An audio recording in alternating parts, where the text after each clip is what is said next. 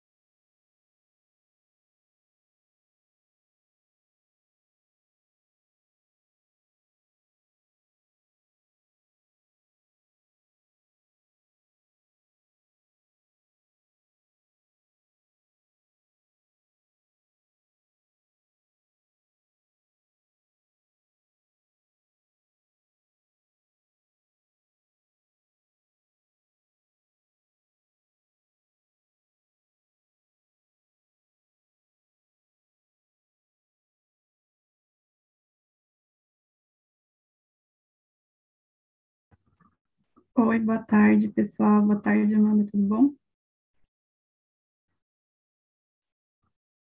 Olá, boa tarde.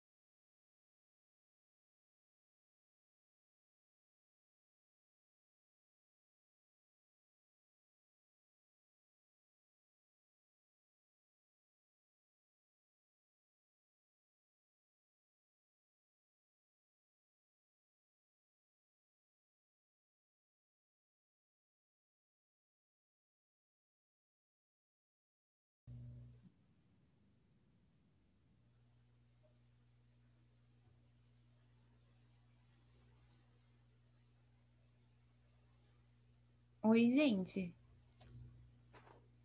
Vocês conseguem ouvir? Oi, Isabela, sim? Olá, tudo tranquilo. Tá, Boa tarde. tarde. Olá, boa tarde.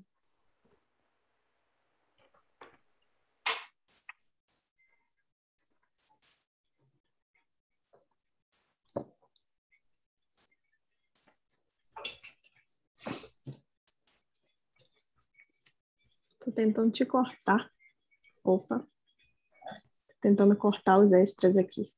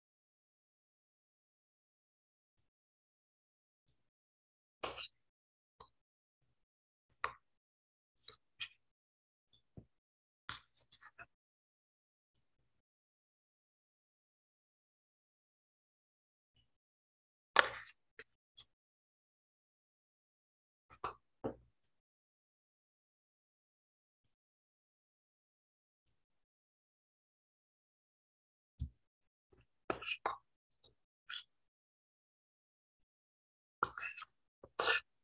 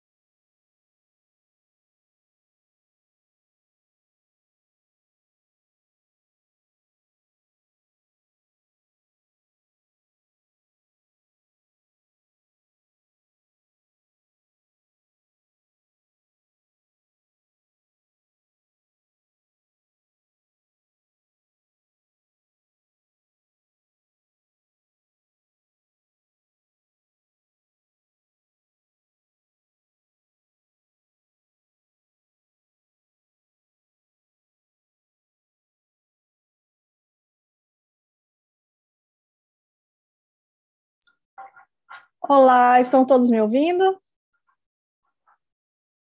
Tranquilo? Oi, Boa tarde. Boa Oi. tarde. Boa tarde a todos e a todas. Que bom vê-los aqui, que bom que a gente pode se reunir, ainda que dessa forma, né, novamente, para o nosso querido Congresso de Direito Socioambiental, um congresso muito amado, muito querido por muitos que nós, dos que estamos aqui. Né? É um congresso bastante especial, é, em que a gente consegue reunir essas temáticas de tanta, de tanta relevância, de tanta importância para quem estuda na área de direito socioambiental, para aqueles que são afetados pelas questões socioambientais. Então, a gente está aqui com o maior prazer, né, mais uma vez, é, trabalhando nesse congresso tão bonito. Né? É, saúdo também as companheiras, os companheiros de PUC, de jornada. Né? É muito bom é, ver os rostinhos aqui novamente. Pessoal, é, o nosso GT, né, ele é um GT sobre natureza, povos e sociedade de risco, o grupo de trabalho que vai tratar essas questões. Nós temos aqui, se eu não estou enganada, nós temos 21 trabalhos, certo, Amanda? Tá sem áudio, tá, Amanda? Clássico. É, sim, acredito que sim. Tá, nós temos 21 trabalhos, então a ideia é fazer as apresentações em blocos de três, seguidas então de debates. É isso, né? Nós não temos um tempo regulamentar para os debates, mas a gente pede que, que seja, né, todo mundo seja bastante consciente que o nosso tempo é limitado, e as apresentações, então, elas devem ser feitas ah, no prazo de até 10 minutos, Aí nós pedimos que vocês, então, sigam rigorosamente esses 10 minutos. Quem vai apresentar em dois, então, é, divida bem o tempo, porque a gente sabe que é corrido, ainda mais é, numa modalidade virtual, tá certo? Então, sem muito mais delongas, nós passamos a, a apresentação dos trabalhos. É, eu acho que a, a monitora está cuidando da questão das presenças, né, Amanda? Isso, o formulário vai ser disponibilizado daqui a pouco. Ah, legal. É, e aí, então, acho que a gente precisa ver se, se os três estão aqui presentes, os três primeiros trabalhos? Sim. Sim? Então, o primeiro trabalho, que seguindo a ordem é, da divulgação do nosso site, seria a, a, injustiça ambiental, uma reflexão ecossocial sobre o gasoduto de Manati, o povoado de Ilha da Ajuda, Jaguaripe, Bahia. Está presente a Juliana dos Santos? Estou presente. Ah, que bom. Juliana, o segundo trabalho sobre o direito dos desastres. Arthur Ramos, Andrei Domingos e Paula Cristina. Estão presentes? Acho que não, então. É, o terceiro, responsabilidade civil estatal frente aos desastres ambientais. Vanessa e Ana Maria. Aqui. Estão aí? Sim. Achei. Tá certo, eu vou te colocar aqui então em segundo. E ação civil pública ambiental, trabalho do Alisson e do Cássio. Estou aqui, o Cássio ele, ele teve um outro compromisso da OAB, ele não pôde participar. Tranquilo, Né? então. A gente tem uma solicitação da Yara para poder apresentar o trabalho antes, porque ela tem outro compromisso. Tá. Algum de vocês três se importa de ceder o lugar para ela? Uma, uma. Pode ser? Quem se voluntaria para ficar no segundo bloco? Boa tarde a todos. Eu gostaria de saber se já foi colocado a, a ordem das, das apresentações. É, nós vamos seguir a ordem que está na programação do site, atendendo as demandas individuais. Por exemplo, a da Iara, que está pedindo para apresentar já. Por mim, tudo bem. Eu estou como primeira apresentação. Tá. Posso ceder. Vanessa, então eu vou colocar você para apresentar aqui no segundo bloco, tá certo? Tudo bem. Muito obrigada. Bom, que vamos lá então. A apresentação do trabalho da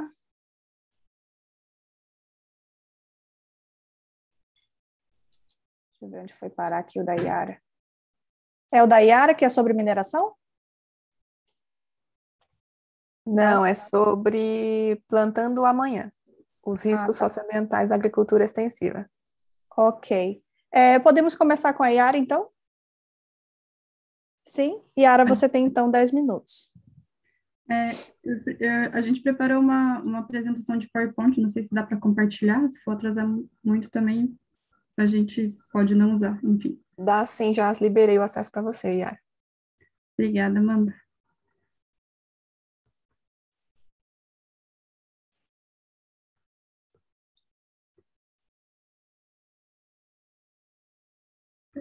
É, eu não consigo ver, gente. Tá apresentando? Tá, mas coloca na apresentação geral agora, e no primeiro slide. Espera aí, aqui. É, tá no quarto slide.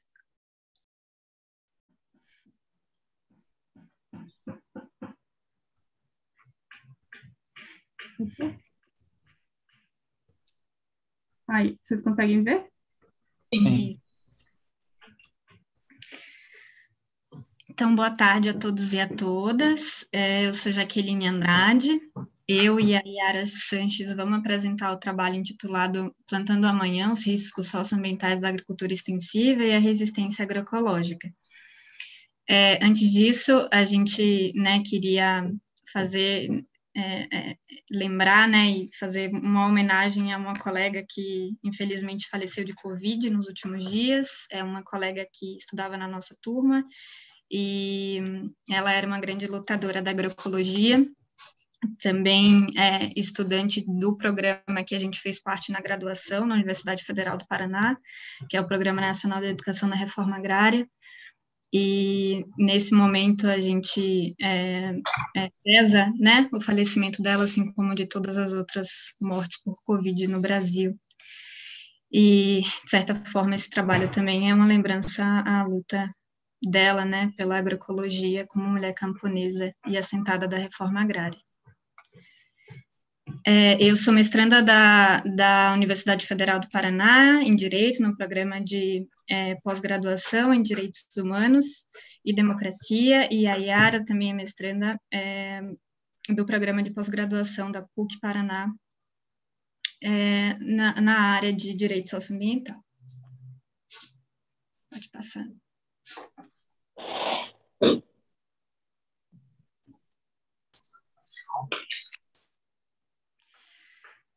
A Ana Primavera, que é uma grande referência para nós, para a agroecologia, é, disse, né?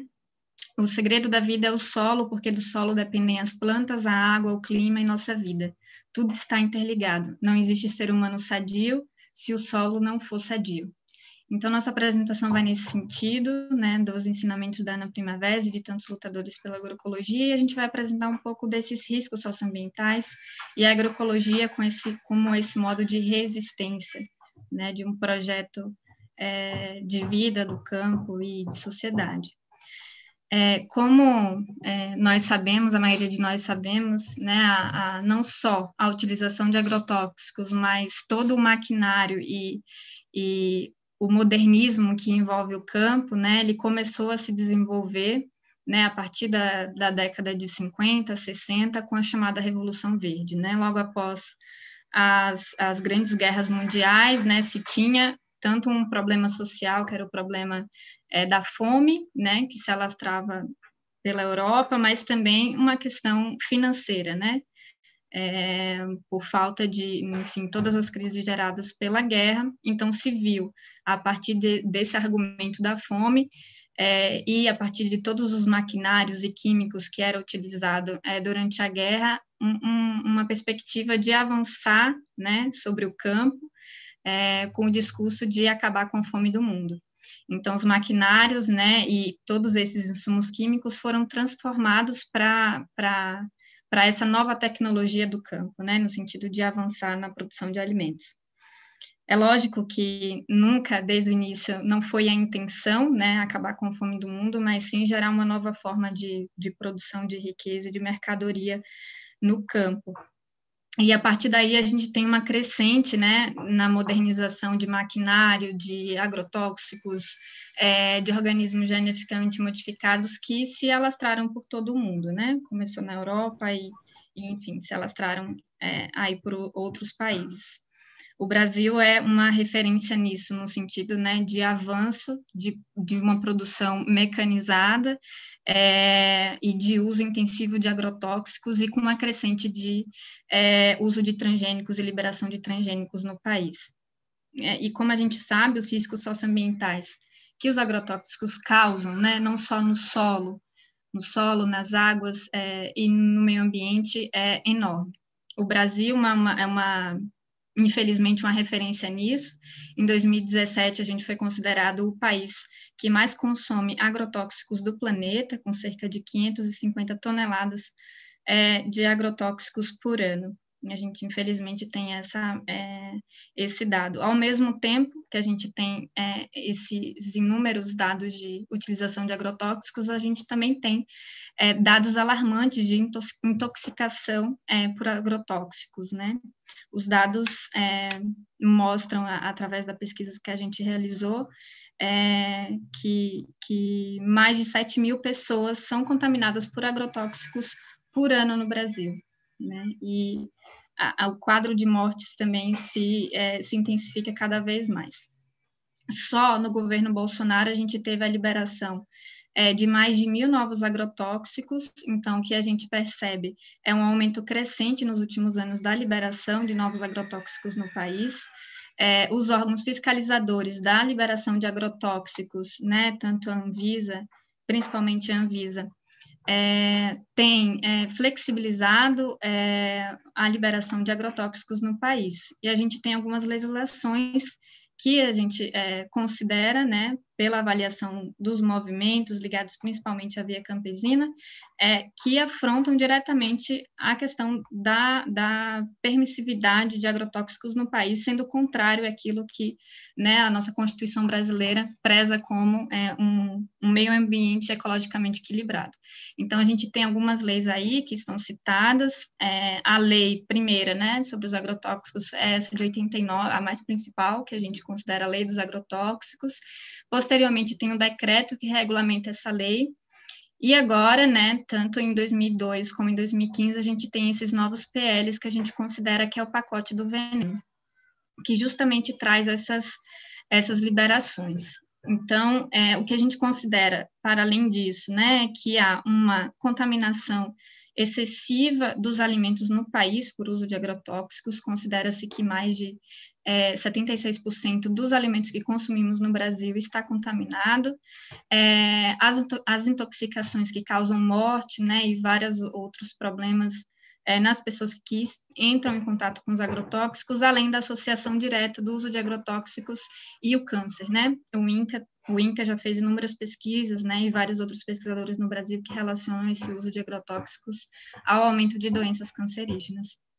E aí, ao né, em contraponto a esse modelo de agricultura extensiva e, e com vasto uso de agrotóxicos é, e, e, e, essa mecanização, a gente tem a agroecologia, que é um, um projeto de vida, digamos assim, de sociedade, construído principalmente pelos né, movimentos sociais do campo, que buscam uma nova forma é, de produzir, né, uma forma de é, produzir em, em, em, respeito à natureza, né, é, não, não intoxicando a água, o, solo e as pessoas, é, e tantas outras coisas que a gente vai aprofundar posteriormente. O objetivo geral desse trabalho é investigar os riscos socioambientais do modelo da agricultura extensiva em relação ao modelo agroecológico.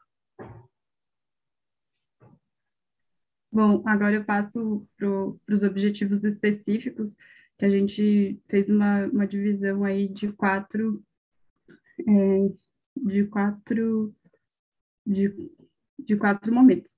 Inicialmente, a, a pesquisa... Só para avisar que tem dois minutos, tá bom? Tá. A, a, a, gente pesquisa a questão da, da Revolução Verde e qual a sua relação com o meio ambiente, analisa os riscos, é, depois, em um segundo momento, analisa os riscos da aplicação de agrotóxicos, é, como técnica de melhoramento da agricultura. De, no terceiro momento, a gente compreende a perspectiva jurídica, que ela é permissiva essa construção dos riscos da aplicação de agrotóxicos, e por fim, a gente busca é, indicar qual a relação do modelo agro, agroecológico de produção com a preservação da natureza. A metodologia utilizada foi levantamento bibliográfico em livros, revistas, é, legislações, pesquisas acadêmicas que tratam sobre o tema. E aí, as nossas considerações, é, elas vão no sentido de que essa agricultura extensiva, ela oferece um, é, uns riscos socioambientais, né, que são incalculáveis aí uh, para, para a sociedade, uh, que, por outro lado, a Constituição Federal, né, na questão do direito, ela... Opa, na questão do direito, uh, ela traz elementos é, para um Estado democrático, é, ambiental, só que, é, como a, a Jaque explicou, há legislações que flexibilizam esse registro e aprovação dos agrotóxicos no país, e aí é, e que geram e causam né, o direito como sendo permissivo a todos os riscos. Uh, e aqui a gente trabalha, principalmente quando a gente fala sobre os riscos, a gente trabalha é, muito sobre o, o BEC, e, e esse papel também do direito aqui na permissão dos riscos. E aí, por fim, a gente traz a ponta a agroecologia como sendo uma resistência, né? Não, não só resistir, mas trazer algo novo para essa questão, para esse modelo que se tem adotado de agricultura no Brasil, que seria, que seria aí basicamente, assim, a, a Jaque já abordou bastante sobre uma, a defesa da vida, né? Em todos os seus aspectos é, possíveis, tanto ambientais e sociais, é, pautando a defesa da vida. E aí, aqui agora, só para apontar algumas das referências que a gente é, usou na, na pesquisa, foi o dossiê da Brasco, o Altieri, o Beck, a, portais da Anvisa, a Larissa Bombardi, a professora Eline, é, o IPEA, o Pignati e o professor Carlos Mares. Acho que é isso. Muito obrigada. Acho, espero não ter passado do tempo, foi um pouco. Passou só um pouquinho. obrigada. Não deu tempo de puxar a orelha. Tudo tranquilo. obrigada pela tua apresentação, Yara. É, passamos então para a apresentação da Vanessa. É Vanessa? Ou foi a Vanessa é, que, é, que deu um problema aqui na minha. É, eu pensei que eu ficaria no segundo bloco das ah, apresentações, ah, porque alguém pediu para é, a... é foi a Yara. Então agora é, falou, agora seria o Alisson, né? É que deu um problema aqui no meu no meu Word. Agora está aberto aqui. Oi? Agora agora é o trabalho direito dos desastres. Não, é, só que a, a, o direito do desastre a pessoa não veio, né? Não vieram ainda? É, não, agora é a injustiça ambiental da Juliana, não é? Isso, é. Foi esse, isso aqui na hora que deu um problema aqui no meu, no Aí meu depois, texto. Depois é a, é, o, é a Vanessa e o restante. Depois né? é o Alisson. Isso. Isso. Vamos lá? Oi, gente, olá, tá me ouvindo bem? Sim. Tá, então vou compartilhar aqui os meus slides. Só um momento.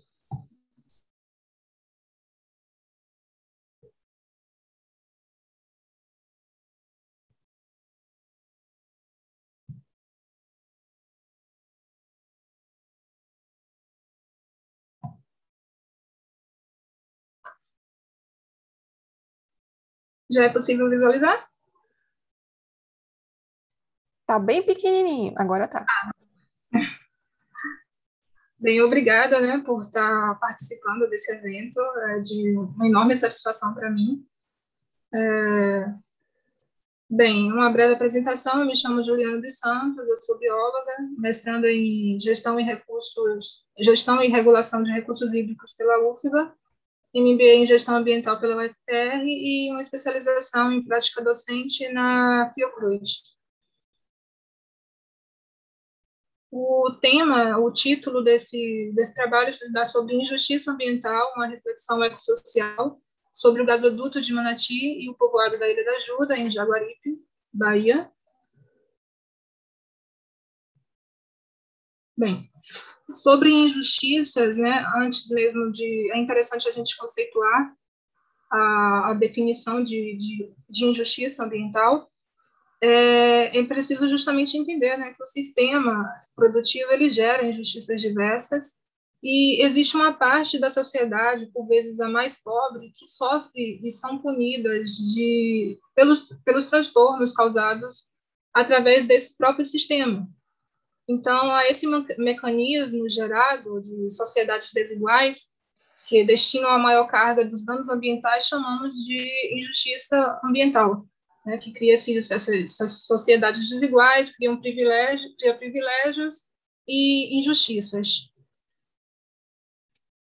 A resenhar, o obje, um dos objetivos desse trabalho é de resenhar sobre a justiça ambiental e as interferências promovidas pela atividade petrolífera ao meio ambiente e também refletir a, a respeito da percepção de um grupo de moradores do povoado da Ilha da Ajuda em relação às injustiças ambientais oriundas a partir da instalação do gasoduto de Manati.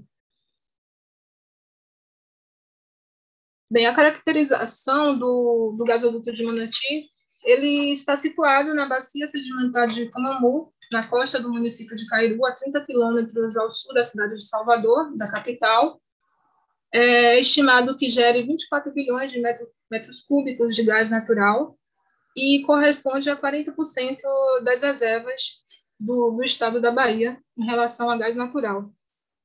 É, possuindo, então. Bem, Sobre o gás natural, é importante também pontuar que ele é considerado uma energia de grande apelo ecológico, sem dúvidas, devido ao menor impacto, por possuir combustão mais limpa, mas ainda assim é, é importante reconhecer os principais impactos a, a, áreas ambientais sensíveis, principalmente, quando a, é, justamente porque a definição, quando a gente fala gás natural, é, a gente tem a ideia de que é uma energia limpa, de fato, e sustentável, porém acaba afastando a percepção dos conflitos e injustiças ambientais existentes nesse ramo. E daí é importante fazer algumas perguntas. Aí que eu uso um, uma parte da música do Gilberto Gil. Queremos saber o que vão fazer com as novas invenções é, justamente saber como, é, o que essas tecnologias têm a nos proporcionar, se vai proporcionar de forma horizontal né, para todos. Então, uma das, das, perguntas é quem de fato se beneficia desse progresso? Algumas perguntas que desejo fazer nesse trabalho. Como vive a comunidade que, com este advento tecnológico? Qual a responsabilidade social praticada pela empresa beneficiadora e organizações envolvidas na exploração do gás natural? Bem, uma breve revisão dá da literatura sobre justiça ambiental, é, dá, visto alguns casos emblemáticos, né, ocorridos no, nos Estados Unidos, em 1978, que a população de Niagara Falls, em Nova York, se deu conta de que estava é, habitando justamente um antigo depósito de compostos químicos de uma, de uma indústria que foi fechada. Em 1982, também moradores da comunidade negra de Warrencote é, descobriram que seria implantado uma, um depósito com as mesmas finalidades vistas em, em Nova York, no estado de Nova York, e fez uma grande mobilização para impedir que isso acontecesse. Anos mais tarde, em 1987, é, essa, essa, esses fenômenos, esses eventos ficaram conhecidos como racismo ambiental, porque não havia aleatoriedade na escolha dos locais os locais escolhidos justamente para a implantação de depósitos, de aterros, não era a área franca, a área nobre da, da, da cidade, mas sim locais pobres, reconhecidamente pobres, é, de população negra. Então, isso aí foi apontado como racismo ambiental. E em 1983, né, esses aterros perigosos nos Estados Unidos, foi feito um mapeamento pela, pela organização GAL, justamente constatando essa, essa questão do racismo e da injustiça ambiental. Aqui tem algumas fotos. Bem, a justiça ambiental tem alguns conceitos que, para bular, é a busca pelo tratamento igualitário e justo, sem que a cor, raça, credo, classe sejam motivos para diferenciar o homem trazidos pelo desenvolvimento. Para Herculano, é a necessidade de evitar que as questões étnicas e raciais definam a parcela da população que sofrerá as consequências ambientais negativas do processo produtivo. E no Brasil tem, tem alguns marcos que definem a justiça ambiental, em 1990, que ó, o termo começou a ser cunhado aqui no Brasil, e em 2001 foi criada a Rede Brasileira de Justiça Ambiental e também o Colóquio Internacional sobre Justiça Ambiental, Trabalho e Cidadania. O histórico do gás natural, como dito, 40% das reservas do Estado é proveniente do gás natural de, da, da plataforma de Manati. O Brasil tem uma demanda por gás natural que cresceu significativamente a partir dos anos 2000. Vou acelerar. Aqui eu fiz um recorte que, enquanto aos royalties é, recebidos no município de Jaguaripe, o território estudado, que abrange a casa de 7 milhões 680 mil reais, né, que é o valor previsto. E aqui tem os valores arrecadados por mês. A área de estudo é, foi feita uma revisão bibliográfica, foi buscado é, em sites do IBGE, é, informações do, do território, Aqui está o povoado da Ilha da Ajuda, o município de Jaguaripe. Como dito, foi feito um levantamento de campo, né, teve a pretensão de interrogar diretamente um grupo de entrevistados, cujo comportamento se desejou conhecer através dessa entrevista estruturada. Foi mais uma observação. E, dentre os resultados encontrados entre os 15 moradores que foram questionados, a respeito do, de algumas questões envolvendo o meio ambiente e também o gás natural, é, que desses 15, 10 pessoas se disseram muito interessadas pelo tema meio ambiente. É, enquanto a ocupação do, dessa, de trabalho dessas pessoas, 60% da ocupação é, é a pesca. As entrevistas ocorreram no dia 5 de setembro de 2018, os resultados são encontrados não foram suficientes para determinar com precisão a realidade do local em função da quantidade reduzida de inquiridos, ainda assim foram apresentados no intuito de comparar trabalhos semelhantes e mais recentes sobre o tema desenvolvido no local de estudo. Outros resultados, 73% dizem conhecer o termo do gás natural, 40%, 40 disseram se indiferentes enquanto a presença da empresa de, que explora gás natural no local, e pelo menos oito moradores afirmaram ter havido pouco progresso, né? Eles esperavam haver progresso a partir da, da instalação da, do gasoduto. E também foi perguntado se eles acreditavam haver diferença entre ricos e pobres enquanto aos prejuízos causados pelas explorações dos recursos naturais. Nessa resposta, houve empate. Eles se, se mostraram que tanto o rico quanto o pobre sofrem de maneira igual, e dos moradores nascidos no povoado, oito pelo menos afirmaram não, é, não ter havido, não ter percebido progresso desde a instalação do gasoduto até os dias atuais. O grau de escolaridade dos entrevistados, entrevistados analisados neste estudo é, responder, cinco, cinco, no caso, responderam não, é, não ter concluído o ensino fundamental, mesmo número do que afirmam ter concluído o ensino médio. Já a renda mensal da população jaguaripense em 2017 foi de 1,9 salários mínimos.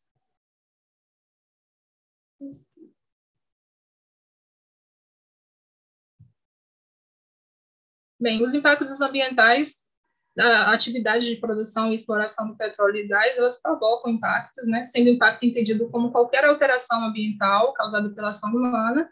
Dentre as principais alterações ocorridas no, no meio ambiente por atividade petrolífera estão o aumento da carga orgânica, aumento da temperatura da água, contaminação da água, e eu ressalto também a, a questão de, da pesca, é, como é a maior parte da população sobrevive disso, com a, com a, a partir da, da, instalação do gasoduto, eles tiveram que ir para cada vez mais longe, áreas mais distantes, para poder continuar pescando. Algumas fotos do povoado. Aqui é a área de, de reflorestamento que foi feita depois da instalação do gasoduto. E as considerações finais enquanto a, a este trabalho é, é, que o anseio de uma nova fonte de renda, né, de trabalho a partir da, da, da, do gasoduto natural, ela gerou uma expectativa muito grande na população, porque acreditavam que a partir daí os seus, é, as, suas, as suas demandas por emprego, por renda seriam atendidas. E, no entanto, pouco mais de 14 anos do, da instalação e exploração do gás natural, esses moradores parecem não sentir como parte beneficiada do crescimento econômico, mas sentem que precisam ir cada vez mais distante para pescar, né, por exemplo, e em cenários de frustração, como os vistos no povoado, nascem as injustiças sociais e também ambientais, visto que os recursos naturais são apropriados por uma minoria que as transformam em riqueza e, em grande parte, as detém, na medida em que a população mais pobre não recebe melhorias significativas em suas vidas, caso houvesse né, a, a distribuição de renda de maneira equânime. Ademais, em razão da, da, das condições do cenário né, de, de vistos na, no povoado, como a ausência de saneamento básico, a infraestrutura e também a de renda, é, percebemos que percebo que o poder público ele tem se mostrado moroso no, no oferecimento de alternativas capazes de gerir é, esses conflitos ambientais e sociais no povoado de Olho da Ajuda.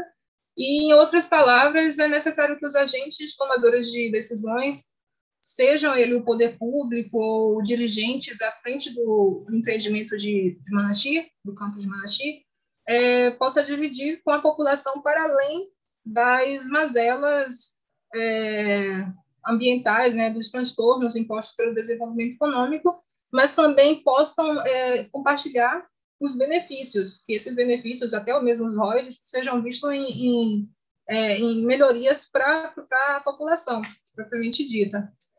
Podendo aqui ser citado projetos educacionais, asfalto adequado para acesso a, a, ao próprio povoado, que não, tem, não existe, é inexistente, é, capacitação profissional, que os profissionais não são captados dali, são vindos de outros lugares.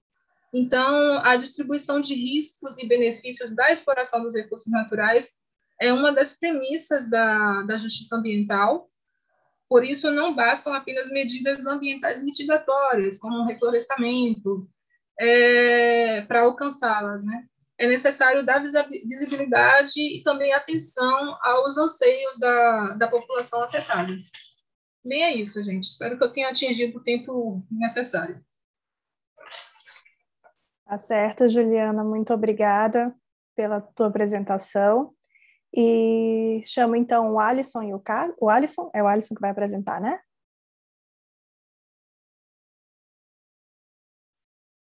Você pode interromper o teu compartilhamento, por favor, Juliana? Então?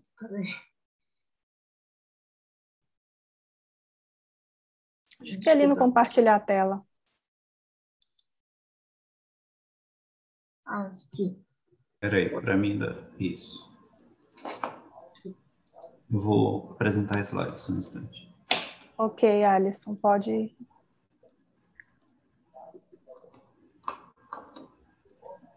Você tem 10 minutos, tá certo? Certo. É, boa tarde a todos. Meu nome é Alisson Barbalho. Eu sou especialista em Direito Público pela Escola Brasileira de Direito, EBRAD. É, eu desenvolvi esse trabalho juntamente com o Cássio. Ele é mestrando pela Universidade é, Federal Fluminense em Direito e Sociologia. Então, o título do nosso trabalho é Ação Civil Pública uma análise de como os Estados-membros podem atuar para que haja reparação civil do dano ambiental. É, o presente artigo ele tem por objetivo central é analisar como os Estados-membros podem atuar para reparação civil, é, a relevância é, desse trabalho é jurídica e social, porque ela tem por objetivo um meio ambiente ecologicamente equilibrado, é, bem como a necessidade da atuação do Estado em ver mitigado o dano ambiental causado pelos particulares. Eu fiz um registro né, do contexto histórico que vivemos, que é a questão do desmatamento, que é a questão de Brumadinho, que, embora no Brasil a responsabilidade ambiental seja é, civil, penal e administrativa, aí, que é algo que eu considero muito pesado né, para quem causa dano ao meio ambiente, mesmo assim a gente vê é, a ocorrência de grandes impactos então, os objetivos é, específicos são levantar de forma sistemática a legislação ambiental, levantar o regime de responsabilidade ambiental, levantar as disposições sobre ação civil pública em matéria ambiental e analisar como os Estados-membros podem atuar para que haja a reparação civil do dano ambiental. A metodologia foi uma pesquisa qualitativa com a aplicação do método hipotético dedutivo. É, quanto ao objetivo, a gente teve um objetivo exploratório, porque assim que a gente iniciou a pesquisa, a gente verificou é, um número reduzido de, de, pesquisas nesse ponto específico do, da, da lei do, do Estado, né, movendo ações de reparação ambiental, e também dos outros legitimados, porque quando se trata de ação civil pública, o maior legitimado é o Ministério Público, que isso até um, um objetivo institucional que está na Constituição. Quanto ao delineamento, foi feito um estudo de caso, porque nós destacamos apenas o, um legitimado, que seriam os Estados-membros. Para isso, nós fizemos um levantamento bibliográfico e documental. Então, nós organizamos o trabalho nas premissas maiores, a proteção ao meio ambiente e o regime de responsabilidade ambiental. É interessante que, antes da Constituição de 88, a, a, a tutela ambiental não era tão valorizada, isso constitucionalmente falando, justamente porque a nossa Constituição ela veio no contexto histórico do constitucionalismo ambiental, de, da, do relatório de Brundtland e, e, e outras discussões no, a nível internacional que influenciaram o nosso constituinte. É, então, des, é, ressalto novamente que nós temos no Brasil a tríplice responsabilidade. A responsabilidade penal e a responsabilidade administrativa, elas têm um, um, um condão sancionatório, ou seja, ao verificar uma infração é, penal ambiental ou administrativa, há, haverá uma sanção do Estado. Já a responsabilidade civil é diferente. O objetivo dela não é sancionar, mas reparar. Então, na pesquisa, a gente verificou um, caso interessante, que seria a questão do dano ambiental em imóveis rurais, que o proprietário do imóvel, ainda que ele não tenha causado dano ambiental, é, ele tem a responsabilidade de reparar, de reflorestar, de, de mitigar esse dano. Então, nas premissas menores, nós organizamos a questão da ação civil pública em matéria ambiental, a gente destaca a súmula 618 do STJ, que marca a questão do ônus probatório. Então, ajuizada a ação civil pública, é, o ônus probatório é, ele é invertido, ele é em favor, da, é, ele é em desfavor daquele que causou o dano ambiental, que ele tem que demonstrar que, que não houve o dano, que a conduta, se é uma atividade empresarial, por exemplo, que toda a atuação dele não, não teria é, causado dano.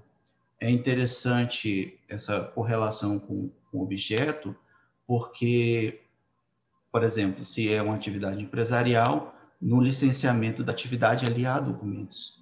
E a administração pública, ela pode valer-se desses documentos do licenciamento, quando constatada, em especial, é uma, uma não observância da, da licença ambiental, e no próprio processo de, de responsabilidade administrativa, os documentos que são produzidos na instrução, é, nós, na pesquisa, nós verificamos um, um ponto interessante que seria a questão dos embargos ambientais, que quando a, o agente vai lá, é, verificou, por exemplo, um desmatamento, ele vai lá, imputa uma multa ambiental e também ele pode embargar aquela área.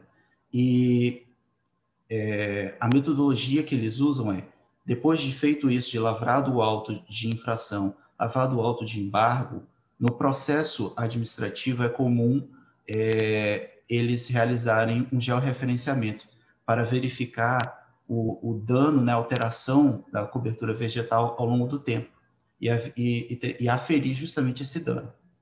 O, o, quem foi autuado para se defender, ele tem que demonstrar que, que não houve isso, né, que há um reflorestamento, que tá, se está ocorrendo uma sucessão é, de recuperação da área, então, é, todos esses documentos nós verificamos justamente a possibilidade deles serem usados pela administração pública para ajuizar a ação reparatória. É, nós fizemos um, uma analogia com o que o Ministério Público faz.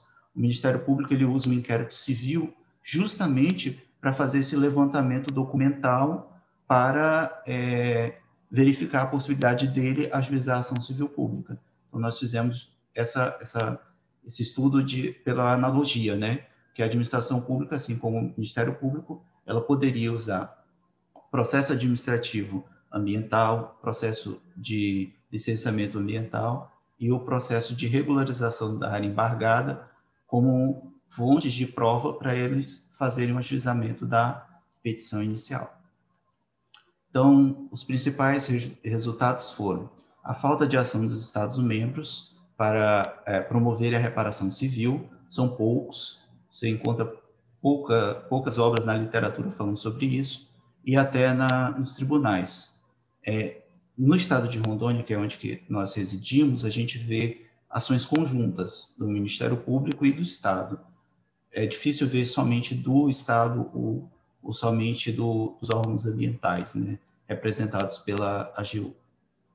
Identificou-se ainda a possibilidade é, de o Estado mesmo utilizar as provas polidas, né, é, que eu já falei sobre a analogia. É essa a apresentação. Estou à disposição para dúvidas, questionamentos. Boa tarde. Boa tarde. Você ainda tinha dois minutos, Ares. Mas tranquilo. Amanda. É, agora debates, né? Vamos fazer uns 10 minutos? Aham. Uhum. É, gente, acho que só é para a gente se organizar aqui. Quem quiser comentar, vai fazer a inscrição no, no, no chat. Então é só, sei lá, como por exemplo eu, Aí eu vou e mando meu nome Amanda, que aí eu fico inscrita para comentar alguma coisa sobre os três um dos três trabalhos ou dos três trabalhos é, que foram apresentados. Inclusive, deixa eu me apresentar. Meu nome é Amanda. Oi a todas e todos. Enfim, alguém quer começar? Não? Eu começo que eu já me inscrevi ali, a título de exemplo, né? Eu queria comentar algumas coisinhas só. É... Vou seguir a ordem aqui que eu anotei o, sobre o trabalho da Yara e da Jaqueline. Eu gosto muito desse tema, especialmente porque eu estou pesquisando sobre agrotóxicos agora. Eu estou ansiosa já para ler o trabalho completo de vocês, né? Porque vai me ajudar, inclusive, na minha pesquisa. E espero e eu estou animadíssima para citá-las, inclusive. É... Enfim, gostei bastante. Na verdade, não era nenhum comentário, eu queria fazer comentário mesmo sobre o, o segundo trabalho da Juliana, que essa temática da justiça ambiental se aproxima muito é, da questão do, da teoria da sociedade de risco, né? Mas eu queria fazer só duas perguntas, que aí não sei se já estão dentro do artigo completo que a gente não recebeu ainda, né? Mas a gente vai receber, que talvez fica só como uma sugestão, que é trabalhar um pouco as questões de, de o que é um apelo ecológico, né? Dessa energia, chamada energia limpa né? Porque o, a exploração de gás natural, ela é tida, o gás natural em si, ele é tido como uma energia limpa, mas é, o processo de extração, inclusive um em especial do gás natural, que é o, o fracking, ele é extremamente danoso. Então, é só talvez analisar quem que diz que é energia limpa, né, e problematizar um pouco essa definição dessa energia limpa. Porque, por exemplo, várias outras energias são tidas como limpas e ou renováveis, né? O próprio conceito de renovável é bem questionável, especialmente quando você pensa que energia hidroelétrica é renovável e aí você vai ver os danos causados. Não tem tão renovável assim, né? É, mas é só talvez isso abranja dentro, seja interessante trazer dentro do artigo completo daí. Perfeito. Mas é só uma sugestão. Não sei se você quer comentar Obrigada. ou não. Obrigada. Foi um termo que, na verdade, eu acabei pegando depois a, a ideia de energia limpa, que não é tão limpa assim, aí eu acabei pegando esse conceito depois do artigo pronto, mas ainda consigo inseri-lo. Assim. É só uma sugestão, quem, tá, quem um pesquisador que trabalha muito sobre a questão da injustiça ambiental é o Henrique Serrad, nunca sei falar o nome dele, gente, mas depois vocês me ensinem se, eu tiver falado errado, é, em que ele na verdade, é um artigo bem antigo dele, que ele vai falar sobre a usina hidrelétrica de Itaipu. E aí ele vai dizer como o planejamento dessas questões é um planejamento autoritário. E aí, Itaipu não, perdão, Tucuruí. Não é Itaipu. De Tucuruí. E aí ele fala que esse, esse planejamento dessas estruturas é um planejamento extremamente autoritário. E aí ele fala isso de Tucuruí, que foi lá na década de 80. E aí se você pode fazer talvez uma comparação com o planejamento dessa estrutura que você analisa, né, em Jaguaripe. E aí você vai, pode trazer, inclusive, a questão, né? Nossa, a gente está na Constituição Democrática, né? Com direito aos povos, comunidades, etc. E as dinâmicas continuam se reproduzindo. E aí talvez seja interessante você fazer essa comparação. Não necessariamente por este artigo, mas talvez esse autor tenha mais coisas também para você. Perfeito. Eu posso comentar também sobre o, tra o trabalho de agrotóxicos? Claro, todo mundo pode comentar aqui. Que também é o, é o tema da minha, da minha pesquisa no, no mestrado, agrotóxicos na água, no caso. E também muito me interessa, né? Que a gente tem aí uma, uma, um vazio na questão do, dos agrotóxicos testados em água Atualmente são 37, antes 27, e tem um grande trabalho né, para esse, a Anvisa, esses grupos que precisam fiscalizar, essas instituições que fiscalizam, dado a, a quantidade que tem de agrotóxicos comercializados com o que são hoje monitorados, que são testados, e são 37 atualmente. Ju, isso é interessante porque no nosso trabalho a gente menciona isso, né? Que a contaminação da água é um dos principais né, problemas que, que a gente tem para além dos alimentos no Brasil, né? Tem as informações que a Larissa Bombardi, que é a grande pesquisadora nessa área, fez o levantamento de que é 5 mil vezes mais é, a contaminação da água é, a nossa legislação permite do que, por exemplo, os parâmetros da Europa. Então, acho que isso é um disparate muito grande. Tem substâncias que a gente nem conhece, né? Que está inserida na, na água.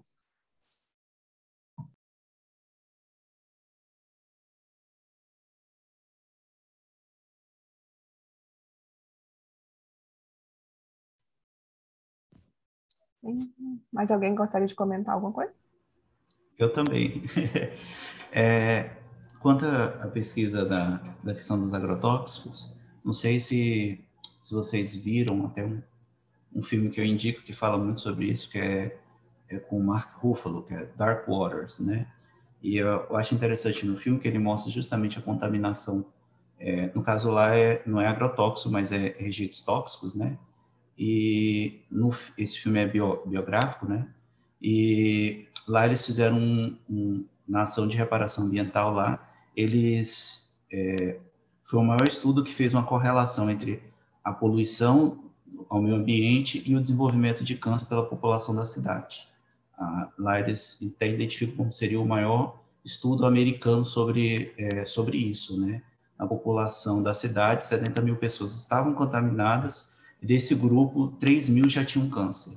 É até interessante. É, é, desculpa comentar de novo, Amanda, eu estou tomando um pouquinho do tempo, mas é que trazendo isso para aqui, para o Nordeste principalmente, ali, né, no Ceará, a Raquel Zigoto tem um trabalho é, muito grande e, e, e muito é, de muita qualidade da, da universidade, se não tem nada da Universidade Federal do Ceará, que faz uma, uma análise na Chapada na Chapada do Apodi, no Ceará, que é justamente essa análise do avanço do agronegócio sobre a Chapada do Apodi e o aumento significativo de câncer das comunidades é, das comunidades que tem ao redor né, da Chapada do Apodi. É um trabalho bem, bem grande e completo da Raquel Zigoto. É trabalho, alguma coisa e agrotóxicos. É um, um material bem bom mesmo.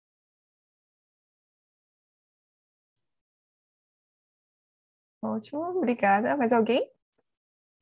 Queria comentar rapidinho sobre o trabalho do Alisson, que o tema é bem parecido com o do meu, é, ações civis públicas.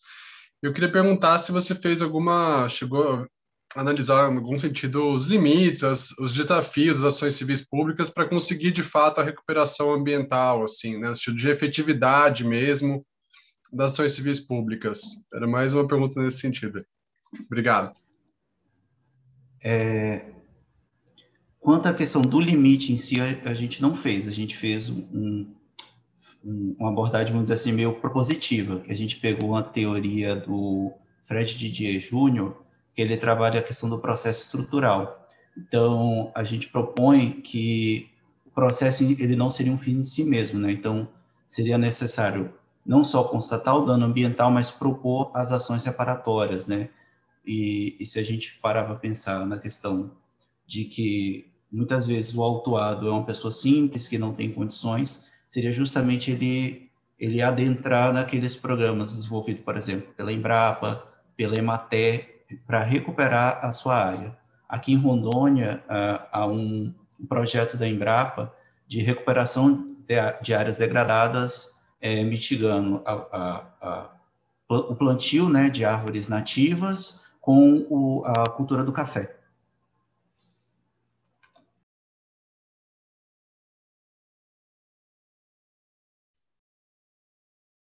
Perfeito. Mais alguém? Não? Vamos dar sequência, então? Quem é o próximo, Dani? Você que está mais na lista aí. É, a próxima é a Vanessa, a responsabilidade civil estatal frente aos desastres ambientais. Vanessa, você tem 10 minutos. Certo. Conseguem me ver e ouvir? Sim. Ok, estou apresentando.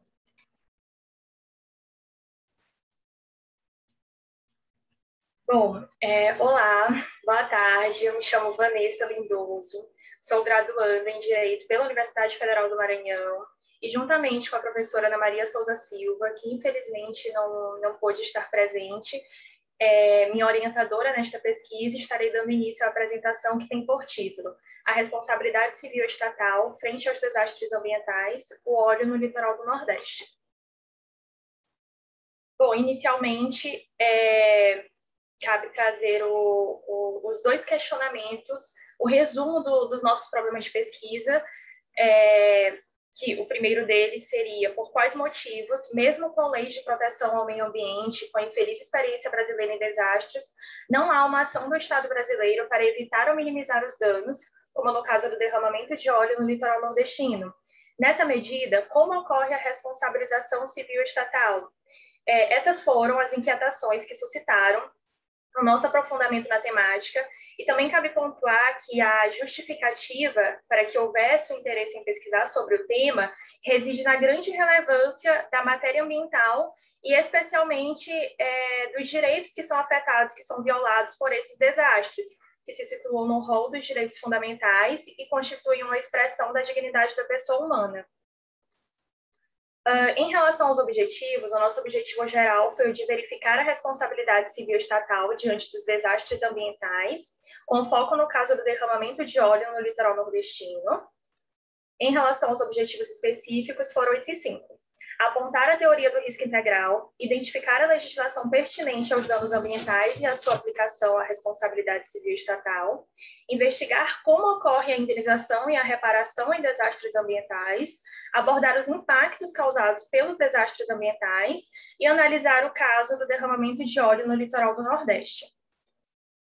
Quanto à metodologia, nós lançamos uma abordagem qualitativa, método dedutivo, e a técnica de pesquisa foi uma revisão bibliográfica a partir de livros, artigos científicos e das leis vigentes.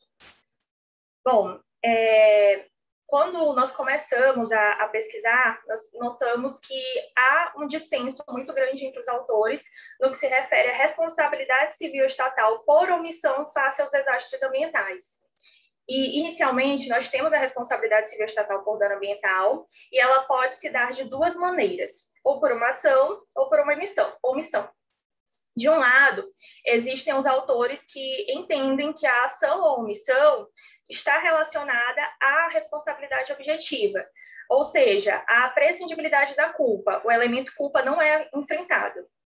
Já existem outros autores, de outro lado, que entendem que a ação, sim, está relacionada com a responsabilidade objetiva, mas a omissão não. Ela estaria mais atrelada à responsabilidade subjetiva. E o que isso significa? Significa que a figura da culpa seria levada em consideração para a apuração da responsabilidade do Estado. E o nosso objetivo em levantar essa discussão consiste no fato de a responsabilidade civil do Estado ser extremamente importante para a resposta jurídica que deverá ser dada é, face a essa violação de, da, da, do meio ambiente, desses direitos fundamentais. Isso também tem relação com o fato de que, quando o Estado se omite, especialmente no caso em que nós pesquisamos, estamos pesquisando, ele assume o papel de poluidor indireto. Ele descumpre o poder-dever constitucionalmente previsto de proteger o meio ambiente, de agir preventivamente, ou caso esses danos venham a ocorrer, venham a se consumar, de garantir que eles sejam minimizados e que a reparação ocorra da forma devida. É, dando continuidade, agora nós entramos no, no caso do, do derramamento de óleo, e antes de iniciar aqui a exposição de alguns aspectos relevantes, é importante rememorar que os primeiros indícios desse derramamento foram observados é, em 30 de agosto de 2019, no litoral da Paraíba, e aí, conforme os meses foram passando, esse óleo foi percorrendo todo o Nordeste, e chegou a adentrar no Sudeste também, como vocês podem observar essa representação gráfica, nos estados do Rio de Janeiro e do Espírito Santo. Em relação a, aos aspectos que, que nós trazemos, é importante levar em, em consideração as características do derramamento de óleo. Segundo algumas pesquisas que, que foram realizadas, esse óleo é óleo cru, ele é denso, isso significa que ele se deposita no fundo do mar com facilidade, o que requer que a ação de enfrentamento seja ágil, até para minimizar os custos e os próprios danos ao meio ambiente, e é um óleo altamente intemperizado. É, em relação às características da região brasileira atingida pelo óleo, como nós podemos perceber, é, foi predominantemente o Nordeste. E o Nordeste, é, eu falo daqui, né, é, essa, é, evidente assim que existem altos níveis de desigualdade social e quando esse óleo ele chega aqui no Nordeste, ele pega de surpresa a assim um dos principais pilares econômicos do daqui da nossa região, que é justamente o turismo. O turismo foi muito afetado, não só o turismo, a, aquela população que vive da pesca também, como eu explicarei mais adiante. E o, o, número também de áreas protegidas, de ecossistemas tropicais que foram afetados foi significativo. É um desastre considerado de é, que tem uma significância nacional e isso foi, foi comprovado porque o, todos os procuradores do, do Nordeste é, se reuniram para assinar uma ação civil pública justamente para imputar ao Estado essa omissão que nós trazemos à, à, tona, à baila, e em relação também a, que é o último, último aspecto, a questão da ausência de providências e as falhas né, que foram observadas nas poucas medidas tomadas pelo governo federal. É, esse, esse desastre, ele atingiu de uma forma severa os chamados povos das águas, que são os catadores de caranguejo, os ostreiros, marisqueiros e os próprios pescadores artesanais, uma vez que eles extraem o seu, a sua renda, o seu sustento da comercialização desses produtos. E não só isso, eles também utilizam esses produtos para o consumo próprio. Então, a partir do momento que eles se viram impossibilitados de, de ter acesso, de comercializar, de consumir, a segurança alimentar também foi muito prejudicada, foi muito atingida. É, em relação aos resultados alcançados, uh, são esses. O primeiro deles é que o, o, Estado, quando ele se omite do seu poder dever de proteger, viabilizar meios para prevenir ou minimizar os danos ambientais, ele passa a assumir todos os riscos de dar causa a, ao desastre, a esse resultado. É, também se observou que não é possível quantificar o, os danos em desastres ambientais, mas existem métodos valorativos, ainda que imprecisos, que permitem a reparação, e essa reparação ela pode se materializar de três formas, através da restauração in natura, da compensação ecológica e da indenização em dinheiro, e essa, essa ordem ela, é, ela segue um, um raciocínio lógico, a indenização em dinheiro será sempre a última via a ser seguida, a ser adotada também se observou que os marcos legais existentes não estão sendo cumpridos. Em relação ao caso do, do derramamento de óleo, notou-se que o Estado, ao não proteger o ecossistema, os voluntários da limpeza, é importante que se diga que eles se expuseram ao risco, né, a compostos tóxicos com potencial cancerígeno, é, sem nenhuma coordenação com o governo federal, sem nenhum apoio. Eles não tiveram é, acesso, por meio do governo federal, aos EPIs adequados, e também a população local que vive predominantemente do, do turismo e da pesca. O Estado se omitiu também ao esperar 40 dias para implementar o Plano Nacional de Contingência, que é um plano que já existe desde 2013 e que é um instrumento criado justamente para gerir crises, situações dessa envergadura. E assim, diante de tudo isso que foi apresentado, fica mais do que evidente que a lesão ao meio ambiente ela persiste, ao terem passado quase dois anos, um ano e nove meses aproximadamente, do ocorrido, sem nenhuma resposta de quem foi o responsável, é, sem perspectiva do, dos impactos né, a longo prazo que o meio ambiente, as presentes e futuras gerações poderão suportar, e também é um desastre que vai demandar um monitoramento por um longo período de tempo, é, devido às características do, do óleo e devido a questões mesmo de correntes marítimas que podem vir a trazer esse óleo é, novamente para as praias, ao acúmulo trófico né, no, nos, nos animais marinhos, e isso pode chegar a, ao, ao ser humano, pode prejudicar o ser humano. E outro ponto também é que, embora a origem do óleo seja conhecida, é, visto que a, o material petrolífero ele, ele apresentou uma compatibilidade com a bacia sedimentar venezuelana, a origem do derramamento em si ainda não foi elucidada. Não se sabe qual foi a empresa, o navio, se foi um naufrágio, petroleiro, não se tem ainda essa resposta, é, não se tem nenhum responsável para prestar contas desses danos é, ao meio ambiente, desses danos sociais. E é, um ponto também que é, nós achamos assim interessante quando tivemos acesso é que essas manchas de óleo elas são consideradas órfãs especialmente essas do, do caso do derramamento de óleo no litoral no Nordeste, que é uma terminologia adotada pela Companhia Ambiental de São Paulo para remeter justamente a, ao aparecimento de substâncias oleosas em águas marinhas, estuarinas, fluviais, cuja fonte poluidora ainda não foi identificada, e é exatamente esse o caso é, que nós pesquisamos e que nós trazemos aqui hoje. Essas foram as referências citadas ao longo do, da apresentação. Nós agradecemos a oportunidade, eu agradeço em meu nome, em nome da professora Ana Maria, a oportunidade de compartilhar a pesquisa realizada e, apesar do tempo limitado, que não permitiu aprofundar nos pormenores, esperamos que tenha dado para compreender a finalidade da nossa pesquisa. Estamos à disposição. Obrigada.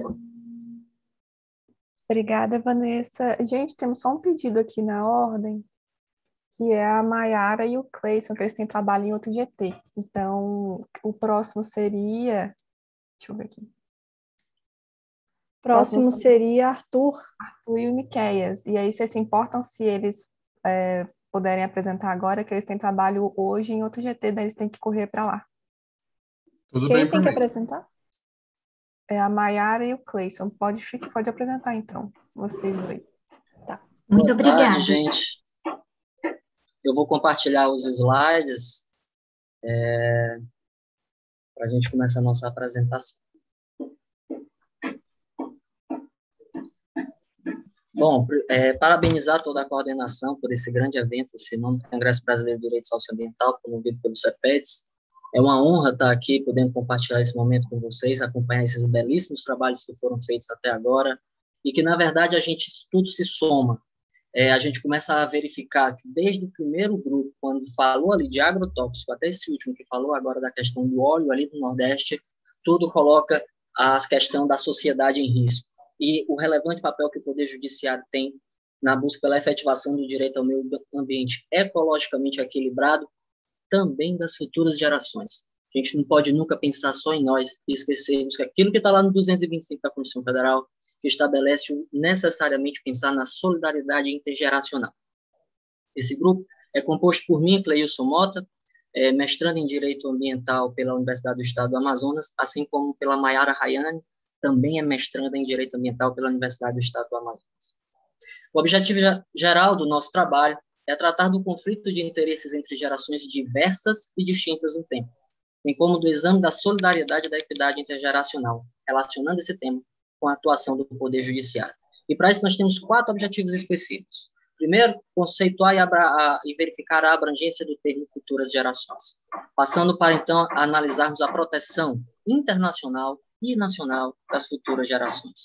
Com isso, a gente ingressa nos conflitos intergeracionais e o papel do Poder Judiciário, para então trazer decisões intergeracionais proferidas pelos tribunais brasileiros. A nossa pesquisa ela segue também o cunho biográfico e o método dedutivo descritivo. E o problema de pesquisa, a gente pode resumir o trabalho nessa indagação. O Poder Judiciário cumpre seu dever constitucional com observância temporal do direito ao meio ambiente ecologicamente equilibrado, buscando solucionar efeitos é, que repercutem não só nas gerações atuais, mas também nas vindouras? Essa é a indagação que, que esse nosso trabalho se propõe a responder. Então, quando a gente começa a pensar na questão das futuras gerações, o conceito e a abrangência, a gente lembra já lá no começo do século XIX de Augusto Conte. Ele entendia que era, mais uma questão temporal. Pensar em futura geração era pensar em uma geração que sobreviveria ali pelo menos 30 anos para poder, então, deixar descendência.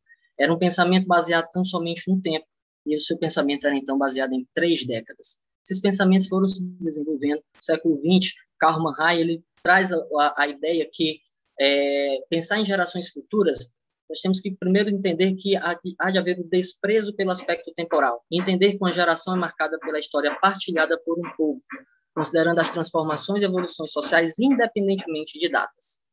Alexandre Kiss, 2004, ele já traz também uma ideia que o conceito é, não deve ficar só em torno de uma, de uma situação de estagnação. Pelo contrário, as presentes e futuras gerações elas convivem de forma intercalada, uma vez que é, uma, em uma mesma época deve haver a interação entre crianças, jovens, adultos, idosos, defendendo então, portanto, um fluxo constante de indivíduos, ao invés de conceitos meramente estáticos.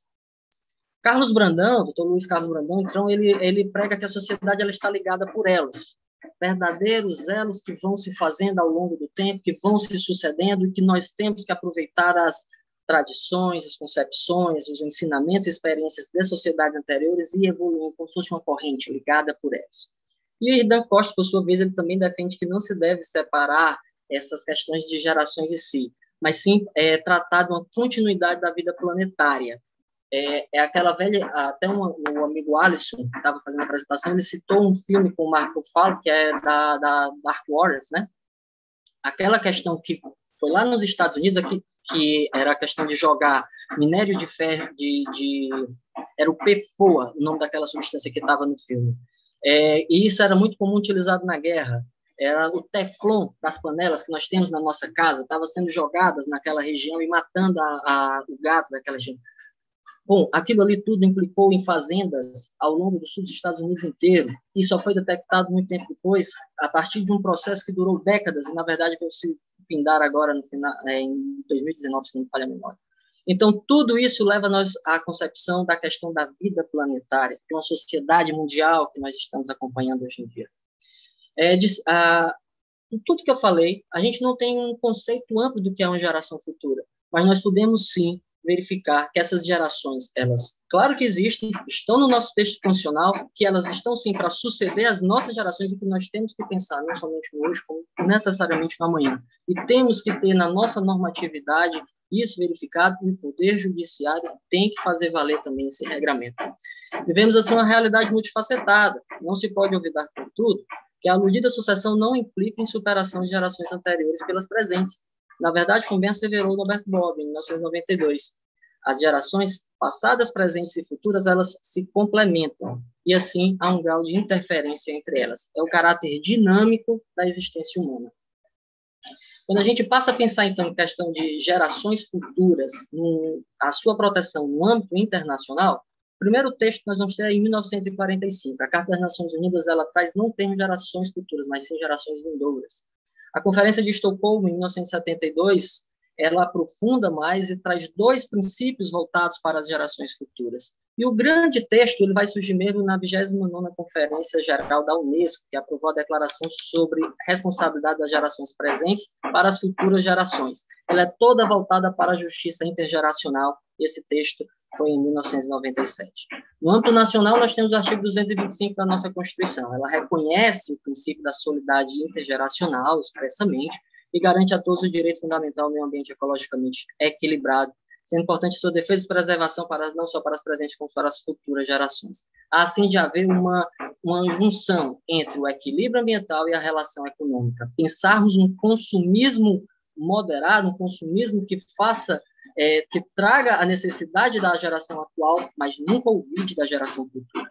A proteção aos direitos das gerações futuras também encontra guarida nas leis infraconstitucionais brasileiras, como o caso do Estatuto da Cidade, que é a Lei 10.257 de 2001, está prevista expressamente no artigo 2 inciso 1 Portanto, a solidariedade intergeracional ela tem proteção no âmbito internacional, tem proteção no âmbito nacional, não só no viés constitucional, como também infraconstitucional, e deve ser observada em conflito de interesses entre gerações. Eu vou passar agora a palavra para minha colega Mayara, para ela continuar a, apresentação do trabalho. É, boa tarde a todos. É, dando continuidade ao trabalho, é, pode passar. Ah, não. Dando continuidade ao trabalho, eu vou tratar com os senhores a respeito dos conflitos intergeracionais, especificamente sobre o papel do Poder Judiciário na busca do cumprimento desse dever constitucional de garantir e efetivar os direitos das futuras gerações. Então, o conflito intergeracional, de fato, é aquele que envolve interesses entre gerações distintas e diversas no tempo. Então, de um lado, nós temos as gerações presentes, que visam satisfazer seus interesses atuais, de bem-estar, de progresso, e por outro lado, nós temos as futuras gerações, que são aqueles que são capazes de levar adiante e de usufruir a perpetuação da espécie humana. Então, como os senhores já devem ter conhecimento, segundo a Constituição de 88, o poder público, além de todos, temos o, tem o dever de preservar e garantir a implementação do direito fundamental no ambiente para as presentes e futuras gerações. Diante disso, é importante analisar o papel do Poder Judiciário no cumprimento desse dever constitucional, sobretudo quando ele é levado a solucionar conflitos intergeracionais que lhes são submetidos à apreciação. Então, o Poder Judiciário, de fato, deve ser imparcial, a jurisdição é inerte, ela precisa ser provocada, e o magistrado, sempre que estiver diante de um conflito, ele deve, além do, de observar o seu dever de julgar, ele tem que observar, em primeiro momento, o núcleo essencial de cada direito colidente, para evitar sacrifícios que eles são capazes de suportar. Então, num conflito intergeracional, o núcleo essencial que deve ser observado é a perpetuação da espécie humana. Então, além de observar esse núcleo essencial, é, no julgamento de um conflito intergeracional, ele requer algumas técnicas, alguns métodos e alguns princípios especiais que são capazes de equilibrar os interesses das distintas gerações, distantes no tempo, além de observar certos limites, buscando sempre essa harmonia intertemporal. É, nesse sentido, o professor Edson Oliveira ele destaca alguns fatores relevantes a serem considerados num conflito como este. Por exemplo, Primeiro, tem que identificar o fundamento teórico válido para legitimar e justificar a decisão. Segundo, deve-se buscar o fundamento na principiologia constitucional. Terceiro, tem que delimitar o núcleo essencial dos direitos fundamentais que estão colidindo.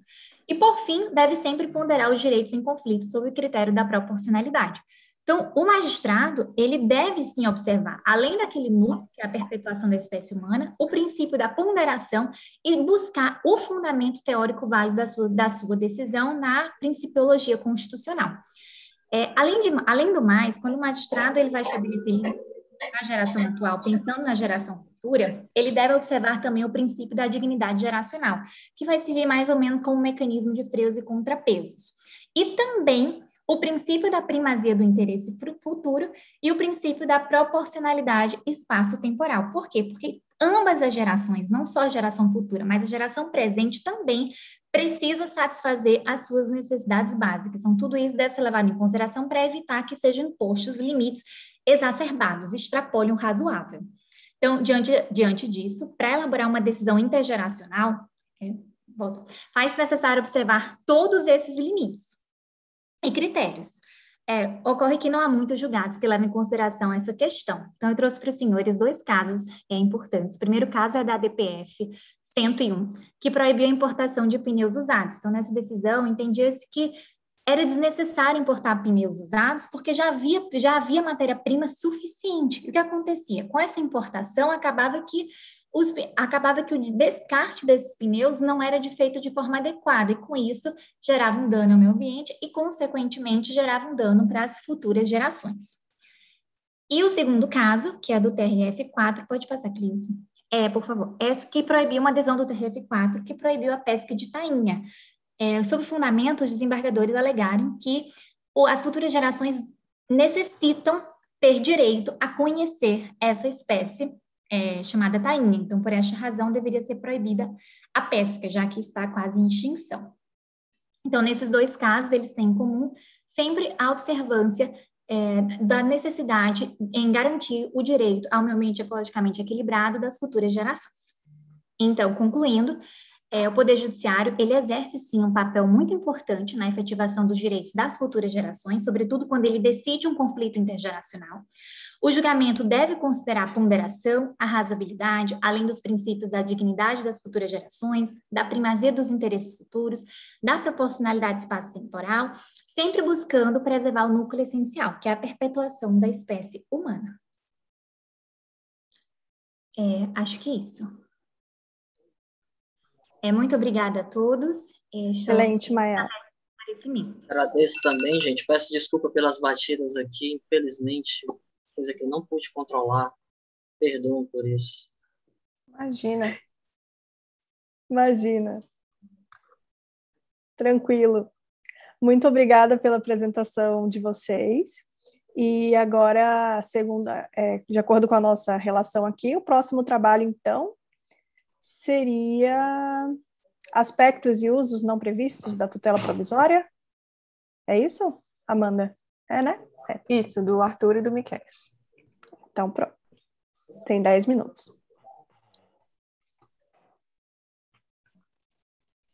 Olá, gente, tudo bem? É, boa tarde, meu nome é Arthur Colito, eu sou estudante do FMG e estagiário no Instituto Guaicuí, que presta assessoria técnica independente aos atingidos por barragens do Baixo Paraupeba e do entorno da represa de Três Marias.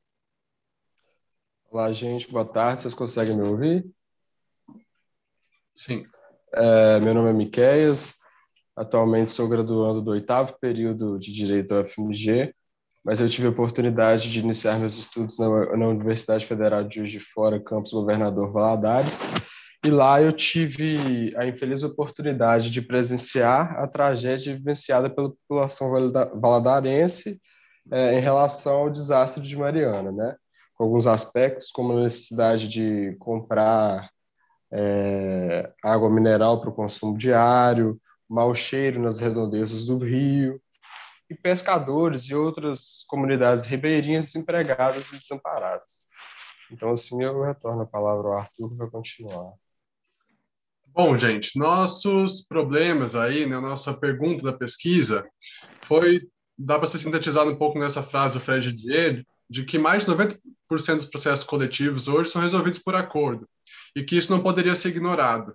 Então a gente ficou com isso na cabeça um pouco, se também isso se aplicaria aos desastres e crimes na mineração, né, e aos processos coletivos relacionados a eles, e se a tutela provisória, enquanto é, uma, essa ferramenta jurídica, cumpriria algum papel nesse alto índice de acordos.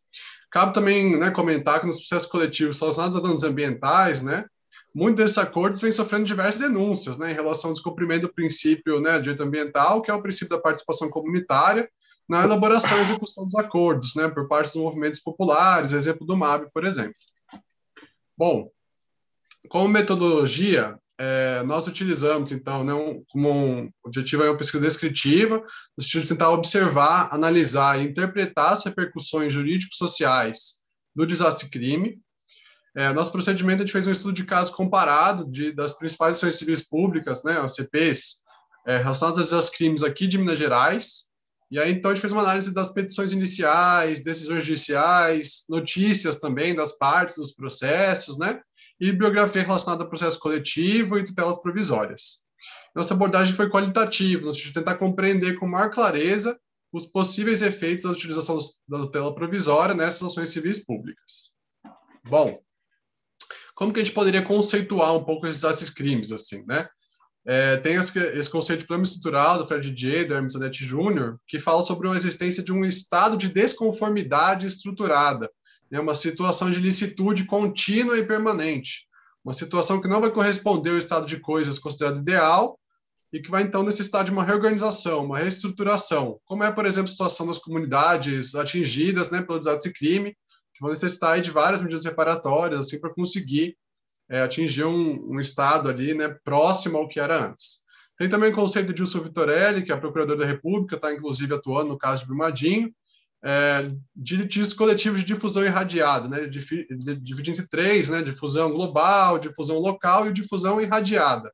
Esse último seria, então, um conflito né, com alta conflituosidade, vai atingir diversos grupos né, que são heterogêneos entre si e que não vão possuir um alto grau de identificação entre um e outro, como, por exemplo, seria uma comunidade tradicional, ou mesmo categoria de trabalhadores, como pescadores, né? Vai atingir, às vezes, fazendeiros, é, pessoas que são do condomínio, sitiantes, enfim, várias pessoas diferentes que não têm relação entre si.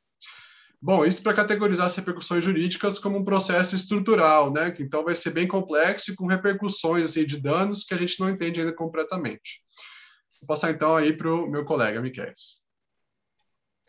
Gente, devido ao pouco tempo, eu vou tentar dar uma passada um pouco mais rápido, mas ao tratar das tutelas provisórias, no livro 5 do, Código de Processo Civil, ele apresenta, entre os artigos 294 e 311, alguns aspectos necessários, requisitos, mas a gente vai destacar aqui a questão do, do perículo em mora. Afinal, o artigo 294 ele prevê a possibilidade de concessão de tutela provisória é, com fundamento na urgência e na evidência. E no artigo 300 do mesmo código, ele já prevê a questão da tutela de urgência, que ela pode ser concedida diante de elementos que denotem a probabilidade do direito e o perigo do dano ou risco ao resultado útil do processo na demora. E nesse caso, no caso inteiro que a gente está tratando aí das questões das barragens, que a gente trata no artigo, é, resta muito claro a questão de duas questões fundamentais. Primeiro, o risco aos direitos fundamentais dos indivíduos das proximidades, dos trabalhadores, dos moradores da região, e com destaque o direito fundamental da dignidade da pessoa humana, que é prevista constitucionalmente, inclusive como cláusula pétrea, também presente na, na, na Convenção Americana dos Direitos Humanos.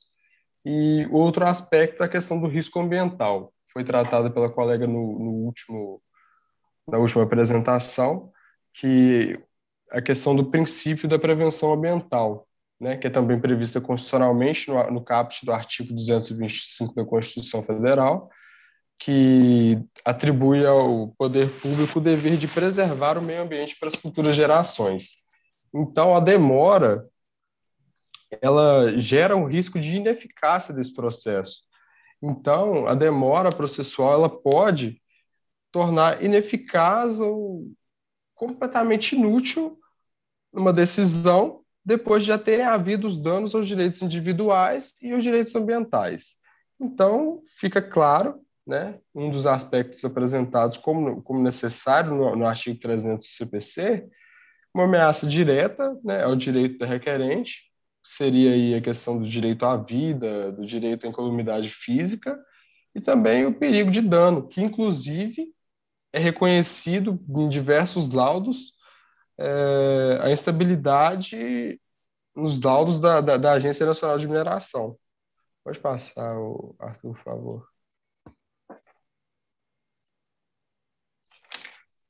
E aqui a gente tratando da, da reparação integral, a gente vai poder falar de tudo.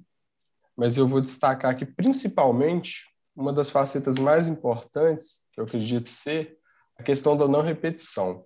Ou seja, garantir que esse dano não vai se repetir, né, que é pautado na ideia de prevenção e é um dos aspectos fundamentais para reparação integral. Então, nesse caso, a tutela provisória ela estaria atuando com um intento de, com dois intentos principais. Um deles de garantir a vida e a segurança dos indivíduos envolvidos na, na operação, dos moradores da redondeza, é, tutelando a vida e a incolumidade física deles, como eu já disse, e com o segundo intento de cumprir uma das funções do direito ambiental, que é a função objetiva. Né? O, o autor Afonso Leme Machado ele apresenta duas funções é, a primeira delas objetiva, que ele chama de preventiva também, que, que, que seria a ideia de garantir é, a não afetação do meio ambiente e a manutenção deste para as futuras gerações. Eu retorno a palavra ao Arthur. Bom, então a gente fez essa comparação entre as principais ações civis públicas e tentamos trazer aqui nessa tabela para mostrar um pouquinho. A gente pegou só algumas das ações civis públicas, tá bom? Mais paradigmáticas, a gente comparou as que utilizaram de tutela provisória e ou pedido de bloqueio de valores, né? Com a ressalva aí de que nem todos os pedidos de bloqueio de valores foram deferidos pela justiça. Mas o que foi possível observar, né, foi onde teve bloqueio de valores, podemos, a gente pode observar que teve acordo com as mineradoras. E geralmente, onde teve tutela provisória, também teve um acordo posterior, né? Inclusive, um desses acordos é, é bem recente, 2021, que é esse da, da figura que a gente trouxe, entre Estado, Vale e as instituições de justiça, que foi vendido né, como maior acordo judicial da América Latina. Bom, isso para trazer, então, para as nossas considerações, né, que é o uso recorrente da tela provisória, em específico a tela de urgência, né, nessas ações civis públicas tratadas da mineração, é, e o bloqueio de valores e a utilização da tela provisória está geralmente associado né, a acordos nos processos. Né? Então, não é o único dos motivos, mas pode ser um dos fatores que realça a chance de um acordo. Aí, com o Miquel para finalizar.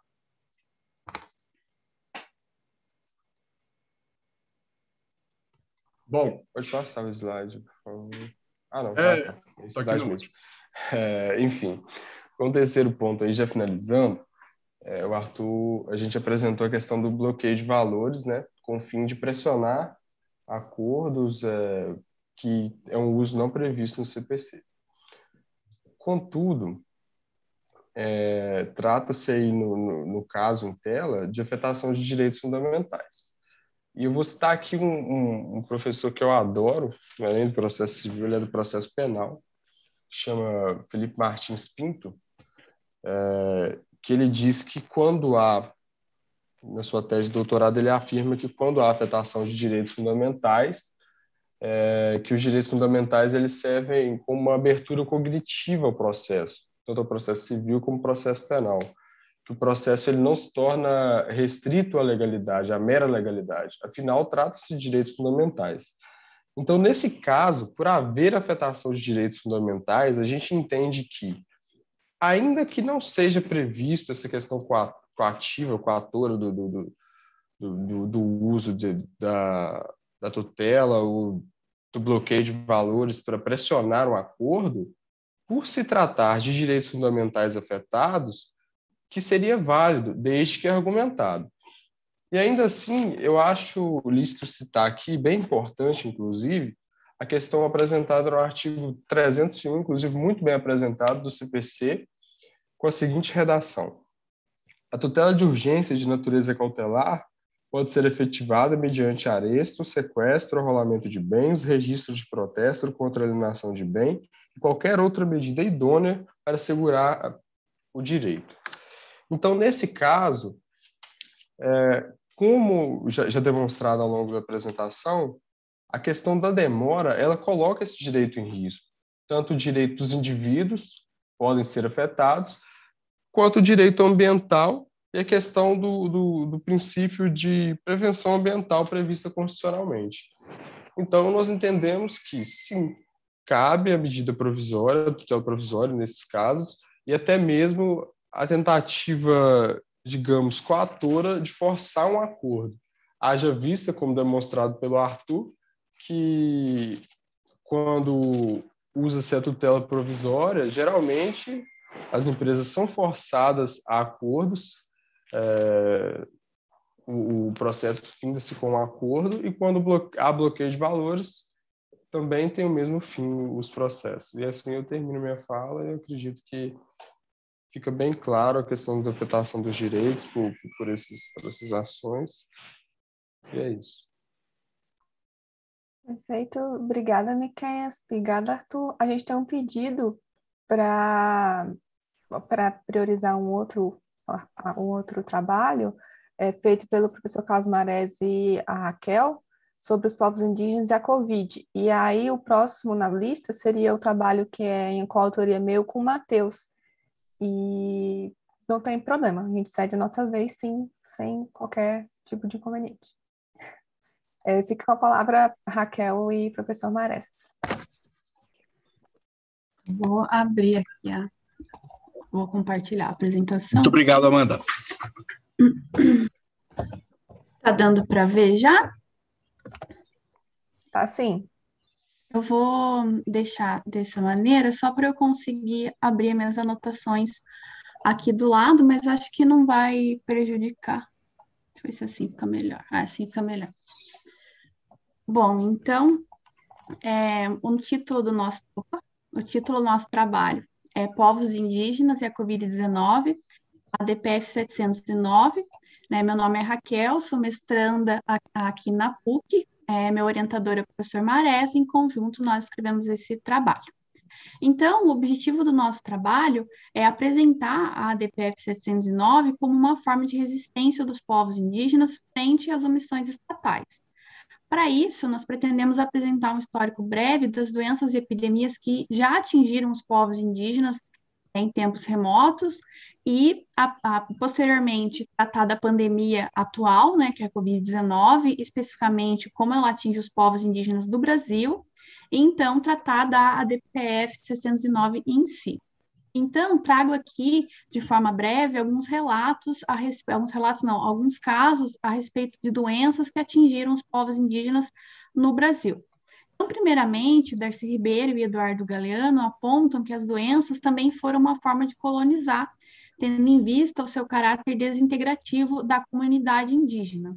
Então, nesse sentido, é, nós podemos encontrar relatos é, na literatura a respeito dos povos indígenas do no Vale do Rio Negro, por exemplo, que no, no final do século XX foram atingidos pelos seringueiros e extratores é, que buscavam extrair da floresta amazônica produtos é, para venda internacional. Com essa, é, havendo essa invasão, é, os povos foram atingidos pela malária, gripe, é, gripe comum, varíola e tuberculose. Então, é, destaca-se né, essas doenças, e essas doenças elas foram responsáveis pela morte de diversos indivíduos, e vou tratar um pouquinho mais a respeito de por que nós não temos dados sobre isso. Outro exemplo trazido é dos povos do povo xerente, que foi atingido no século XVIII e XIX, então uma população de 5 mil pessoas foi reduzida a 40 pessoas, né? Nesse contexto em específico, o governador do então estado de Goiás é, realizou uma, um aldeamento juntando diversas, diversos povos, que inclusive eram inimigos centenários entre si, e nesse contexto haviam também sertanejos, e houve essa contaminação, é, houve essa contaminação dessa população. Outro exemplo é do povo carintiana, né, que foi é, atraído pelo Serviço de Proteção ao Índio, ainda sobre o comando de Rondon, foram instalados num posto indígena incentivados a manter relações amigáveis com sertanejos, e nesse contexto foram é, contaminados com sífilis e gripe comum, de modo que quando Rondon retorna a essa região em 1913, ele encontra a população desmantelada, com crianças sendo vendidas para a escravização dos fazendeiros locais, Outro exemplo é do povo Caigangue, em 1913, que é atingido pela varíola, é, reduzidos a 200 indivíduos, de forma que a sua, é, a sua mitologia né, relacionada ao povo, a divisão Camé, Cairu, é, torna-se de modo que ela não pode continuar, uma vez que, dada a baixa população, os casamentos não conseguiam acontecer. O Xingu é atingido pela primeira vez em 1896, 1940 e depois em 1954. Contudo, essa experiência de 1954, a mortalidade foi menor, tendo em vista que já haviam os postos médicos no local. O povo Choclen passa por uma situação é, mais dramática, no sentido de que eles foram atingidos de forma sequencial por diversas doenças, pelos é, invasores que, que visavam plantar café na região, então, nós podemos pensar a respeito dos dados oficiais a respeito dessas doenças. Então, eu fui atrás de dados é, das ciências naturais, especificamente da medicina e da biologia, e só os dados são tra trazidos por essas áreas, eles se baseiam em dados somente dos povos e das populações que buscaram atendimento médico de maneira que é, os dados se tornam é, prejudicados, né? Uma vez que é difícil nós imaginarmos que no século XX, nos séculos anteriores, as populações indígenas buscar, buscariam atendimento médico. Então, nesse contexto, nós podemos pensar que as doenças elas acabam por destruir a vida comunitária, uma vez que a população é atingida por uma doença desconhecida e não, não entende como buscar auxílio, por exemplo, é, isso é, desmantela toda a relação daquela, daquela comunidade. Então, agora, pensando a respeito da Covid, de novo, nós temos uma dificuldade de obter dados oficiais, de modo que a articulação dos povos indígenas do Brasil realiza um, um relatório que se denomina emer, é, emergência, e nesse relatório eles relatam a dificuldade de coleta de dados, então a PIB passa a realizar a coleta de dados comunitária em todo o país, com a participação de, de associações locais. Então, a PIB denuncia que é responsável por levar o vírus no Vale do Javari, que é o local com o maior número de povos isolados de recente contato do mundo, foi a CESAI, a partir de um médico que foi passar as férias em São Paulo, já no dia 25 de março de 2020, leva o vírus para essa, essa região, demonstrando falta de insumos e aparato uma vez que esse médico ele tinha que ter sido testado, pois a, a Covid já era uma pandemia, já havia sido decretado como pandemia, e não só isso, como a contaminação comunitária no Brasil já havia sido, já havia também acontecido. Então, a PIB denuncia que dos 305 povos que nós temos aqui no nosso país, 163 foram atingidos.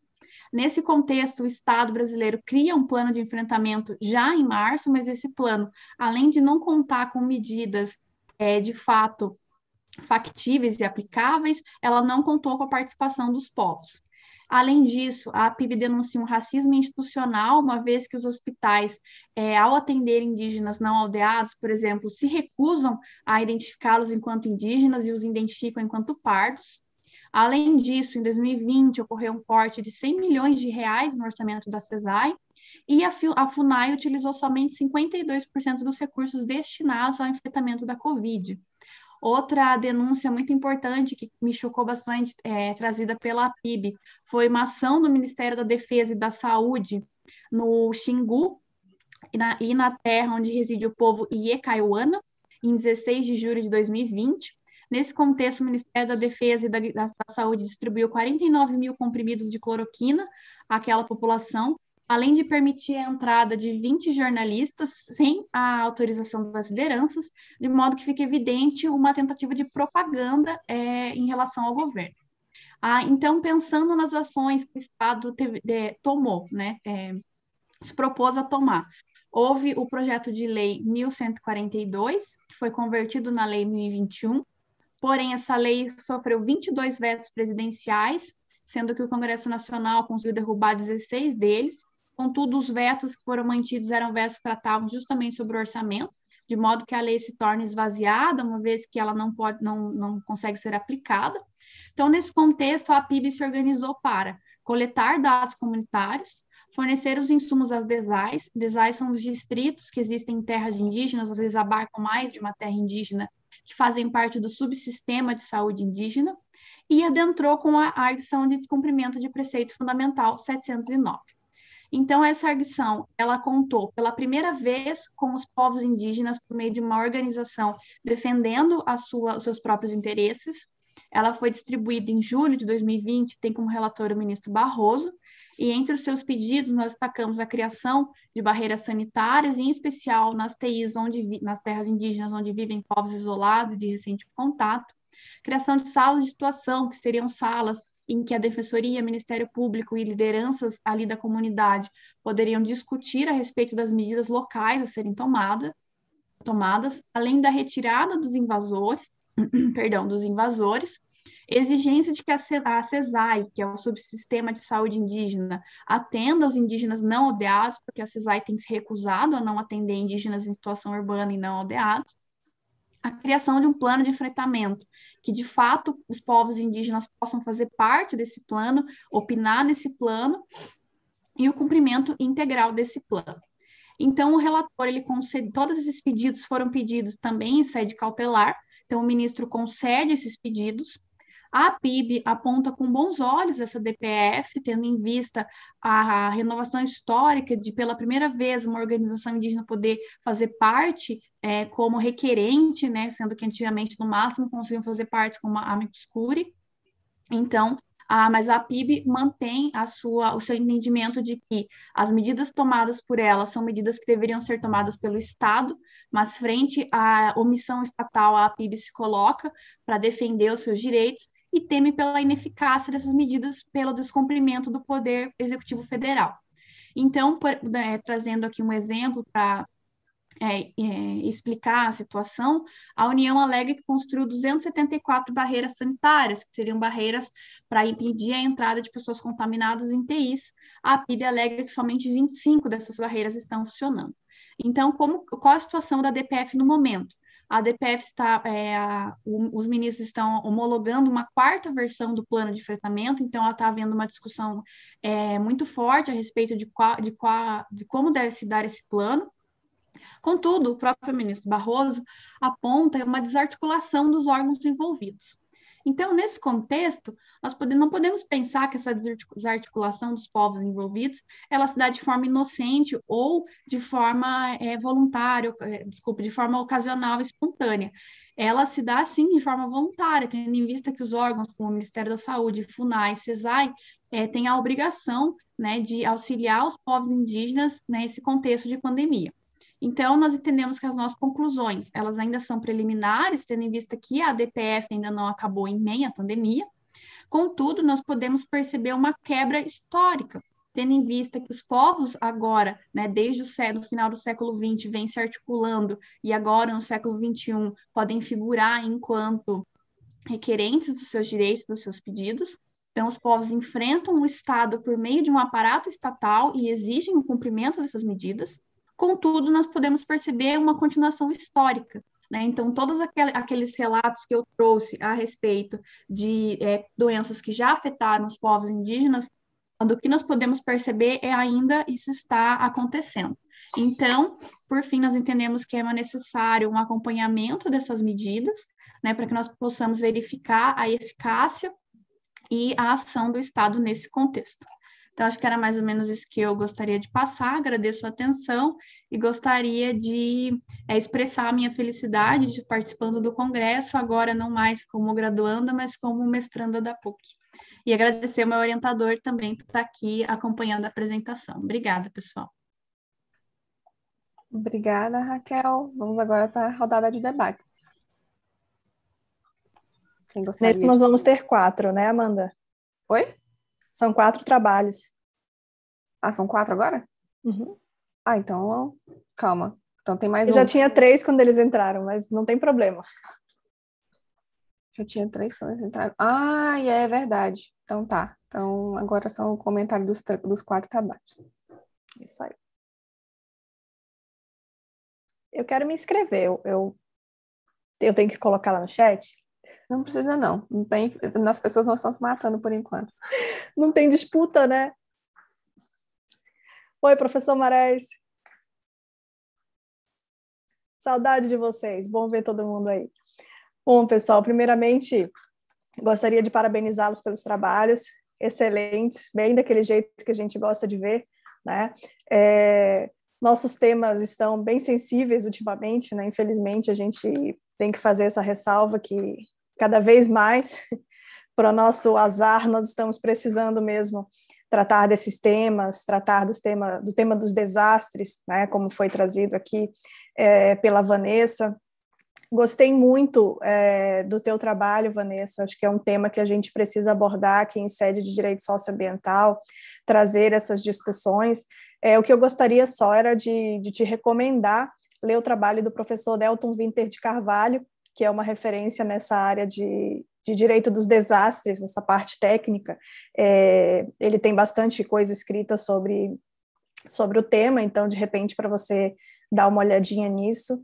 E, e, realmente, essa questão dos desastres parece que ultimamente virou assim um buraco sem fundo, né? Quando a gente começa a se recuperar de uma coisa, vem outra, e tá aí os incêndios na Amazônia e no Pantanal que nos, não nos deixam mentir no último ano, e juntamente com todos os problemas socioambientais dessa pandemia, que também a gente viu no trabalho da Raquel com o professor Maresi, que também tem outras nuances graves aí em, em sede de, de, questão socioambiental. É, gostaria de cumprimentar também a Maiara e o Cleilson, né? É, mestrandos lá da UEA, né? onde, onde eu também fiz meu mestrado. E gostaria também de recomendar para vocês um trabalho, eu não sei se vocês já, já fizeram esse levantamento, mas tem uma dissertação do programa de mestrado em Direito Ambiental da UEA, que é excelente, que é a do Dempsey Ramos de Carvalho. Ele escreveu, acho que, mais de 400 páginas sobre esse tema da, da tutela uh, dos direitos das gerações futuras relacionados ao meio ambiente. Então, é, é realmente uma referência que vocês devem aproveitar e se apropriar dela, né, valorizar o trabalho produzido aí, uh, aí no Amazonas. Então, parabenizá-los também pelo, pelo seu trabalho. Uh, com relação ao trabalho do Arthur e do Miqueias, também achei bastante interessante. Eu só gostaria de fazer uma pergunta, se eles pudessem responder. É, tem trabalhos assim que a gente fica instigado, né, de saber como foi que, que se chegou a esse trabalho, que realmente é um trabalho que deu trabalho, dá para perceber, fazer essa análise toda. Uh, se isso faz parte de algum trabalho que você já vem desenvolvendo, dissertação, mestrado, ou se faz parte de, de se é um estudo, um estudo independente, tá bom? Verdade, se vocês. Na Pode verdade, falar. isso faz parte de uma optativa que a gente fez né, com a professora Esther, e, e faz parte também da, da, da minha vivência, né? Durante. A gente fez um trabalho em grupo em dupla, na verdade. Eu fiz o trabalho com o Arthur, contei, contei para ele sobre a questão de, de, de governador Valadares, de onde eu vinha, minha cidade natal, né, de tudo que a gente passou por lá, com, com o desastre de Mariana, e isso causou um certo impacto. E aí a gente decidiu escrever sobre o tema, e a gente pesquisou bastante sobre é, aspectos processuais civis que poderiam, né, de certa forma, prevenir esse, esses tipos de desastres, enfim, surgiu, a ideia surgiu daí. E aí a gente continuou é, desenvolvendo. Os professores, né? Ela, ela, ela orientou a gente um pouco. O Arthur sabe o sobrenome dela, esqueci o sobrenome dela. É, então, é um estudo resultado de uma disciplina, né? Bem interessante. Os professores gostam de botar ideia na cabeça da gente, saem os trabalhos bons às vezes, né? Parabéns, viu? Obrigado. Alguém mais se inscreveu? Eu estou inscrita, daí tem o Alisson e aí agora a Marisa. É, sobre o trabalho da Vanessa com a Maria, eu sou, eu sou suspeita para dizer que eu gosto, porque eu sou do Maranhão, não sou formada pela UFMA, mas eu conheço né, a UFMA, porque todos conhecem a UFMA, mas eu sou maranhense e acompanho né, a, os contextos da localidade. Inclusive, Vanessa manda um abraço de maranhense para maranhense. Não sei se você é maranhense também, mas se você estuda da UFMA, eu vou considerar que é. é eu ia comentar uma coisa do, do trabalho da, da Vanessa, mas acabou que eu me perdi na minha anotação agora, agora eu não lembro o que, que é mas eu vou lembrar e te falo, Vanessa. Mas enfim, o que eu ia falar realmente, assim, na verdade era só uma indicação, mas o que eu ia comentar é do trabalho da Mayara e do Clayson, que aí vocês estavam comentando sobre o conflito intergeracional e o, o papel do poder judiciário e, e, etc. em relação a isso, especialmente com foco uh, na, na condição humana, né? Em algum momento, acho que no final vocês terminaram dessa forma, eu ia sugerir eventual é, abordagem é, crítica sobre essa questão da prevalência da condição humana, sabe, em relação a outras formas de vida, porque uma das críticas que a gente faz, especialmente dentro do, do direito socioambiental, é de justamente criticar essa centralidade da condição humana como se o ser humano fosse é, a parte mais importante, quando na verdade ele na verdade seria uma parte do todo, né? E é justamente essa centralidade que o faz fazer o que o ser humano faz, né? Então, com a, a natureza, os povos, enfim, as outras formas de vida também. Então, eu daria só uma repensada nisso. E amanhã, especialmente sobre o trabalho do Poder Judiciário, nesse sentido, amanhã tem um trabalho que fala justamente sobre o papel do Poder Judiciário em relação à função social da terra. E aí, é, eu sou coautora nesse trabalho, mas o que a gente busca é indicar um perfil capitalista nas decisões do Poder Judiciário. E aí que fica, né? Esse papel do Poder Judiciário, ele é um papel dele ou ele atende quando ele quer? Ou quando lhe convém ou convém para alguma parte? Né? Então, amanhã tem um... É sobre a função social da terra, é mais questão de agrária, mas eu não vejo como algo apartado da, da questão da natureza em si. Mas, enfim, são só algumas ponderações para o artigo completo, eventualmente, né? E, e, enfim, é isso. Sobre o, o Arthur e Miqueias, e aí questão da tutela provisória no contexto do desastre-crime, é, não é uma, uma crítica nem nada, mas eu sugeriria, é, eventualmente, perpassar pela figura da suspensão de segurança. Né? Porque quando a gente fala em tutela provisória, tutela de urgência, tutela de emergência, a questão do risco, etc., fica muito patente. Só que quando chega a figura, por exemplo, da suspensão de segurança, o que, que a gente faz com esse risco? Põe embaixo do braço e vai para casa? Né? Assim, põe embaixo do braço e agora ele não é risco mais. O que, que é, então? Agora ele não é mais iminente, não é mais perigoso, não é mais nada, e faz o que com isso? Então, talvez seja uma questão interessante para analisar, não para esse trabalho especialmente, mas quando se fala em tutela de urgência, tutela da evidência, né? no caso, antes são os novos nomes, né? é, verificar essa questão da suspensão de segurança também. E, por fim, da Raquel e do professor Marés, gostei muito do, do trabalho. É, a gente fica mais revoltado depois que a gente ouve, né? A gente já está meio indignada, e quando a gente vê mais coisas, mais detalhes, a gente consegue ficar mais ainda. Então, era só nesses sentidos, e agora, para não me alongar, eu passo a palavra para o Alisson e depois para a Marisa. Está desligado, Alisson. Eu estava colocando o fone para pegar melhor o microfone.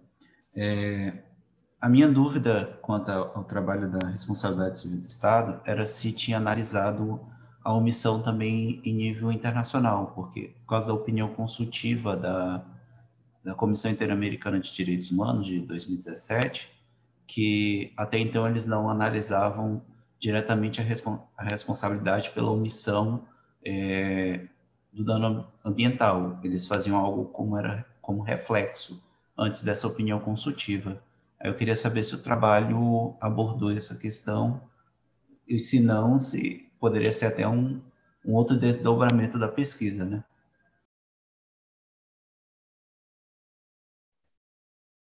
Nós não, não abordamos essa questão, ela é muito ampla e ficaria um recorte gigantesco, mas nós pretendemos, em um segundo, uma segunda etapa da pesquisa, é, trazer essa questão que ela é muito interessante, o direito comparado e todas essas regulações que já existem no campo do direito internacional. Muito obrigada pela sugestão.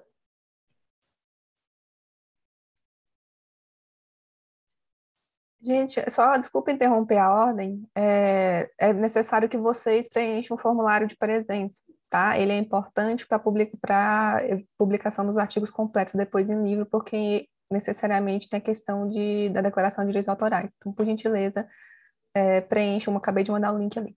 Quem que é o próximo? Acho que é a Marisa, né?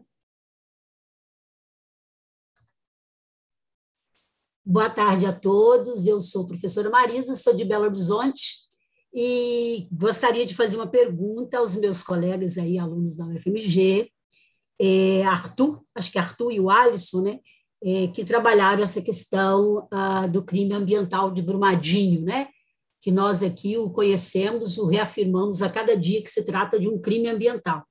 Bom, assim como Mariana, assim como o processo de Mariana, o processo de Brumadinho é permeado por diversas contestações, por diversas manifestações, pela ausência da observância do princípio Uh, da participação social. Tivemos isso em Mariana e sabemos o resultado, agora, inclusive, está sendo revista, inclusive sob o ponto de vista uh, do Tribunal de Justiça de Minas Gerais.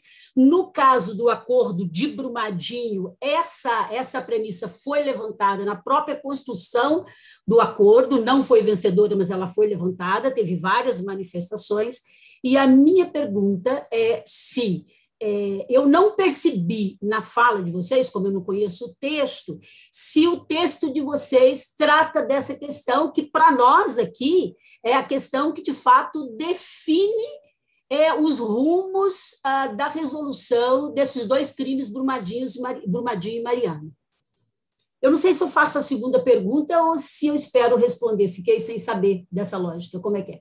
Acho que pode fazer sim, professora. Posso fazer? Porque a segunda pergunta não é para eles, a segunda pergunta aqui é para o professor Carlos Marés, e a Raquel. Então, talvez eles responderiam, né, para não. Não sei, para mim tanto faz. Acho que a professora pode fazer as duas perguntas, e aí o Arthur e o Miquel respondem, e depois, na sequência, a gente já passa a palavra para o professor Marés e para a Raquel. Aqui agora com o professor Marés, qual tenho muito respeito, sou leitora do professor Marés, né? É, e a Raquel, é, a análise dessa DPF, do meu ponto de vista, assim, traz um protagonismo é, muito importante da população indígena brasileira, nesse caso representada pela APIB. E a população indígena brasileira, o próprio professor Marés defende essa ideia, né, trabalha essa ideia em vários textos, né, tem a sua especialidade, tem o seu modo de vida, tem o seu, a sua maneira de compreender o próprio direito. E aí eu senti falta, eu não sei se está previsto no texto, mas eu senti falta e gostaria de perguntar é, em que medida a, o protagonismo do povo indígena nessa DPF pode ajudar a reconhecer o princípio básico da relação dos indígenas com a natureza, que é a harmonização. Muito obrigada. Obrigada, professor Arthur e Miqueias, depois professor Marés e Raquel. Não, sabe o que, é, Amanda? Eu vou ter que sair para outro pro lançamento do livro dos protocolos de consulta.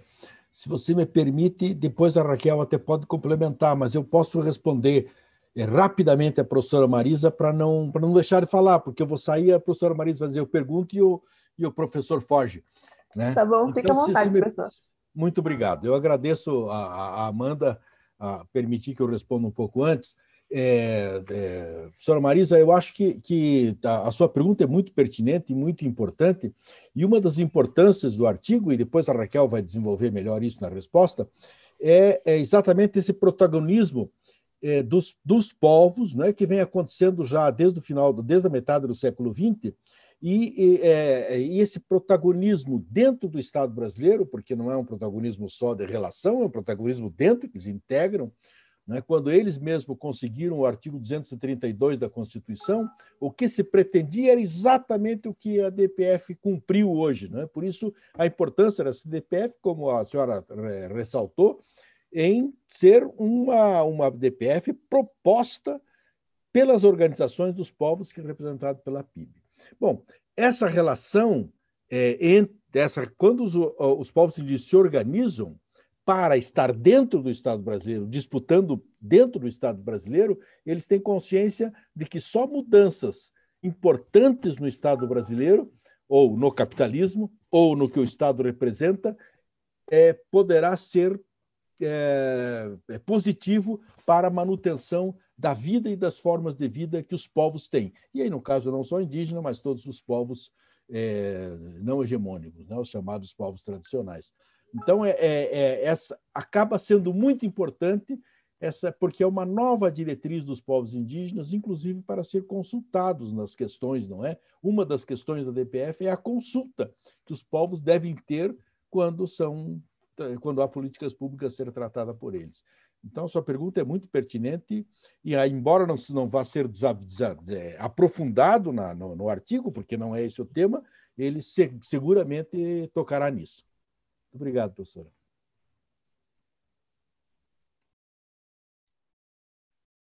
Pode responder? Pode, sim. Bom, é, então, começando aí pela pergunta da Marisa também, agradeço a pergunta, o interesse, viu, pelo tema do artigo. É, fiz questão de mencionar também na própria apresentação né, a relevância do princípio da participação comunitária e as críticas dos movimentos populares, que são muito válidas, né, que são as próprias pessoas atingidas que querem saber aí, né, como que vai ser a reparação e não tem essa oportunidade de participação, né? Então, no processo de Brumadinho, são literalmente dias de audiências judiciais e nenhum, não tem cinco minutos de direito à fala para as pessoas atingidas, né? E muito menos a elaboração dos acordos, assim. Então, a gente fez uma menção também a isso no, no texto, né, de forma breve, não era muito foco do, do artigo e também entendendo que é, fazer acordos simplesmente por fazer acordos, acelerar a marcha processual de uma maneira abstrata, mas descumprindo princípios e de, dessa maneira até agindo de forma ilegal, de certa maneira, não cumpre também com o papel do Ministério Público de reparação integral, porque uma, você não vai atingir a satisfação dos atingidos, com um acordo que não foi feito por elas, não tem participação, enfim. Então, teve até um manifesto atingidos, né, que foi feito durante a, a própria elaboração do acordo, que ficou sem resposta, que o processo todo de Brumadinho estava sob confidencialidade, né, por causa da negociação, enfim. Então, isso é uma, uma grande questão mesmo, assim. E o próprio acordo agora está tendo vários problemas na sua implementação, né, da inclusão digital das pessoas atingidas que moram no interior. Então, assim, por exemplo, 30% das pessoas atingidas não participaram aí das primeiras consultas sobre como deveria ser o programa de transferência de renda, que vai ser elaborado agora. Por causa que tem problemas na internet, a internet cai, a internet fica instável, não consegue participar direito, às vezes não sabe ainda, né? É, não tem esse processo de inclusão digital também das comunidades, é a própria questão da pandemia, né? Que às vezes restringe, então, a participação das próprias assessorias técnicas, enquanto a Vale, às vezes, é considerada serviço essencial. Enfim, várias questões aí. É, então, só para mencionar que é uma questão relevantíssima mesmo. E sobre a suspensão de segurança, é, que a Amanda comentou também, só falando rapidinho sobre, sobre isso, que esse processo da CP de outras barragens, que foi um dos que a gente citou, né, ele caminhou no sentido de também ter um acordo que contratou a ECOM, que é uma auditoria né, que faria, então, um, uma, um relatório técnico de segurança aí, sobre, de fato, se a barragem estaria né, seguro o suficiente para estar operando ou não, né?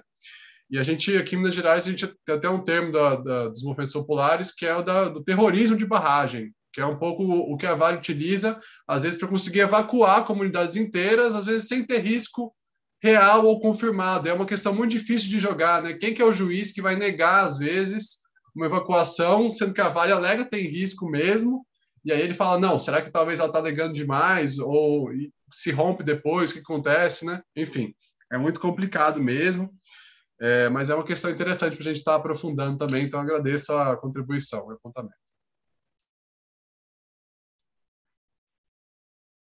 Agora acho que ela é. Ou não, é Raquel que fala aí. É meio difícil, né, complementar o professor Marés, mas é, eu acho, acredito que um ponto interessante da, de, gente pensar e respondendo a Marisa é a questão de que a PIB ela se, ela se forma e se constrói não somente como a PIB, como articulação master né, dos povos indígenas do Brasil. A PIB ela conta com o apoio e participação das comunidades também locais e estaduais. Então, todas essas comunidades fazem parte da construção da PIB, que é muito interessante, e a PIB tem total consciência e, e é, exprime essa consciência de que muitas vezes ela tem desempenhado um papel que não é dela, mas sim um papel de, do Estado, no sentido de fornecer insumos, no, no, sentido até de ter que adentrar como a DPF. Então, eu acredito que essas questões sejam bem é, interessantes e importantes, né, de ver a PIB agora como protagonista dessa ação é, representada por meio do Eloy. Obrigada. Obrigada, Raquel. Desculpa, aquela hora eu achei que você não complementaria o professor Maestro. Imagina, tem problema. É, agora, Obrigada. Laércio, por fim, a gente volta para as apresentações. É, boa tarde a todos. Sou o professor Laércio, da Universidade Federal do Paraná. É, minha área é de arqueologia, então não tenho a linguagem do direito, né? E mas eu fiquei muito curioso, muito satisfeito também com as apresentações até aqui e principalmente agora nesse último bloco com a apresentação da Raquel e do professor Marés, né? Então eu faria uma pergunta nesse sentido.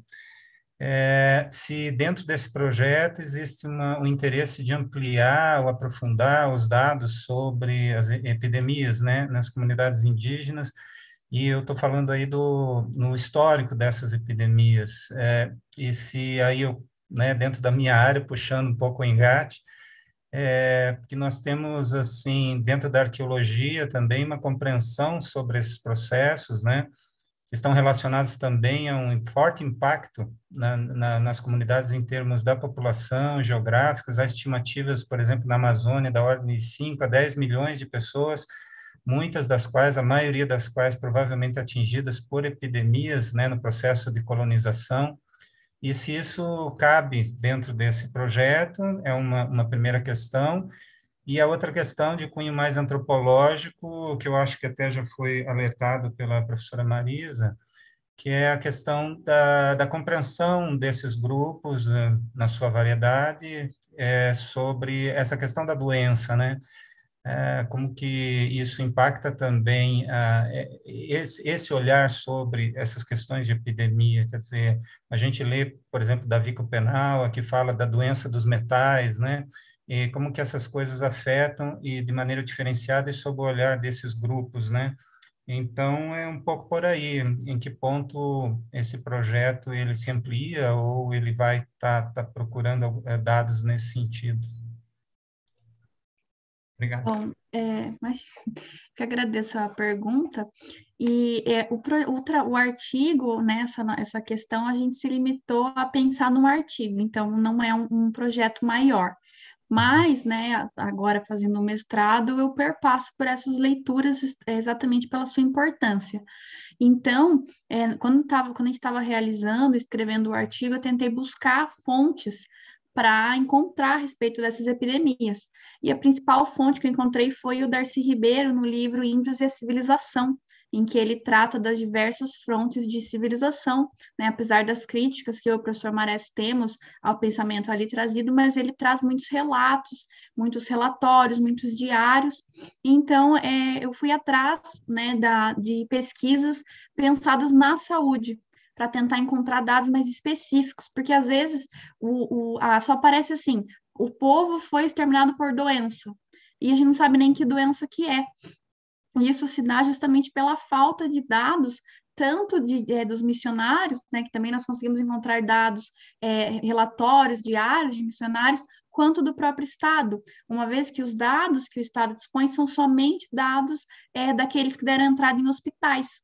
Então, isso mostra que nós temos uma deficiência de dados, né? Então, os dados que nós temos provavelmente não são reais, né, os dados, infelizmente, são maiores, né, o número de mortes contaminadas são maiores do que o que a gente possui. Então, é, nós não realizamos um trabalho tão a fundo nesse sentido, foi somente uma retomada histórica mesmo. É, nós utilizamos o Darcy Ribeiro justamente por ele trazer uma perspectiva mais, mais ampla, mas ali no, tre no, no, no, nosso artigo nós trazemos o caso de um povo que eu não vou conseguir me recordar agora, mas que foi atingido pela varíola antes mesmo de ter havido um contato com os invasores, então nós não conseguimos nem imaginar né, a situação de você ter uma doença que você não sabe nem o que, que é aquela doença, muito menos como que se trata, e pensando em como que isso afeta os povos, isso afeta de uma maneira muito drástica a vida comunitária desses povos, né? Então, pensando na, na maneira com que se dá a relação com a agricultura, né? A, quem planta, quem cuida, né? nós podemos imaginar que aquela população, boa parte da população, seja contaminada por uma doença, como que aquela população vai plantar, vai colher e vai se alimentar? Então, a alimentação acaba restando prejudicada, a alimentação estando prejudicada, os indivíduos se tornam ainda mais suscetíveis a doenças, né? Então, a doença ela se torna ainda mais é, grave, tanto que aquele caso que eu trago do Xingu em 1954, em que a população recebeu atendimento médico, a população conseguiu manter as suas hortas, as suas lavouras, de maneira que a alimentação ela favoreceu até uma melhora ali, houve um número de mortes menor, Outro aspecto que as, as, as doenças elas trazem de é, é, muito conflituoso em relação aos povos é não poder enterrar os seus mortos, por exemplo, né, com a gente tratando de uma doença como gripe comum, como uma gripe espanhola, elas são doenças que, mesmo após o falecimento, ainda contaminam a população. Então, o Serviço de Proteção ao Índio proibia, inclusive, o que se, que se desse o velório, que se desse o ritual de, de velar o morto. Então, tudo isso prejudica muito a vida em comunidade e des, realmente desmantela aquela, aquela, aquela comunidade. Né? Inclusive, citei o caso dos Caigangue de São Paulo, os Caigangue se dividem entre os Camé e os Cairu, né, segundo a crença holística deles, então um camé não se casa com um caimé, nem um cairu se casa com um cairu. Mas, como a população estava tão desmantelada, essa tradição não pode ser mantida, porque não haviam cairus e caimés, camés o suficiente para que houvesse os casamentos. Então, as doenças, elas realmente servem como uma, uma nova uma forma de colonização e uma forma de etnocídio também daquelas populações. Acho que eu consegui responder. Obrigada. Obrigada, Raquel. Vamos dar sequência. Uh, agora é o trabalho Cabanagem, Insurgência Social e Popular na Amazônia no século XIX, é, do, a, opa, perdão, do Matheus e meu também. Matheus, tá aí? Tudo bem? Então, oi, sou o Matheus, eu tenho 16 anos, eu sou estudante da segunda série do ensino médio no Colégio Maris Paranaense e eu sou bolsista PIBIC Júnior da PUC Paraná. Faço iniciação científica junto com a professora Amanda e o projeto que apresento é Cabanagem, Insurgência Social e Popular na Amazônia no século XIX. Eu não vou fazer nenhuma apresentação de PowerPoint, é apenas falar. E o projeto de origem desse projeto é instrumentos de proteção socioambiental e os direitos da sociobiodiversidade na América Latina. A introdução justificativa do trabalho é de, de é de procurar e justificar as consequências da sociobiodiversidade amazônica da cabanagem. E e procura, ao contrário do imaginário popular de pensar que a Amazônia é uma terra vazia, existem muitos povos nativos que foram marginalizados pelo regime colonial no século XIX e por isso eles fizeram uma insurgência popular para poder retirar o governo em 1834. E as violências perpetradas pelo regime colonial foram um motivo para essa insurgência. E nesse sentido, faz necessário pesquisar as causas e consequências dele. O primeiro objetivo geral da pesquisa é pesquisar os contextos históricos que deram origem à cabanagem e as consequências para a atual sociobiodiversidade amazônica. Os objetivos específicos da pesquisa são compreender a Amazônia enquanto diversidade de povos e natureza, investigar os fatores que culminaram na cabanagem em seu contexto e os históricos, e analisar as consequências e influências da cabanagem para a atual sociobiodiversidade amazônica, porque desde que começou a colonização no século, majoritariamente no século XVII, da Amazônia, os povos nativos, eles inicialmente eles não foram colonizados, eles tiveram uma relação mais ou menos amistosa, só que com o passar do tempo, através de leis, eles procuraram é, meios de escravizar os índios, embora inicialmente houvessem leis que não permitissem a escravização de indígenas, eles procuraram meios de fazer descimentos de indígenas para poder trabalhar em, em grandes fazendas para servir ao regime da província do Grão-Pará. E com, e com isso, a, o distanciamento da província do, do sudeste do Brasil, no, as províncias maiores Rio de Janeiro e São Paulo, acarretou que a população ficasse insatisfeita com o governo local que não reivindicava as prioridades da população, que eram marginalizados, e por isso fizeram uma revolta para poderem retirar o governo e fazer um movimento separatista, porque em muitos aspectos a, a província do Grão-Pará e a Amazônia brasileira tinham mais relações com a realidade do, das outras províncias espanholas da América Latina do que a, propriamente a parte lusófona da, do regime colonial português, que depois veio a cartar a independência para o Brasil. E com isso eles buscavam procurar dar direitos para eles e procurar melhores situações de vida, porque o governo não atendia esses, esses requisitos.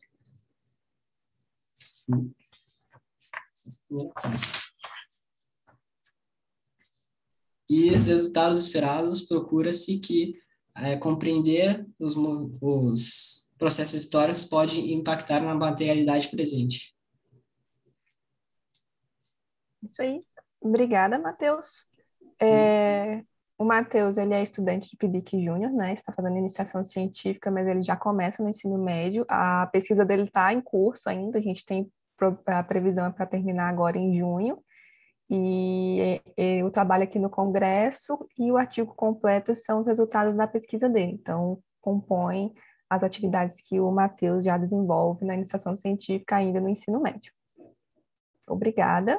Excelente, viu, Amanda? Bom ver essa meninada aqui no Congresso. Acho que isso é coisa nova, né? Não é muito comum de aparecer. Então, ó, tá duplamente de parabéns.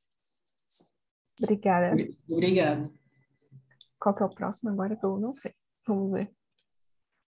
É depois da cabanagem, direito e cartografia, um mapeamento das políticas públicas de educação para comunidades quilombolas em Pernambuco. Isso aí. Maria Roberta da Silva, tá aí? A gente não conferiu, né? Acho que sim. Maria Roberta.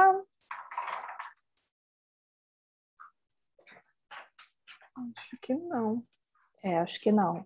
Vamos para o próximo, então. Direito, descolonização e povos indígenas. Gabriel e Bruno. Oi, é, o professor Gabriel está entrando aqui, que acho que ele caiu. É, vocês estão perguntando a lista, a lista que a gente está seguindo é a ordem que está no site da programação do GT, tá? Que está em ordem alfabética. Deixa eu mandar aqui só um pouquinho. Acho que agora o professor entrou. Olá a todas e todos, tudo bem? Tudo bem. Somos nós, então? Sim. Isso aí. Tá bom. Vocês podem começar? Sim, eu vou colocar só a apresentação gente, tá? Ok.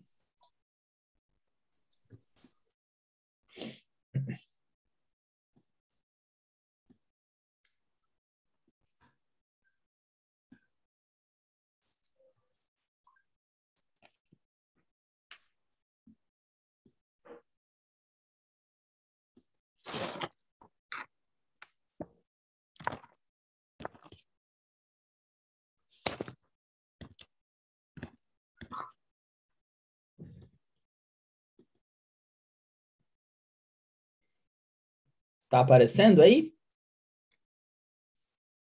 Sim. Bom, então, pessoal, obrigado aqui pela oportunidade de estar dialogando com vocês. A gente está trazendo um tema sobre descolonização dentro aqui das discussões sobre natureza, povos indígenas. Acho que esse é um dos temas mais relevantes do momento, assim, de agenda de pesquisa de uh, crítica do direito, especialmente pensando a partir do direito socioambiental. Acho que, né, eu até achei um pouco estranho que nenhum outro artigo uh, tivesse trazendo especificamente a temática da descolonização enquanto chave teórica, enquanto chave uh, de discussão aqui nesse GT.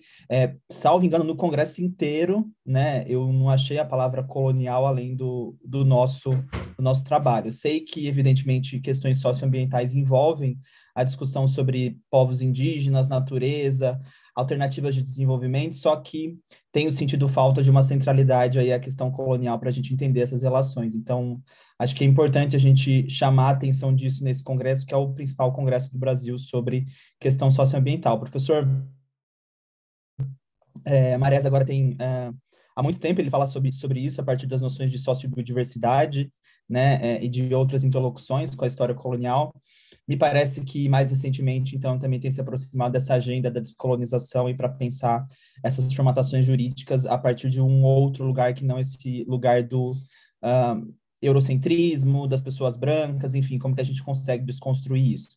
Uh, enfim, eu fui falando aqui várias coisas, mas uh, eu sou o professor Gabriel Mantelli, eu falo a partir de São Paulo, da Universidade de São Judas, atualmente uh, doutorando em Direito uh, na USP, coordeno o Núcleo de Direito e Descolonização na São Judas, e aqui está o Bruno, que é aluno do Mackenzie, pesquisador do nosso núcleo. A gente submeteu dois artigos para esse congresso, um sobre litigância climática e esse aqui sobre povos indígenas e descolonização, né? Muito levando em consideração todo a movimentação do ponto de vista de advocacia uh, e de uh, litigância que os povos indígenas têm cada vez mais feito, né? Uh, um dos marcos aí é 1988, evidentemente, né, enquanto marco constitucional, mas principalmente por causa da, do fortalecimento de instituições como a PIB e a COIAB, que hoje em dia, né, se orgulham e cada vez mais, né, trazem para dentro do Poder Judiciário advogados que são, e advogadas né, que são uh, indígenas. Então, a discussão era mais ou menos entender qual que é o lugar uh, dessas pessoas né, é, nesse sistema, o que significa uh, trazer povos indígenas, o que significa né, depois de uh, tantos anos de invisibilidade, silenciamento, distanciamento dessas populações, né, até mesmo o genocídio e o apagamento, o que, que significa nesse momento? Não só reconhecer os povos indígenas, né, como a Constituição de 88 faz, a partir da, da luta uh, indígena, mas também como que agora esses uh, agentes estão inseridos de fato nos sistemas de justiça, enquanto né, advogados, advogadas, enquanto organizações que falam a partir do lugar é, e da perspectiva do indígena. Né? Então, a gente estava pensando um, um, pouco isso a partir dessa agenda, então, de direito de descolonização, que aí muitos vão chamar de outras formas, né? Giro decolonial, decolonialidade, pós-colonialismo, luta anticolonial, movimento contra-colonial, enfim, uh, há uma diversidade aí muito rica de denominações sobre esse debate crítico. A ideia foi, né, especificamente aqui, nesse trabalho que a gente ainda está em construção, né? A gente ainda está fazendo as pesquisas, as entrevistas, falando com os indígenas, entender uh, se esse aporte da discussão colonização, seja do ponto de vista teórico ou prático, como que isso, como que isso aparece né, no dia a dia do advogado e da advogada indígena aqui no Brasil.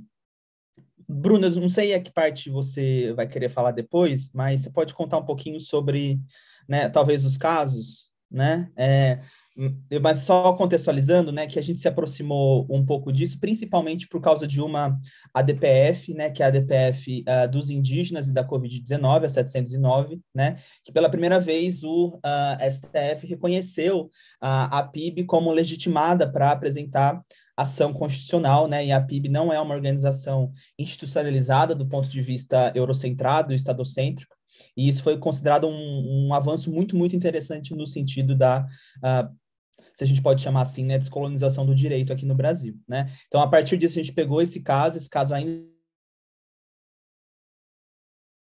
está em andamento, né? Tentado feito uma, uma, articulação, principalmente com o Eloy Terena, que é um dos advogados que lidera é, essa ação, para a gente entender como que a equipe da PIB, da COIAB e outros indígenas estão encarando especificamente esse caso e o que, que traz de diferente, né? O que que como que um porte é, não branco, não eurocentrado, né, de alguém que está ali imbricado com a luta indígena, o que, que isso modifica? O que, que isso traz de vantagem? O que, que isso traz de, de ensinamento é, e, evidentemente, de tensionamento para esse caso? Bruno. Bom, é, o debate teórico elaborado no nosso artigo utilizou as noções de pluralismo jurídico, principalmente a partir das ideias do Antônio Volkmer, que é, que é um dos principais autores que falam sobre isso, e aportes também da indigenização da crítica jurídica, que é uma tese é, defendida por um colombiano chamado Paulo Lish Paca.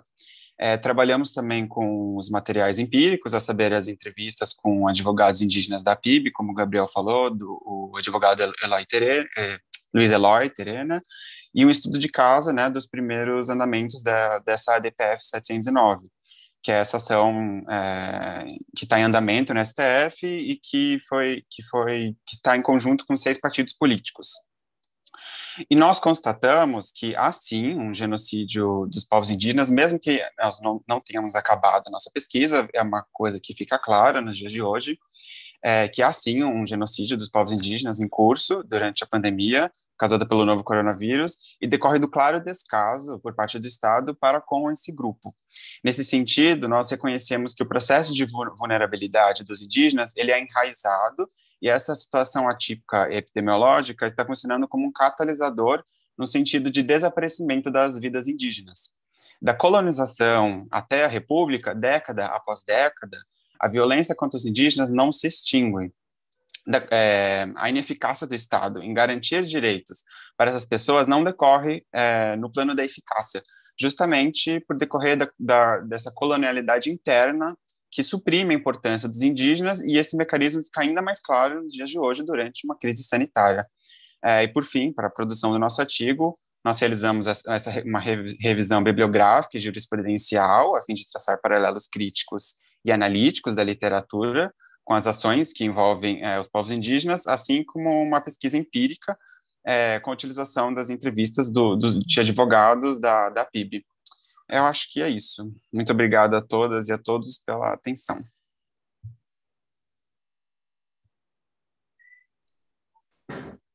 Ok. Ah, deixa eu ver aqui. Nós temos mais um trabalho nesse bloco, certo? Uh, impactos socioambientais em Açailândia, Maranhão, atuação do Estado para viabilizar projetos de desenvolvimento na Amazônia. É isso? Ou eu pulei alguém? Ai, gente, desculpa, eu pulei um trabalho aqui. Função social da propriedade rural, Helenice e Emiliano. Eu estou aqui. Só um instante que eu vou compartilhar a apresentação. Tá certo, Helenice. Fica à vontade, você tem 10 minutos. Ok, obrigada.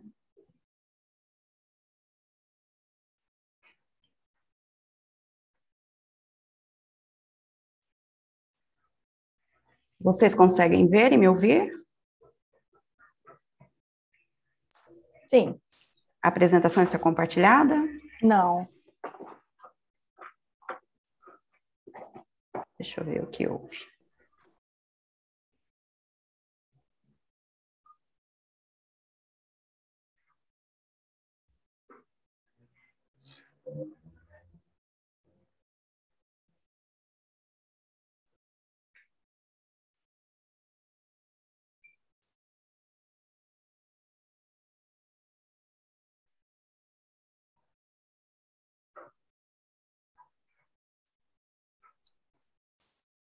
Tá entrando o teu compartilhamento. Pronto, agora sim. Foi? Foi. Obrigada. Boa tarde a todos. Meu nome é Helenice. Eu estou realizando essa pesquisa em conjunto com meu orientador, professor Emiliano.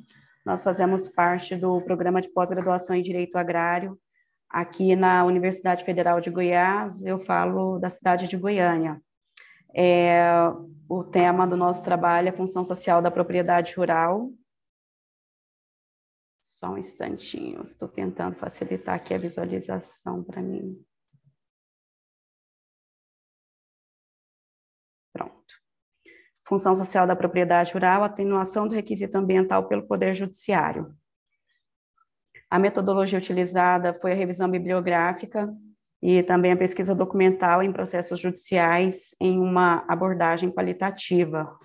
Quanto à justificativa e ao problema de pesquisa, nós temos uma questão no Brasil que é foco de conflitos no campo, que é a questão do acesso à terra e da preservação ambiental. Essas questões se encontram em constante disputa, tanto nos campo, no campo normativo, quanto no jurídico e também no social. E nós temos na Constituição Federal a previsão da função social da propriedade rural, cujos requisitos são de observância simultânea, sob pena de desapropriação para fins de reforma agrária em caso de descumprimento da função social da propriedade rural. É, a competência do Poder Judiciário para essas ações de desapropriação e outras ações que recaiam sobre o imóvel expropriando, conforme previsto na lei que regulamenta esse procedimento, né? A exemplo das ações que visem a declaração de cumprimento da função social e também ações de nulidade dos atos administrativos realizados no processo de expropriação. Essas ações, via de regra, são propostas pelos proprietários na iminência de um processo desapropriatório, ou enfim, quando são notificados e tomam ciência desse risco, eles interpõem também essas ações informadas. E nós temos esse problema já discutido amplamente né, na, na doutrina, no, na academia, a respeito da efetivação da função social, da efetividade da função social da propriedade rural e o papel né, do judiciário neste contexto. O objetivo do nosso trabalho, portanto, é investigar a forma como a função social da propriedade rural é interpretada pelo Poder Judiciário, aqui nós abordamos especificamente decisões do TRF da primeira região, verificando, sobretudo, a observância do requisito previsto no inciso 2 do artigo 186, que se refere ao aspecto ambiental. É, como já mencionamos, a função social ela está prevista lá no artigo 186 e tem requisitos específicos a serem observados pelos proprietários de terras. São quatro requisitos, um de ordem é, produtivo, econômico, um segundo ambiental, trabalhista e também o bem-estar dos proprietários e trabalhadores. Lembrando que esses requisitos, conforme a previsão atual, é, são de observância simultânea, porém tramita, acho importante ressaltar que tramita no Congresso Nacional uma proposta de emenda à Constituição, número 80 de 2019, que tem como objetivo é a alteração da função social da propriedade, tanto urbana quanto rural, e um dos pontos específicos de alteração da Constituição diz respeito justamente a que esses requisitos não sejam mais observados de forma simultânea. O proprietário não vai ter mais o dever de cumpri-los simultaneamente. A observância de apenas um já configurará o cumprimento da função social da propriedade rural, o que representa, né, um enorme retrocesso aí na, na proteção dos direitos socioambientais, enfim, também na sistemática de promoção da justiça social no campo.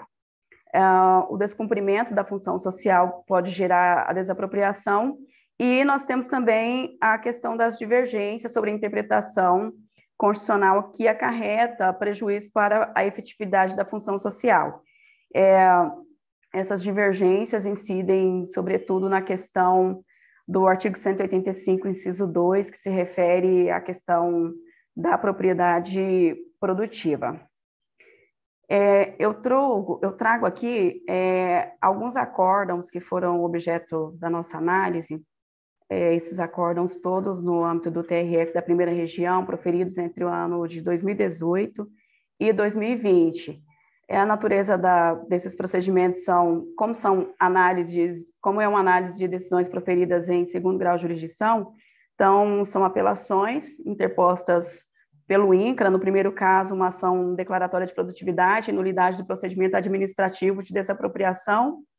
No segundo caso, um mandado de segurança com o mesmo objetivo. E, por fim, uma apelação interposta pelo INCRA em uma ação declaratória de cumprimento da função social. É, essas ações, elas apresentam alguns pontos específicos no que se refere à aferição do cumprimento da função social e a avaliação dos requisitos previstos no texto constitucional. Então, é, a síntese dessas decisões, elas evidenciam a violação ambiental, no primeiro caso, com a informação de que essa violação não compromete a função social, que deveria ser apurada pelo IBAMA para aplicação das sanções pertinentes. E é, apresenta também a questão da imunização da propriedade, mencionando expressamente o artigo 185, inciso 2, é o caso de todas as decisões. Ah, no segundo caso, a gente tem essa violação ambiental e a alegação de que ela não comprometeria ali a função social também. E, por fim, uma violação ambiental que seria considerada reversível, que também não configuraria, portanto, uma situação de desapropriação. E o resultado de todos esses recursos interpostos pelo INCRA é o improvimento com a manutenção da sentença que anulou no, no, o decreto expropriatório. E, no último caso, a sentença, a manutenção da sentença que declarou cumprida a função social. Então, a síntese desses julgados, dos resultados, é, é o interrompimento, né? É interromper esses processos desapropriatórios. Como resultado da análise desses acórdãos, nós temos um reconhecimento expresso nesses acórdãos da violação da, de violações de ordem ambiental, porém nós temos também a preponderância do critério produtivo em relação ao requisito de ordem ambiental, e todas essas decisões fundamentando sempre que a propriedade é produtiva e que, portanto, seria insuscetível de desapropriação, desconsiderando é, é, quase que por completo, apesar de constar na fundamentação, os outros requisitos. Então, nós temos que, embora seja reconhecido o descumprimento do requisito ambiental quando se analisada a função social pelo Poder Judiciário, esse reconhecimento não necessariamente vai impactar na decisão final acerca do cumprimento da função social da propriedade rural.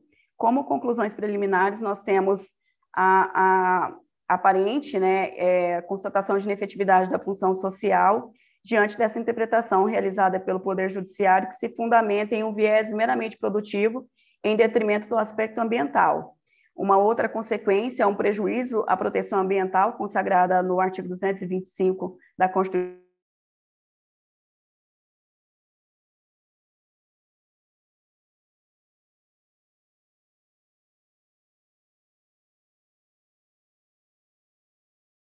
social e também da reforma agrária.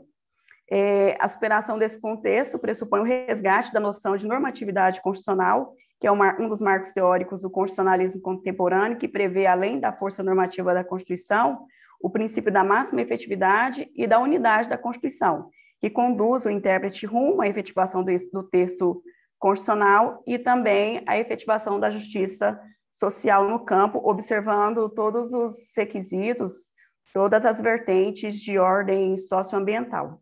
Eu agradeço a atenção de todos, é isso.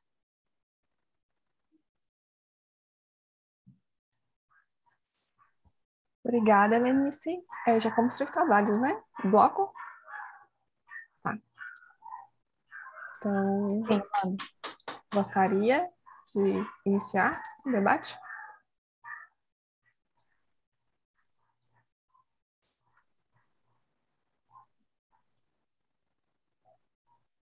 É, eu começo? Pode ser?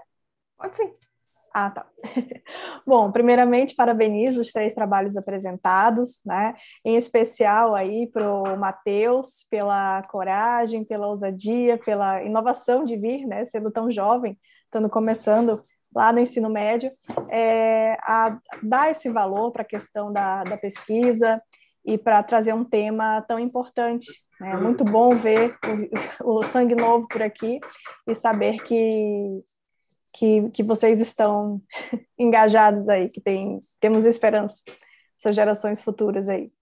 É, no que se refere ao trabalho do Gabriel e do Bruno, né, também parabéns pelo tema, é, é um tema que nos é bastante caro, tá bom, Gabriel, apesar de talvez você aí no, no Ctrl F não ter encontrado muita coisa, mas o marco teórico decolonial é algo bastante natural para o CEPEDES, é, não só para o CEPEDS, quanto os grupos de pesquisa da PUC, dos parceiros, para a gente é meio, acho que essa é a palavra, é meio natural a teoria decolonial, a gente utiliza bastante por aqui, né?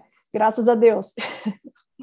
e, e mais é, gostaria também de, de falar sobre, sobre o trabalho da Helenice, uh, e parabenizá-la também pelo tema, que é um tema bastante Acho que atualmente a gente está trazendo isso, né, fazendo esse resgate do direito agrário, é, que normalmente ele vem sendo trabalhado de forma meio separada da questão ambiental e a gente precisa fazer esse resgate, precisa trabalhar essas questões da função é, socioambiental da propriedade de uma maneira mais, é, mais própria, né, realmente, porque a gente sabe da dificuldade que tem de comprovar né, e de fazer realmente efetiva uh, essa função socioambiental. Né? Então, trabalhar não apenas na questão é, da função social nas outras vertentes, mas fazer um destaque para essa questão do cumprimento uh, da questão ambiental, da legislação, né? Então, realmente é algo que, que a gente precisa trabalhar com mais carinho. Eu estou lecionando agora direito agrário e é realmente algo que chama bastante atenção dos alunos, né? porque não é tão fácil assim de encontrar é, experiências bem-sucedidas no ponto de vista de que, por exemplo, tenha sido é, decretada desapropriação por não cumprimento da questão ambiental. A gente sabe que é bem mais difícil é, do que as outras questões relacionadas a, ao cumprimento dessa função. Tá certo? Bom, no mais era, era só essa, esse comentário que eu, que eu gostaria de fazer acerca dos, dos três trabalhos, mas desde já registrar meus parabéns para todos os três. Quem mais? Tem, a gente recebeu algumas perguntas no chat, porque está sendo transmitido para o pro, pro YouTube, né? Excelente. É, sim, e aí a gente tem algumas perguntas para o Gabriel e para o Bruno de que será que a descolonização ou decolonialidade não é um termo ou concepção para quem colonizado ou colonizada foi? E dois, é, embora não esteja escrito, o Congresso tendo equidade e diversidade na composição de suas mesas, não estaria pautado no apoio às lutas e resistências anticoloniais também? É, sobre a questão do, do estar escrito, acho que descolonização, né? É, já que eu estou com a palavra, vou aproveitar e comentar o, o, o trabalho da Berenice. Desculpa, deixa eu, deixa eu só retomar minha, minha anotação aqui. Da Helenice, que, é, na verdade, Helenice, eu tenho, eu tenho outro trabalho que parece que comunica muito com o seu, no GT 3 da manhã, e eu estou bem ansiosa também para vê-lo. Né? Eu também sou coautora do trabalho de uma, de uma aluna minha, mas estou ansiosa para ver o seu artigo completo né? É, e aí eu acho que a gente pode depois, eventualmente, tratar com uma figurinha sobre isso, que na verdade é mais é, também para minha minha aluna, né? Acho que vai é, enriquecer bastante o trabalho dela também. Mais alguém?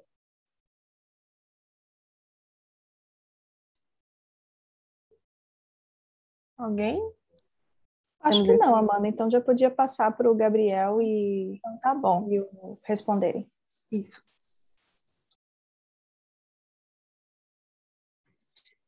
Oi, gente, desculpa, eu tô, tô com um problema de conexão aqui, minha internet fica caindo, eu tô pelo celular.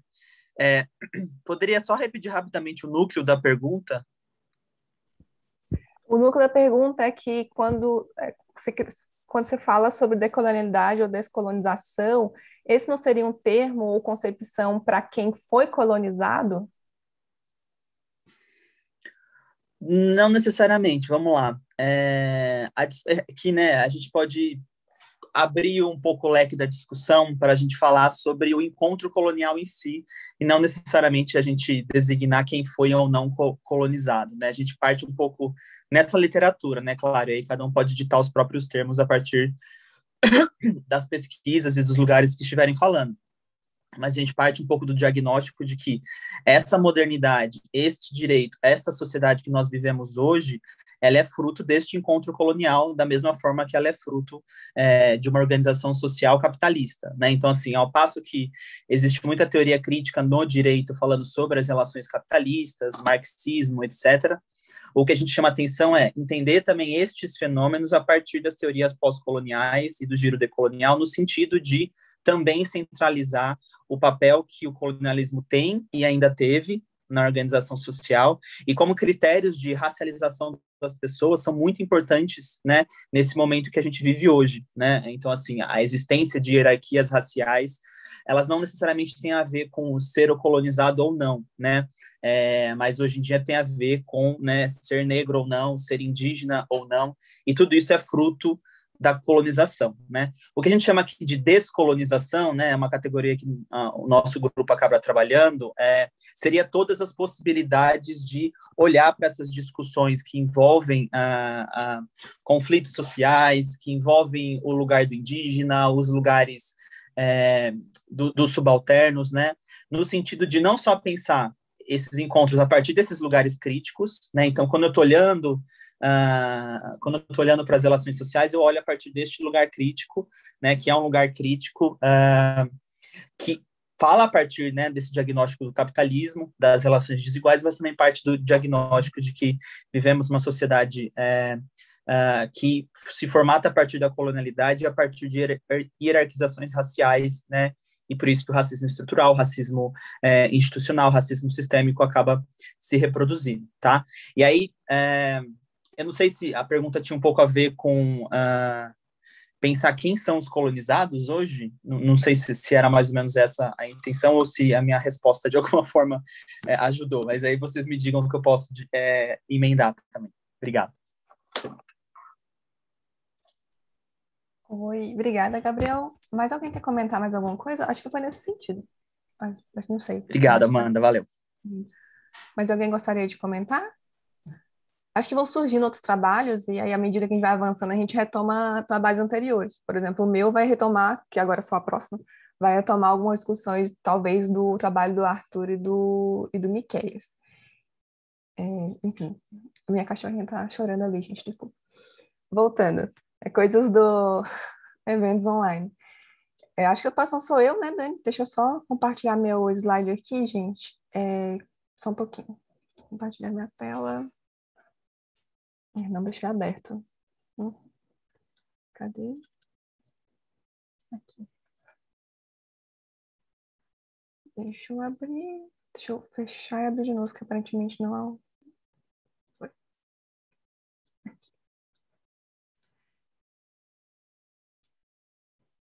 eu ver. Vocês estão vendo o slide ou a tela inteira?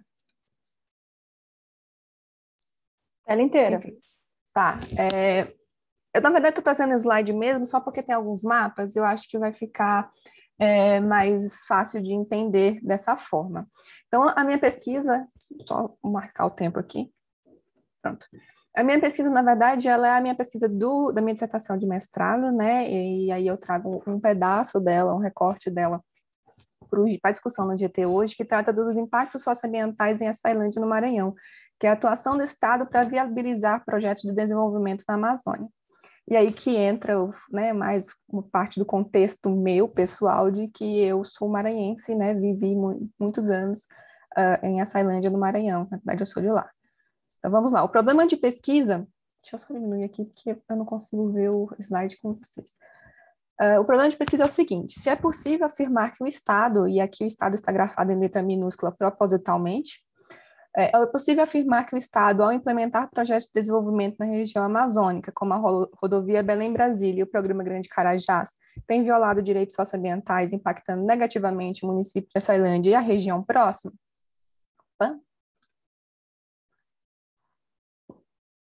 A nossa hipótese é positiva, né, de que sim, o Estado utiliza, a nossa hipótese, a minha, né, o, se sim, o Estado utiliza a sua estrutura para implementar esses projetos de desenvolvimento na região Amazônia, na região amazônica, e em via de consequência, ele viola direitos socioambientais, porque ele desconsidera os contextos amazônicos existentes, né? E aí, no, no caso, no recorte espacial é em Açailândia, a região.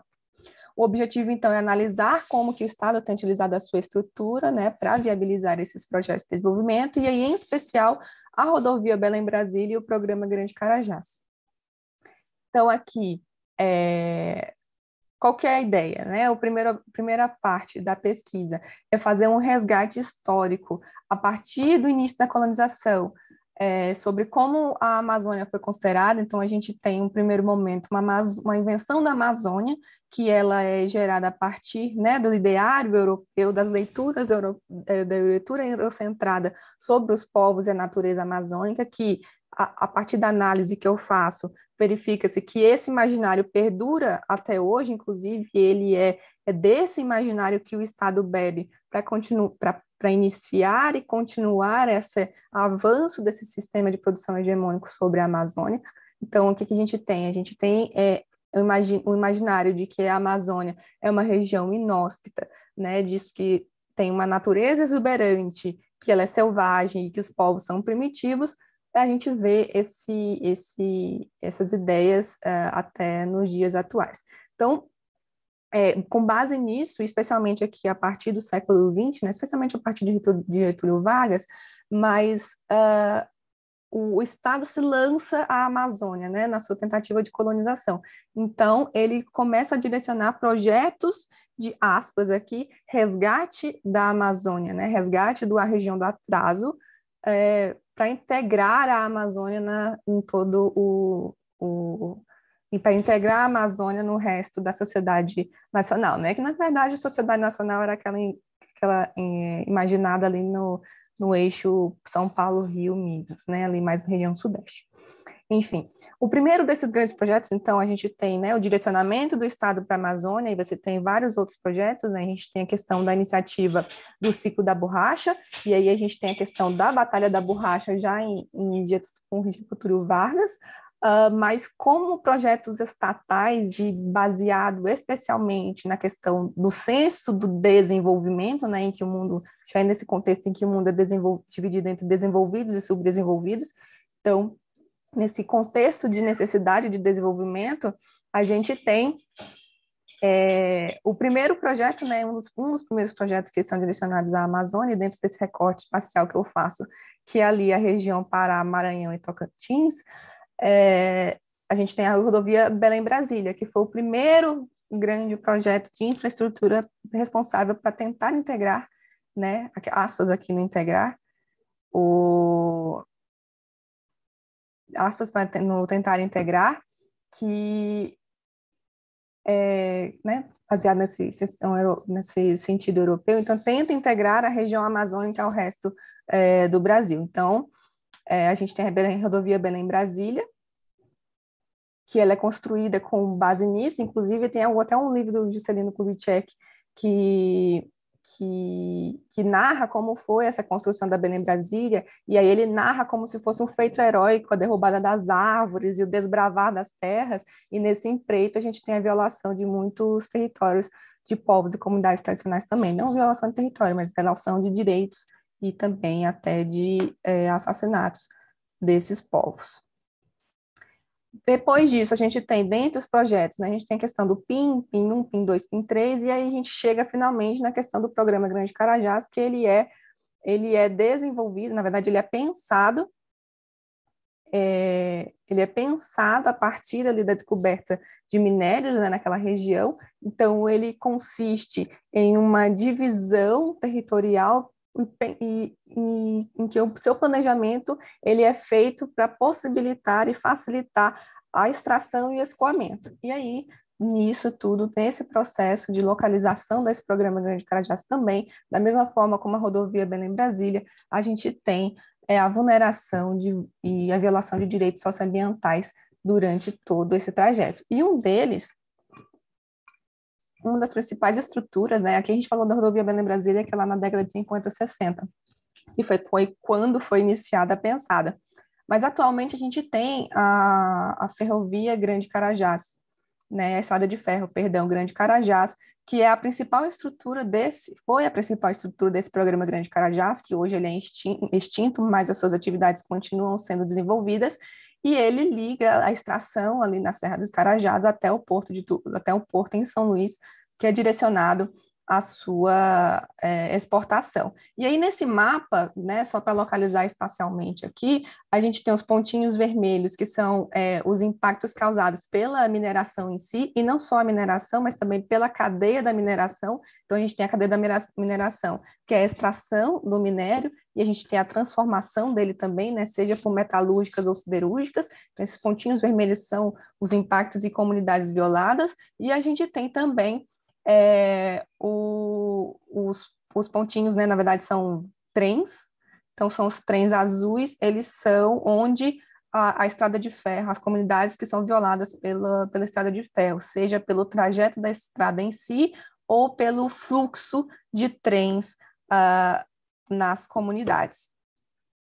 Aqui temos o mapa do Maranhão, né? E aqui nesse pontinho rosa é a cidade da Sailândia do Maranhão, que ela, ela vou dizer nasce, né? Mas ela surge a cidade, a, a, a, união urbana ela surge a partir da construção da Belém Brasília e ela se expande quando essa Belém Brasília encontra outra BR, que é a 222, e também é um entreposto da estrada de ferro Carajás, inclusive outras estruturas, por exemplo, planejadas e pensadas pela IRSA, elas é, planejadas e pensadas pela IRSA, elas vão encontrar, né, dentro do grande projeto que está sendo executado, a estrada de ferro Carajás, para então ser direcionada ao litoral é, nesse, nesse, por essa estrutura, né? Outras produções que não só serão minério de ferro, mas a gente também tem soja, fertilizantes e outros produtos oriundos do neoextrativismo é, que avança ali também pelo Cerrado, mais abaixo de Tocantins e Goiás.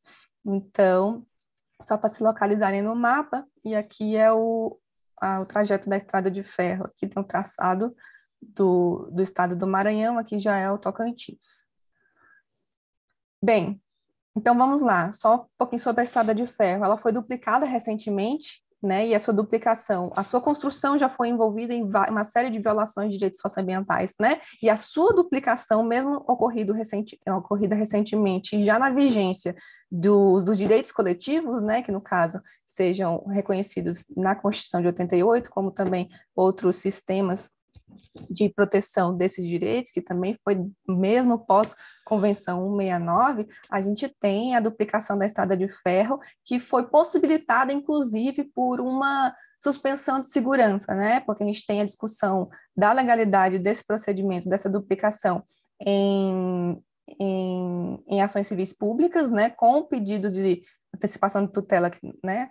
Foram deferidos, mas todos esses efeitos foram suspensos por uma suspensão de segurança, né, que foi ajuizada inclusive pela própria pessoa jurídica da mineradora responsável pela estrutura, quando esse, essa figura da suspensão de segurança ela é reservada só para é, é, órgãos ou sessões do poder público, né? Então a gente tem um, um, um precedente é, perigoso aí.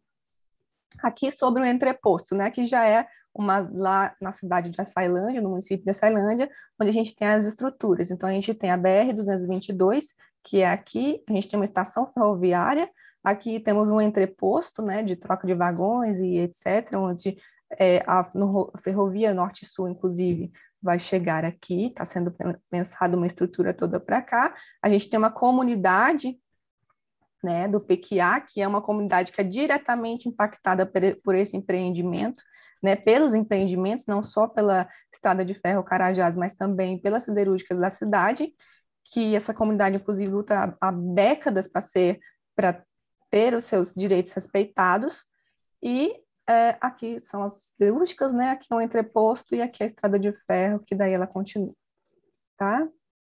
É, enfim, o, só a, a, questão de conclusão, o que, que, a gente vê, né, a partir desse resgate histórico desde o tempo da colonização, é a, a perpetuação desse pensamento, né, dessa Amazônia inventada e desse desrespeito e violação aos direitos dos povos e comunidades, né, seja antes da Constituição de 88, seja após a Constituição de 88, isso a gente viu também as limitações do direito em relação à, garantia e proteção desse, desse desse arcabouço dos direitos coletivos, né, direitos socioambientais, que a gente analisou, eu analisei ações civis públicas, né, que inclusive os efeitos da suspensão de segurança, e é, que o Estado, na verdade, ele continua o seu papel de metrópole, né, é, de, de, de companhias, companhias mercantis, de continuar explorando a natureza e de legitimar essas práticas violentas aos direitos socioambientais.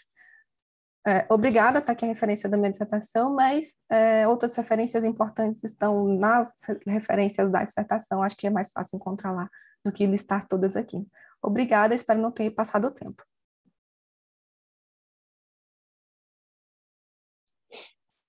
Não, não passou não.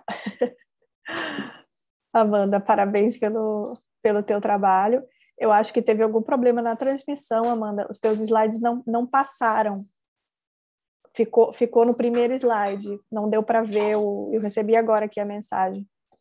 Mas não, não, não sei, tipo, eu também não, não tinha como te interromper porque eu não sei como resolver. Mas tudo bem. Se você quiser, depois a gente tenta organizar isso só para você mostrar o mapa. e você tá, tá no mudo. Posso tentar de novo. Só passar pelo menos os mapas só para localizar as Isso. pessoas. Tá, só um pouquinho que agora Tenta vai. novamente só para mostrar os mapas. Ó, agora entrou. Peraí. Agora foi? Ainda está no primeiro, mas você precisa. Não, é, eu vou chegar no mapa. Então, aqui é o mapa Isso. da expansão rodoviária, né, das estradas de rodagem de 1957 a 64. Então, só para ilustrar que a rodovia Belém-Brasília, ela foi a, uma das, na verdade, foi a primeira, né, rodovia a rasgar aqui em direção à Amazônia, né? É a primeira infraestrutura pensada nesse projeto de desenvolvimento, né, que já chama desenvolvimento aqui já. Aqui é o traçado da rodovia, é, da rodovia não, da estrada de ferro Carajás. Então, os pontinhos vermelhos, eles são locais de violação de direitos por extração de minérios, e o trem azul é impactos causados pela, pela passagem do trem, né, nas comunidades. Então, é, são mais de 100 comunidades que são diretamente afetadas pela estrada de ferro Carajás tá? Além de unidades de conservação e outras comunidades nesse sentido. Acabou que o tempo era muito pouco para eu falar todos os dados. Aqui é o mapa do Maranhão, aqui é a cidade de Açailândia, né, o município de Açailândia aqui, só para vocês localizarem um pouco. Então, a estrada de ferro Carajás, ela passa aqui. É, aqui é o traçado dela, já observando né, o estado do Pará e do Maranhão. E aqui os locais de extração de minérios. Uh, aqui é um, um, entreposto de minério, né, dessa estrada de ferro Carajás, onde ela vai encontrar com a outra ferrovia, né, tem outras ferrovias que são planejadas para encontrar essa estrada de ferro aqui, e aí a gente tem uma comunidade que ela é de, afetada diretamente, tanto pela passagem de, de, de, do, da estrada de ferro Carajás, quanto pelas siderúrgicas que né, foram é, propositalmente colocadas nessa, loca, nesse, nessa região para aproveitar essa estrutura de escoamento. Né? O minério chega na ferrovia e o que é produzido é, vai embora na ferrovia para é, exportação. E aí é isso, né? Isso aqui na cidade de Açailândia já, tá? É, acho que eram só esses mapas mesmo. Espero que tenha feito mais sentido agora que tá eu falei, porque eu estava falando rápido, como se tivesse um mapa todo mundo vendo, mas não estamos. Deu certo. Bom, É, o próximo trabalho do bloco, então, é o consenso do, do dissenso, uh, da Bruna, da Tatiane e do Alisson. Estão aí? Estou vendo que o Alisson está aí. Sim. Bruna, ok, vocês têm então 10 minutos, fique à vontade. É, é, todos me escutam bem? Vou colocar o slide, tudo bem? Perfeito. Vou aguardar o segundo slide. É, tá todo mundo escutando bem? Sim. Sim. Sim, sim. Sim, te ouvindo. Perfeito. É, primeiramente, boa tarde a todos. É, peço desculpas pelo, pela qualidade da câmera, que está meio escura. É, desde já, mas vamos só continuar. É, eu me chamo Alisson Batista Leal. É, eu, eu, sou acadêmico de Direito pela Universidade da Amazônia, aqui em Belém, Pará, e a minha colega de grupo é, é a Bruna dos Santos Trindade. Ela é mestranda né, do Programa de, de Pós-Graduação em Desenvolvimento Sustentável, pelo NAIA, é, da UFPA. É, só um momentinho. Bruna, é, não está aparecendo o slide para mim, mas eu vou colocar eu não aqui. Conseguindo, meu... Eu não estou conseguindo colocar a apresentação. Eu, eu apresento pelo meu aqui, que eu tenho aberto, tá bom? Tá, tudo bem. Desculpa, gente. Não? Tá ótimo. Tá. É, fazer a apresentação do trabalho é, com o título do O Consenso do Dissenso, os impactos é, socioambientais causados aos povos, aos povos Arara e Paquistamba, decorrentes do hidrograma de consenso da usina hidrelétrica de Belo Monte. Hum. O trabalho é pautado em responder a, a, as seguintes problemáticas. Quais os possíveis impactos socioambientais aos povos indígenas Arara da Volta Grande e Paquistamba, em decorrência da implementação do hidrograma de consenso no rio Xingu. É, o estudo o estudo em questão buscará discutir os impactos socioambientais causados aos povos indígenas Arara e Opaxamba, é, por conta da implementação dessa hidrovia de consenso né, da usina de Belo Monte, na usina hidrelétrica de Belo Monte. Perdão. Hum, e com o intuito de responder essas três, é, essas três problemáticas da pesquisa, nós vamos ter três é, objetivos específicos. O primeiro será apresentar um panorama geral sobre o hidrograma de consenso. O, o segundo é, será analisar acerca da violação do direito e consulta prévia, livre e informada. É, e, a, e o terceiro e último é descrever os impactos socioambientais resultantes da implementação é, do hidrograma de consenso na, nas terras indígenas Arara, é, da Volta Grande e do Paxamba. É, de acordo, é, após isso, eu vou passar a palavra para minha colega Bruna, Deixa eu só ver se está tudo ok. Bruna, está tudo ok aí? Boa tarde, gente. É, desculpa, é que a minha internet está horrível e o meu computador acabou travando um pouquinho.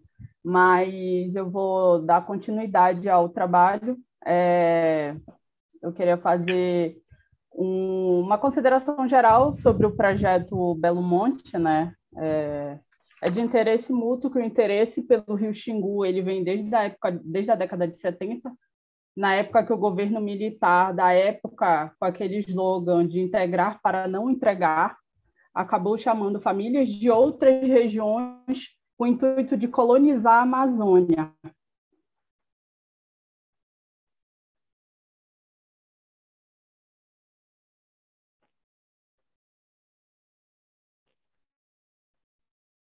é, talvez tenha acontecido algum problema de conexão.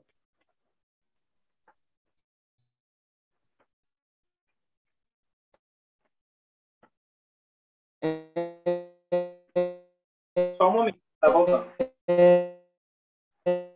Dentro desse, desse projeto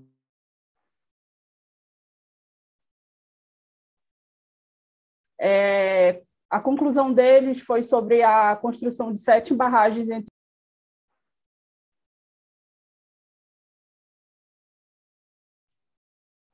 Acho que a Bruna caiu. É, acredito que sim também.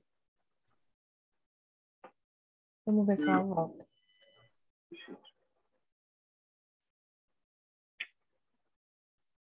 Se quiser continuar, o Alisson fica à vontade também, tá? Uhum. Tá, realmente.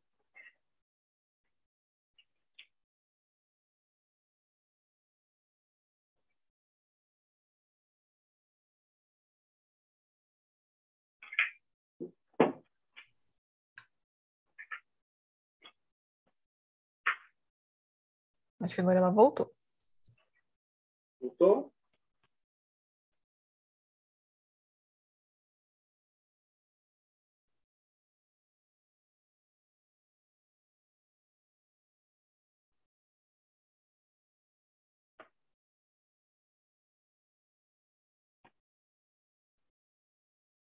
Bruna, você nos ouve?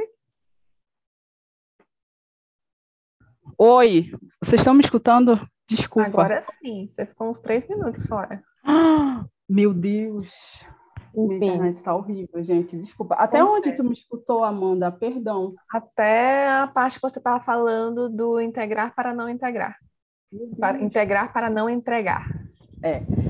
É, vou fazer um, uma síntese rápida sobre isso. Como eu estava falando, o governo militar da época ele tinha essa política colonizadora do integrar para não empregar, na qual várias famílias de outros estados do Brasil foram chamados para a Amazônia com o intuito de colonizar a Amazônia, como se a Amazônia fosse um local sem ninguém.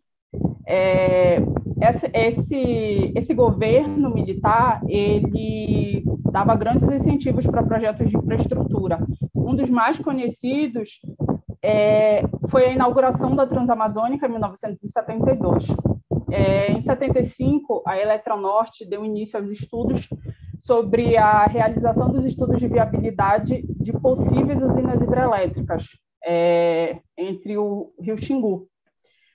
Em 1979, a conclusão dos estudos foi pela construção de sete barramentos entre os rios Xingu e Iriri. Entre 1999 e 2002, o projeto de Belo, agora Belo Monte, porque o nome inicial era Usina Hidrelétrica de Cararaú, ele passou por inúmeras alterações.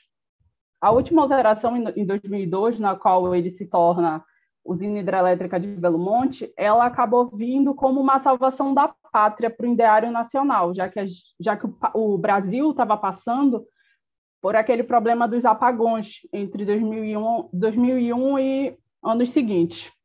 É, em 2005, 2015, o reservatório da usina hidrelétrica de Belo Monte passou a ser enchido.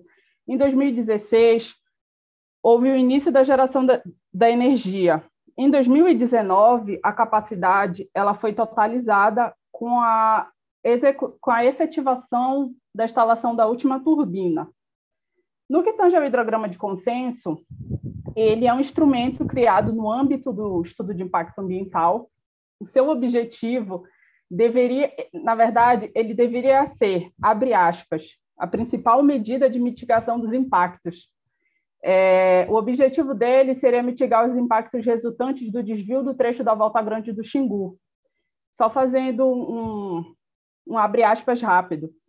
É, a usina hidrelétrica de Belo Monte ela trabalha como geração de energia a fio d'água, ou seja, a quantidade de turbina em funcionamento depende da vazão natural do rio, ou seja, houve um desvio é, houve um desvio de 100 quilômetros, que é o trecho da Volta Grande, para poder fazer a geração de energia da turbina da turbina principal de Belo Monte. No que tange aos direitos, no que tange a violação, a violação da consulta livre e prévia informada, sabemos que, na verdade, foi algo que me chamou muita atenção em relação ao, ao nome do hidrograma de consenso, porque por mais que a gente tenha a ideia que o hidrograma de consenso seja um consenso entre os, entre os atores, né, entre os povos indígenas e comunidades tradicionais. Esse hidrograma ele foi elaborado com, entre o governo e a Norte Energia. Os povos e comunidades tradicionais, principalmente os povos Arara da Volta Grande e os povos Paxamba, não tiveram a menor oportunidade de decidir ou de serem consultados em relação aos impactos socioambientais decorrentes do hidrograma de consenso. A consulta prévia é, ela é prevista pela Convenção 69 da OIT, é, ela já foi aprovada e ratificada no ordenamento jurídico brasileiro desde o ano de 2000, 2005.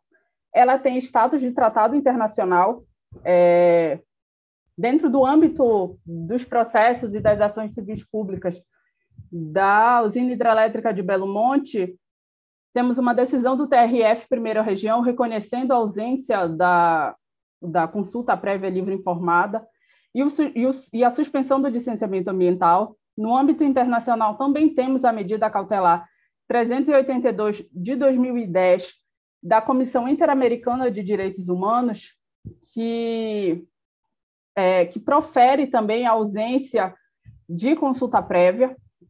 A CIDH também solicitou a suspensão do licenciamento até a realização da consulta prévia.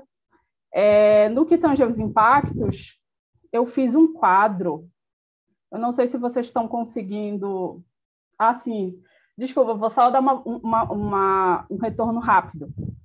É, o hidrograma de consenso, ele na primeira apresentação, a nossa energia ela propôs dois hidrogramas, o hidrograma A e o hidrograma B, que o hidrograma A ele decorre de uma vazão mensal de 4 mil litros, 4 mil metros cúbicos por segundo, e o hidrograma B, 8 mil metros cúbicos, cúbicos por segundo.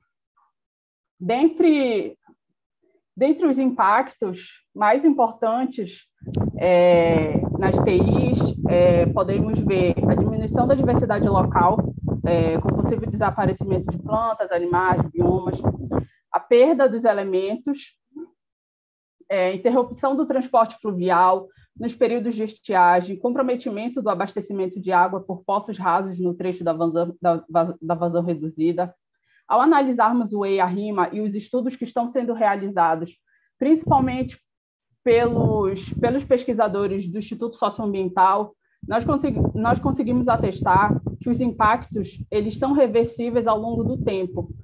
Todos os impactos é, relacionados ao hidrograma de consenso, eles são reversíveis é, conforme a extinção desse hidrograma. É, por fim, é importante atestar que há um parecer técnico de 2009 do IBAMA que ele atesta pela inviabilidade do hidrograma de consenso, porque as vazões desse instrumento elas não possuem dados técnicos, não há garantia de reprodução adequada das principais espécies. Gente, é, eu agradeço e eu me desculpo, é, peço desculpa pela pela pela internet e foi uma honra, gente. Muito obrigado e, e, desculpa ter falado tão rápido porque fiquei com medo de passar do tempo e atrapalhar as outras pessoas. Obrigada, Bruna. Imagina, é, essas coisas acontecem mesmo. É o normal, na só verdade. Me, só me diz se já saiu a apresentação, porque eu não, cons eu não consigo. Ver. Na verdade, não tem apresentação. Você ah. voltou e a apresentação eu não voltei, voltou. Junto, não. Ai, tudo bem, então. Mas obrigado, gente. É. A gente, eu passei, eu, a crente estava passando slide, nem os slides estavam passando, então não acontece, né? Isso aí, estamos aí para isso. Enfim, obrigada, Bruna, obrigado, Alisson. Deixa eu ver quem é o próximo. Já, deu, já deram três, gente? Não era eu, agora é vocês, Bruna, o Alisson, e agora é gerenciamento dos recursos hídricos da macro-região do Cariri. É isso? Isso. Sim. Então vamos lá, é Vitória e Francisco. Isso. É, eu vou apenas. Boa tarde. É, boa tarde, eu sou aluna do curso de Engenharia de Produção, me chamo Vitória Rochelle e junto com o professor Francisco Roberto, a gente é, criou esse projeto que é o gerenciamento dos recursos hídricos na macro-região do Cariri, um estudo de caso. Como a gente bem sabe que a água ela é um, ela é um recurso né, que está em escassez, devido à grande quantidade de água salgada e o volume de gelo que a gente tem. É, a relevância dessa água ela é para a manutenção de vida e para a proteção humana e melhoria da qualidade de vida. É, nós sabemos também, né, que a gente tem um grande desperdício na utilização da indústria com essa água, é, e sabemos também que é, cada tem o sistema de abastecimento, né, que é responsável por controlar esse recurso hídrico e trazer ele de forma físico-química para a população, que é produzir o bem-estar humano, garantia da manutenção de vida, superioridade em relação aos alimentos e a, o padrão de potabilidade. E também são responsáveis por é, inibir a água para que traga doenças como esquimose, cólera, febre, entre outros. É, o sistema de abastecimento de água, a CAGES daqui, né? Ela tem 152 municípios é, e a finalidade dela dos serviços é justamente esse abastecimento de água. É, o nosso projeto ele está voltado para a questão de Missão Velha, que é uma cidade aqui no município, um, é um município de Missão Velha, que está localizado aqui na região do Cariri. É, e a gente analisa, através desse trabalho, é, a gente desenvolveu alguns objetivos, que é determinar o impacto da turbidez sobre os indicadores econômicos relacionados ao trabalho potável durante o intercio de janeiro de 2010 a dezembro de 2019. E também desenvolvemos alguns objetivos específicos, que são estimar a função de produção da água tratada pela em Missão Velha, verificar o impacto de turbidez sobre a demanda de água bruta, desmontar o impacto da turbidez de água bruta sobre os custos de tratamento para o abastecimento da zona urbana de Missão Velha. É, já também a, a gente gostaria de salientar é, alguns órgãos que a gente retirou os nossos levantamentos bibliográficos, como a ANA, a CAGES, a IPES, é, e o nosso projeto ele está em desenvolvimento ainda por questões da pandemia e algumas dificuldades que estamos encontrando durante esse projeto. Então, é um projeto que ainda está é, em processo. E a gente tem como intuito justamente o que eu falei, utilizar um modelo econômico, né, para mostrar essa questão da turbidez da água em Missão Velha, que é um, tem um grande recurso que é a cachoeira de Missão Velha, é, que é protagonizada pelo Rio Salgadinho e que ela, é, ela, tem, ela tem uma utilização muito grande, porém os missão velhenses dispõem desse recurso e acabam que é, poluindo ou fazendo outras coisas que a gente gostaria também de salientar. É, eu vou passar a palavra para o professor Roberto, para ele falar um pouco mais sobre o modelo econômico.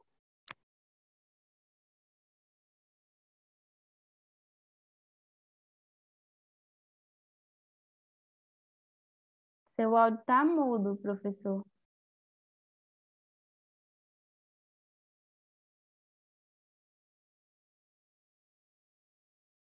Professor?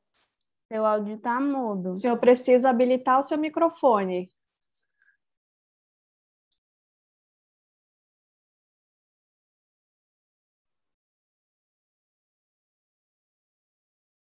Pronto, dá para me ouvir agora? Dá sim. Desculpe, eu pensei que tinha habilitado ele aqui.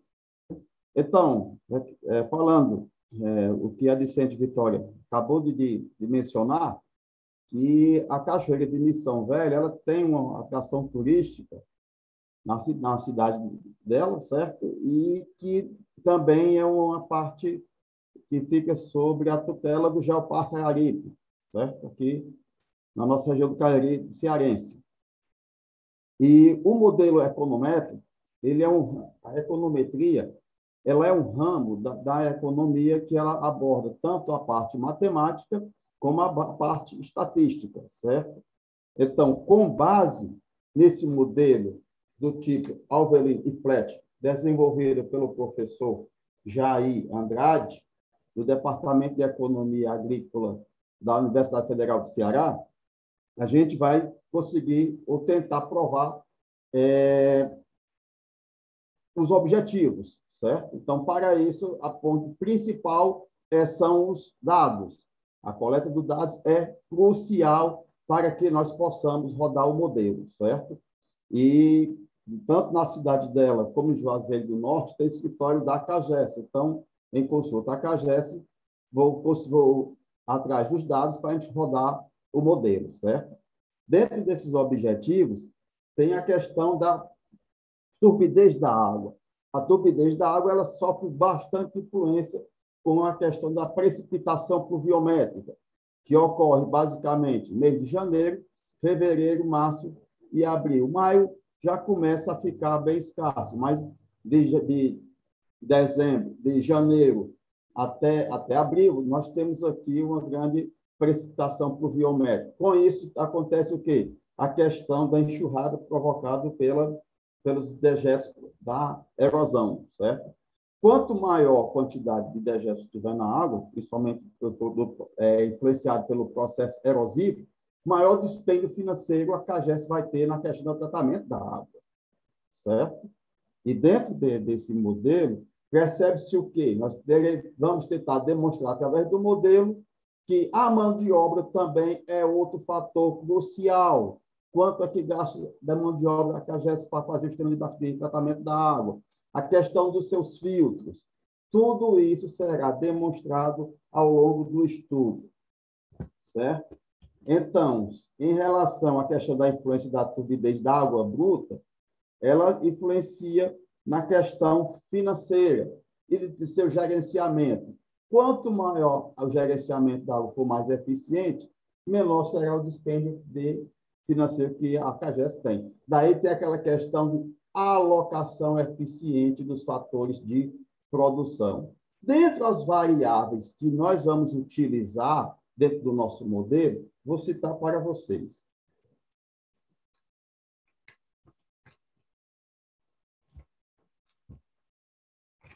Nós temos a quantidade de água bruta mensal tratada, a quantidade de água bruta em metros cúbicos sem ser tratada, a despesa com mão de obra, no caso de julho de 2013, a quantidade de energia elétrica estabelecida em quilowatts hora, a turbidez da água bruta, a quantidade de cloro e a quantidade de coagulantes. Então, com base nesses, nessas variáveis, com, essa temporalidade, nós vamos rodar o nosso modelo. A questão principal é que, como nós estamos vivendo um período de degradação do meio ambiente, há uma tendência forte, mesmo nesse período, de que a, a degradação ambiental ela vai influenciar diretamente nos custos da companhia de gerenciamento de água e esgoto, ok? Então, é esse o nosso trabalho que está em processo de andamento. Obrigado.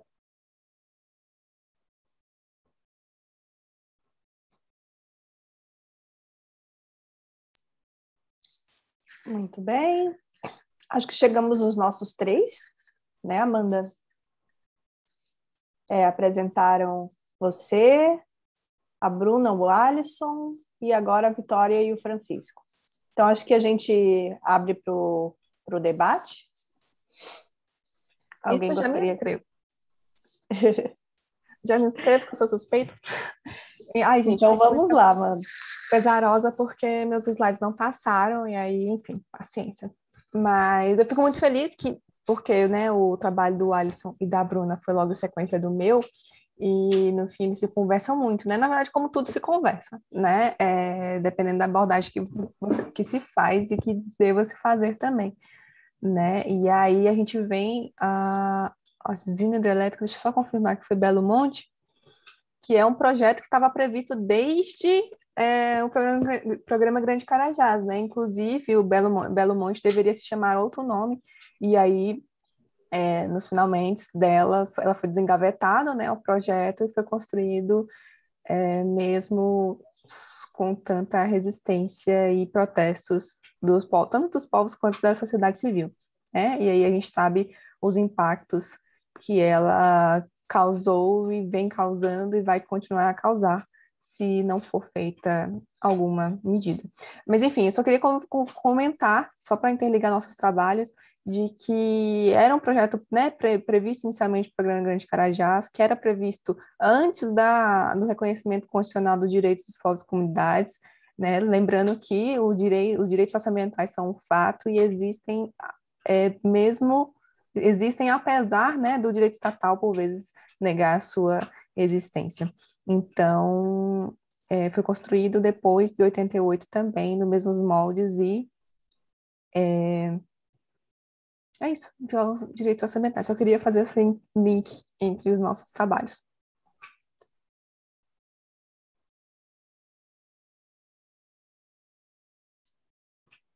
Mais alguém?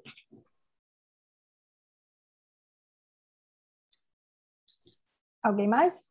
Achei interessante, Amanda, que são três estudos de casos, né? Que ficaram num bloquinho, assim. Não foi proposital, mas poderia ter sido, né? Sim, os três, de qualquer forma, é, versam sobre a água, né?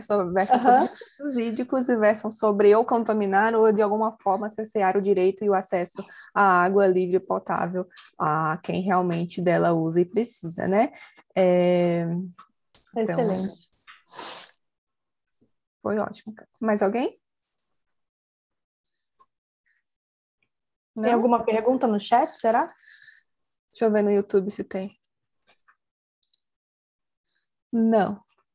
No YouTube não tem, teve aquelas do, do, do Manuel e só. Vamos seguir então. Seguimos.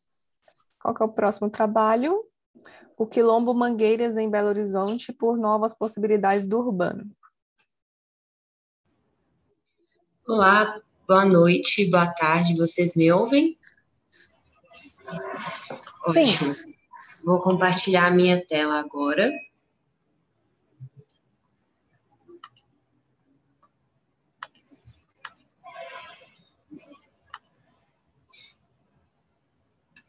Prontinho, vamos lá. É, boa tarde a todos e a todas, né? Meu nome é Rafaela Coutinho, Sou estudante de Direito do quinto período, na modalidade integral pela Escola Superior do Helder Câmara.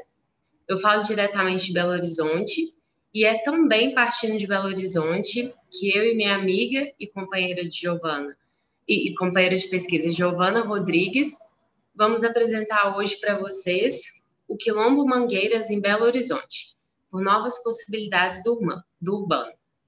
A nossa orientadora, Marisa Rios, que é professora e doutora também na Dom Helder, ela não pôde estar presente porque ela teve uma reunião de urgência da instituição. É, então, vamos lá.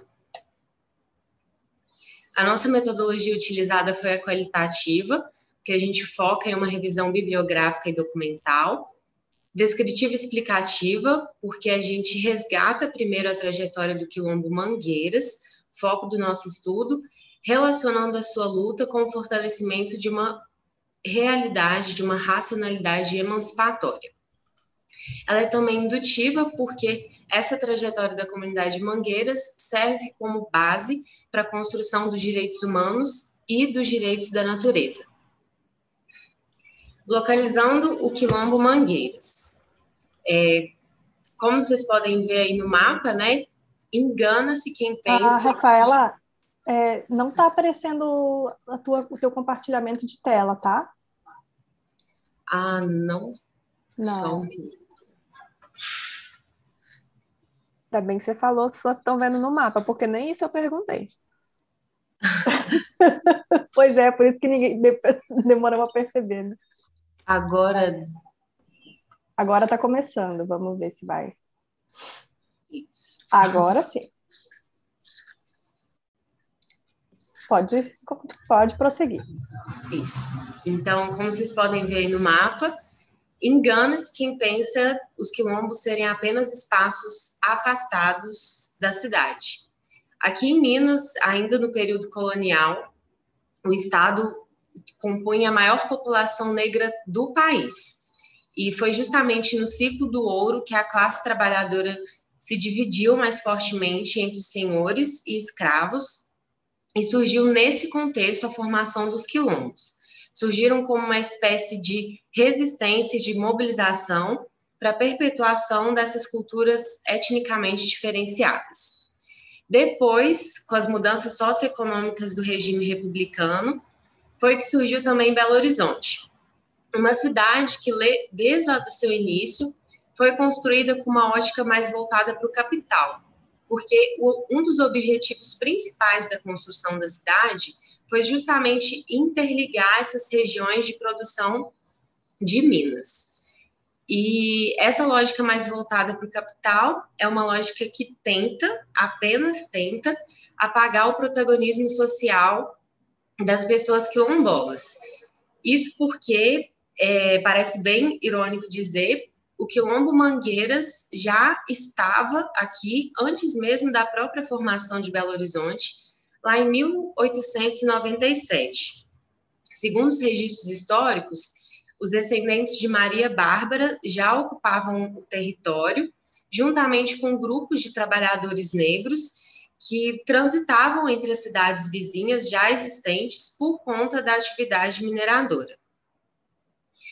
Ou seja, né, eles já estavam aqui quando, quando a cidade começou a ser formada, e na verdade foi a cidade quem se amoldou à comunidade mangueirense. Então, resgatar essas narrativas é uma forma de ressignificar e de pluralizar a construção das cidades, mostrando que o povo negro, desde sempre, já, já estava nesses espaços. E o grande diferencial que serve de embasamento para a nossa pesquisa, nessa construção faz a ponte entre direitos humanos e direitos da natureza, é justamente o estilo de vida urbano do Quilombo Mangueiras. O INCRA assim reconheceu essa comunidade, porque apesar da gente estar falando de uma comunidade urbana, que está próxima ali da MG20, próxima à cidade administrativa de Belo Horizonte, ela apresenta características essencialmente rurais. Na essência, porque hoje no território onde vivem aproximadamente 35 famílias, eles ficam localizados em uma área de proteção ambiental e com a fauna e a flora ali presentes, eles praticam a pesca, a cata de raízes e frutos, é, a caça, bem como as religiosidades dele, que colocam uma ênfase muito importante para a natureza, como a Umbanda e o Candomblé, e outras formas de subsistência e atividades que se harmonizam com o meio ambiente, em especial o córrego aí da foto, o córrego Lajinha, que corta a comunidade.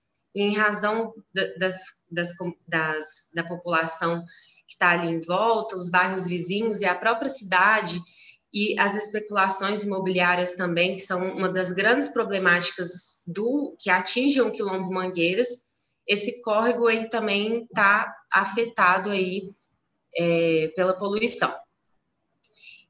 É, esses traços do, de, de estilo de vida urbano evidenciou a perspectiva do quilombo em não se conformar com os modos tradicionais que temos hoje de cidade, que é sempre a, aquela construção muito urbanizada, né, cheia de concreto e essa visão singular que a gente tem do que é uma cidade.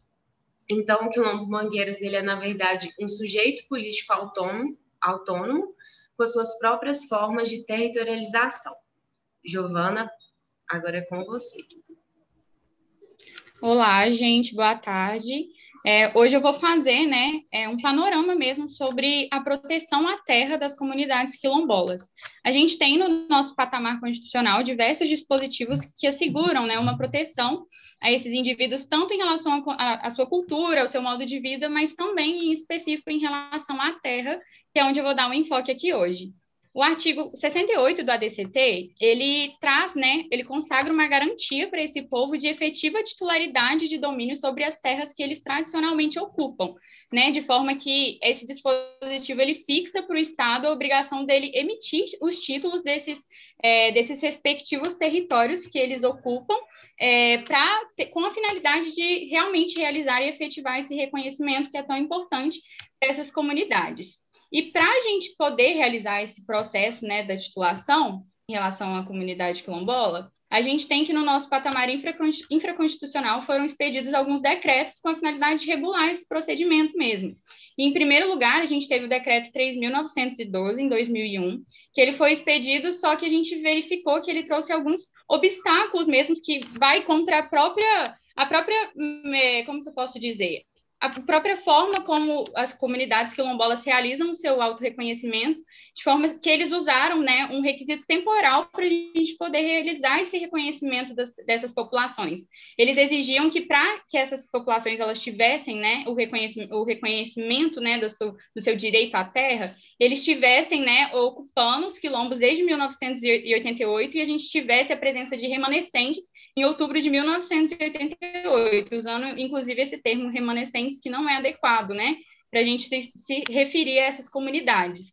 Então, a gente verifica que esse decreto, ele, na verdade, estabeleceu o critério superficial, né, para a gente poder, de fato, reconhecer a propriedade dessas comunidades e que vai de encontro à própria. A, a, gente tem uma narrativa oficial e que vai de encontro à própria narrativa que é realizada por essas comunidades de quilombos. E tendo isso em vista, em 2003, né, a gente teve expedido o decreto 4.887 e que ele trouxe parâmetros que são mais amplos, né? Ele tira essa narrativa de que para a gente poder reconhecer o direito à terra da, da comunidade quilombola, a gente precisa, né, de um requisito temporal e ele começa, né, a utilizar requisitos que são mais amplos e que efetivamente são é, são mais parecidos com os, os requisitos que a própria comunidade quilombola usa para o seu auto-reconhecimento né? Inclusive, o próprio STF, né, por meio da DI 3.239, ele já declarou a constitucionalidade desse decreto, que inicialmente foi muito né, criticado, é, porque né, todos esses movimentos que a gente tem de reconhecimento né, é, à terra, comunidades tradicionais, querendo ou não, infelizmente, elas sofrem algumas críticas e algumas oposições, mas já foi declarada a constitucionalidade né, pelo STF, que já rejeitou essa tese do marco temporal para a gente reconhecer é, a terra dessa população. E isso porque a gente tem que reconhecer que a terra, para esse, esse povo, não é um, não, não tem o mesmo significado que tem para muitos de nós, né? Mas tem um, um, significado que diz respeito à própria identidade dessas pessoas, a cultura, os modos de vida, os valores e a coesão social desse grupo. Também cabe ressaltar né, algumas instituições que são importantes nesse processo. Em primeiro lugar, a gente tem a própria Fundação Cultural Palmares, né, que é a partir desse decreto que a gente tem que é vigente hoje, né, o 4.887, é, reserva a ele né, a competência mesmo da emissão do certificado de reconhecimento das comunidades quilombolas e também a sua inscrição em cadastro geral. Em, 2015, em 2005, inclusive, né, ela emitiu a certidão do autorreconhecimento da comunidade Mangueiras, e a gente tem o INCRA também, né, que é uma autarquia federal e que ela implementa, né, em relação à comunidade quilombola, ela implementa a regularização fundiária das terras dessa população, né, e em 2016 publicou, inclusive, uma portaria no Diário Oficial da União que reconheceu as terras do, do, do, dos quilombos mangueiras, e por fim a gente também tem o IFEA, né, é, que é uma fundação e ela atua também na, no campo das políticas públicas de patrimônio cultural. E em 2017, esse órgão ele consagrou o registro imaterial ao Quilombo Mangueiras, que garantiu a sua proteção pela legislação capital mineira. E dentro, pode passar, Rafa, o slide. E dentro desse contexto, eu queria propor uma reflexão, né, porque o nosso trabalho a gente diz sobre outras possibilidades de urbano. E, em primeiro lugar, a gente tem que né, ter em mente que as cidades elas são espaços sociais que incorporam e reproduzem também as lógicas históricas impostas né, por uma racionalidade, vamos dizer, capitalista, ocidental, colonial, né? Como qualquer outro espaço onde a gente tem relações humanas, eles reproduzem essas relações, né? E os efeitos e as consequências dela. E a gente vê que essa racionalidade, né, hegemônica que a gente tem, ela tudo que é, que não se adequa a essa racionalidade, a essa lógica, é colocado em núcleos de não existência. E isso não ocorre de modo diferente com os, os, as comunidades quilombolas, e especificamente, né, a gente tratando aqui dos quilombos mangueiras. Como a Rafa disse muito bem anteriormente, é, mesmo né, os seus ancestrais ocupando essa, é, essa terra em um momento anterior à fundação da cidade, a gente ainda tem uma contestação né, de se eles teriam ou não aquele direito, a gente tem, a gente viola aquele direito, que como eu já mostrei, a gente tem dispositivos que né, garantem esse direito, tanto em um patamar constitucional como, infraconstitucional, então a gente ainda se sente no direito de questionar, né, se essas populações teriam esse direito efetivamente, porque a nossa racionalidade não consegue assimilar modos de vida que são diversos do que aquilo que a gente está acostumado, do que aquilo que foi nos impo que foi imposto para a gente, né, dentro desse contexto de uma racionalidade que é hegemônica e que reproduz reproduz essa hegemonia nas nossas relações sociais e na nossa, no nosso modo, nosso modo mesmo de viver e de, de reproduzir a nossa existência. E aí é, eu venho aqui propor também uma reflexão que está dentro do livro do Boaventura Sociologia da, das Ausências e das Emergências, né, que ele fala que o quanto que essa racionalidade né, hegemônica impõe para a gente, é, que o quanto de experiência que a gente está perdendo em detrimento dessa razão hegemônica, né? É, será que se a gente analisar a realidade dessas populações, muitas vezes não seria uma forma da gente poder construir novas cidades, é, um futuro melhor? Por exemplo, a gente vê as relações que eles estabelecem com a natureza dentro da sociedade, dentro da nossa cidade, né? Dentro de BH, e a gente poderia muito bem usar esse exemplo como uma forma da gente realmente criar cidades mais sustentáveis, mas muitas vezes a gente realmente prefere invisibilizar essas populações e colocar elas dentro de um ciclo de não existência, como eu disse. É isso. E partindo dessa reflexão, o nosso estudo ele se baseia em responder em que medida o protagonismo social e jurídico do, do, desse povo quilombola pode contribuir nessa construção harmônica que pensa nos direitos humanos e nos direitos da natureza. Porque apesar da gente ter esse, esse reconhecimento é, jurídico de, de alguns instrumentos, a gente ainda não tem é, é, aplicação desse direito por falta de compreensão da, dos moldes de vida da, das comunidades quilombolas. O Quilombo Mangueiras, por exemplo, já estava aqui antes da própria cidade é, se estabelecer.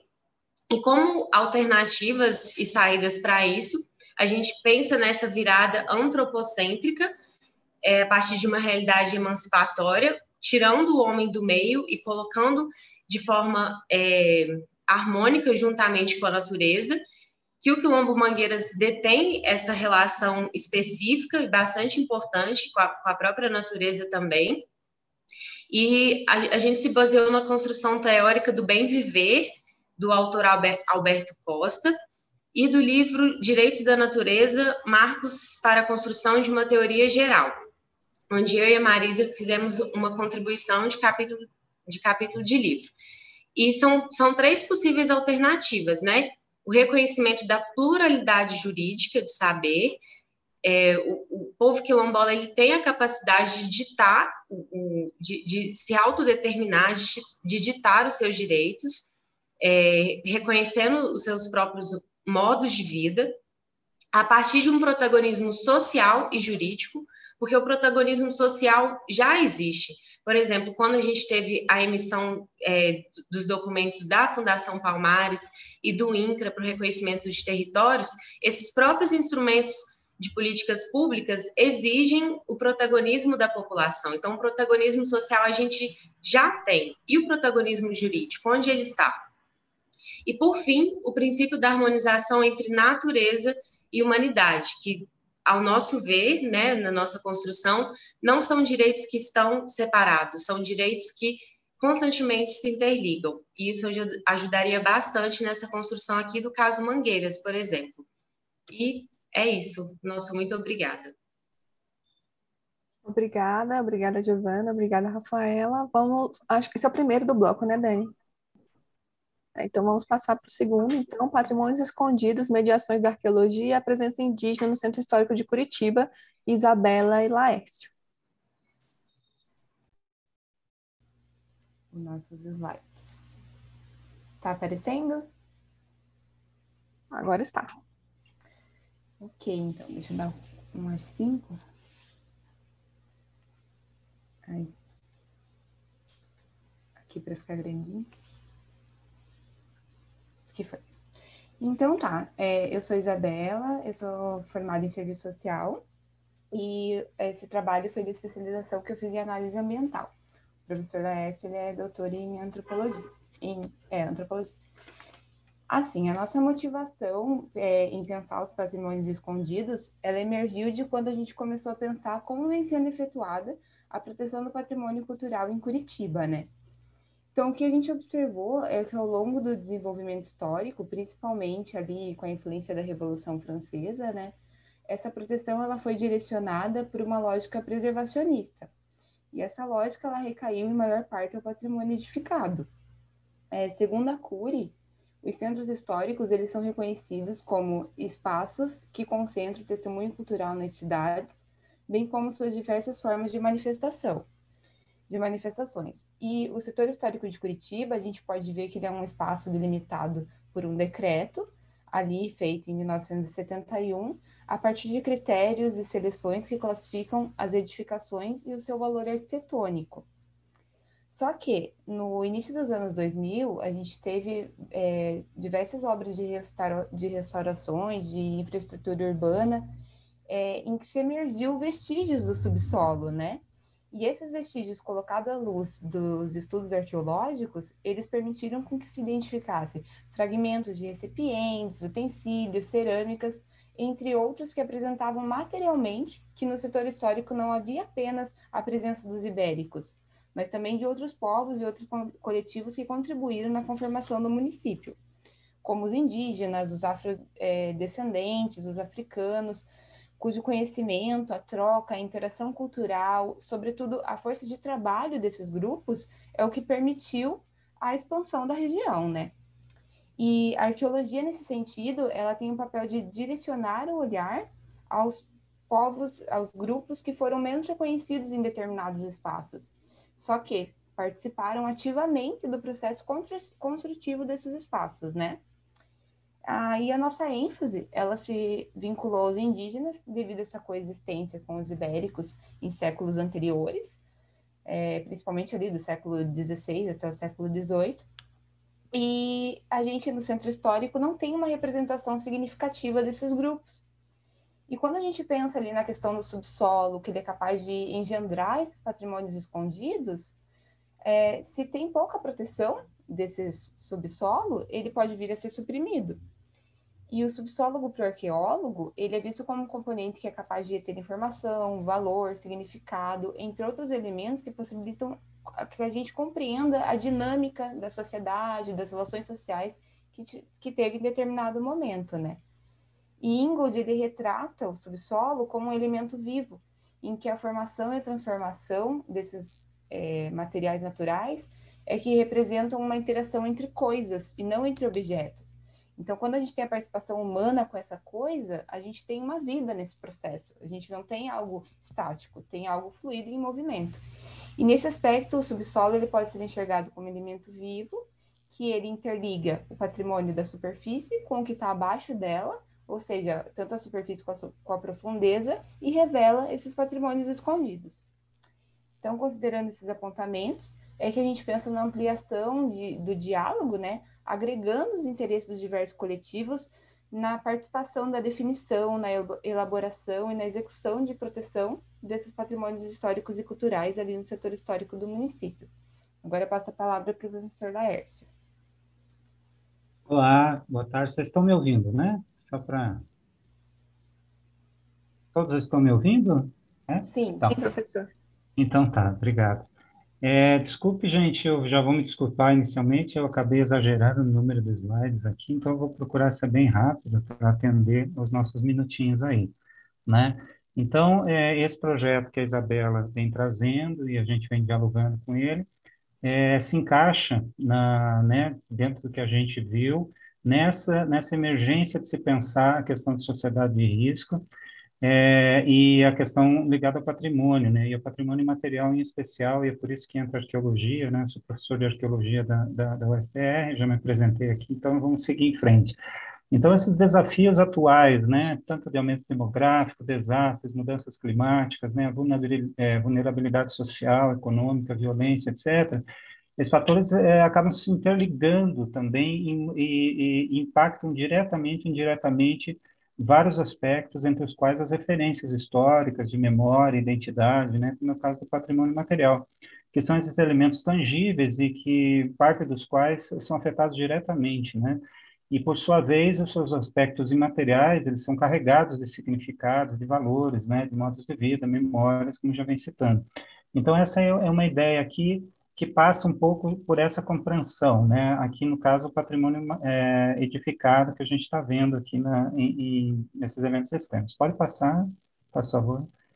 É, a, a, nossa perspectiva aqui é discutir um aspecto do patrimônio edificado e das suas relações com bens móveis e imóveis, não no sentido dos riscos, né, que ele passa, que é um ponto é, realmente a ser observado, mas também o seu envolvimento né, dentro da cidade. Quer dizer, a gente está olhando para isso no campo das cidades, dos centros urbanos históricos, onde as políticas públicas, elas, né, que se voltam à seleção, preservação, valorização, né, até que ponto elas estão em diálogo efetivo com a representatividade dos, dos grupos culturais, segmentos sociais e instituições, né, o que, que é a identidade da cidade, né, como que ela é selecionada. Então, isso aí passa por relações, negociações, conflitos, e, esses, e essas negociações, em geral, são de caráter conservador, direcional, né, colonialista, às vezes pragmático, no sentido econômico também. E isso gera que o viés do patrimônio edificado ele acaba operando também uh, com um problema inerente de seletividade, de exclusão, invisibilidade.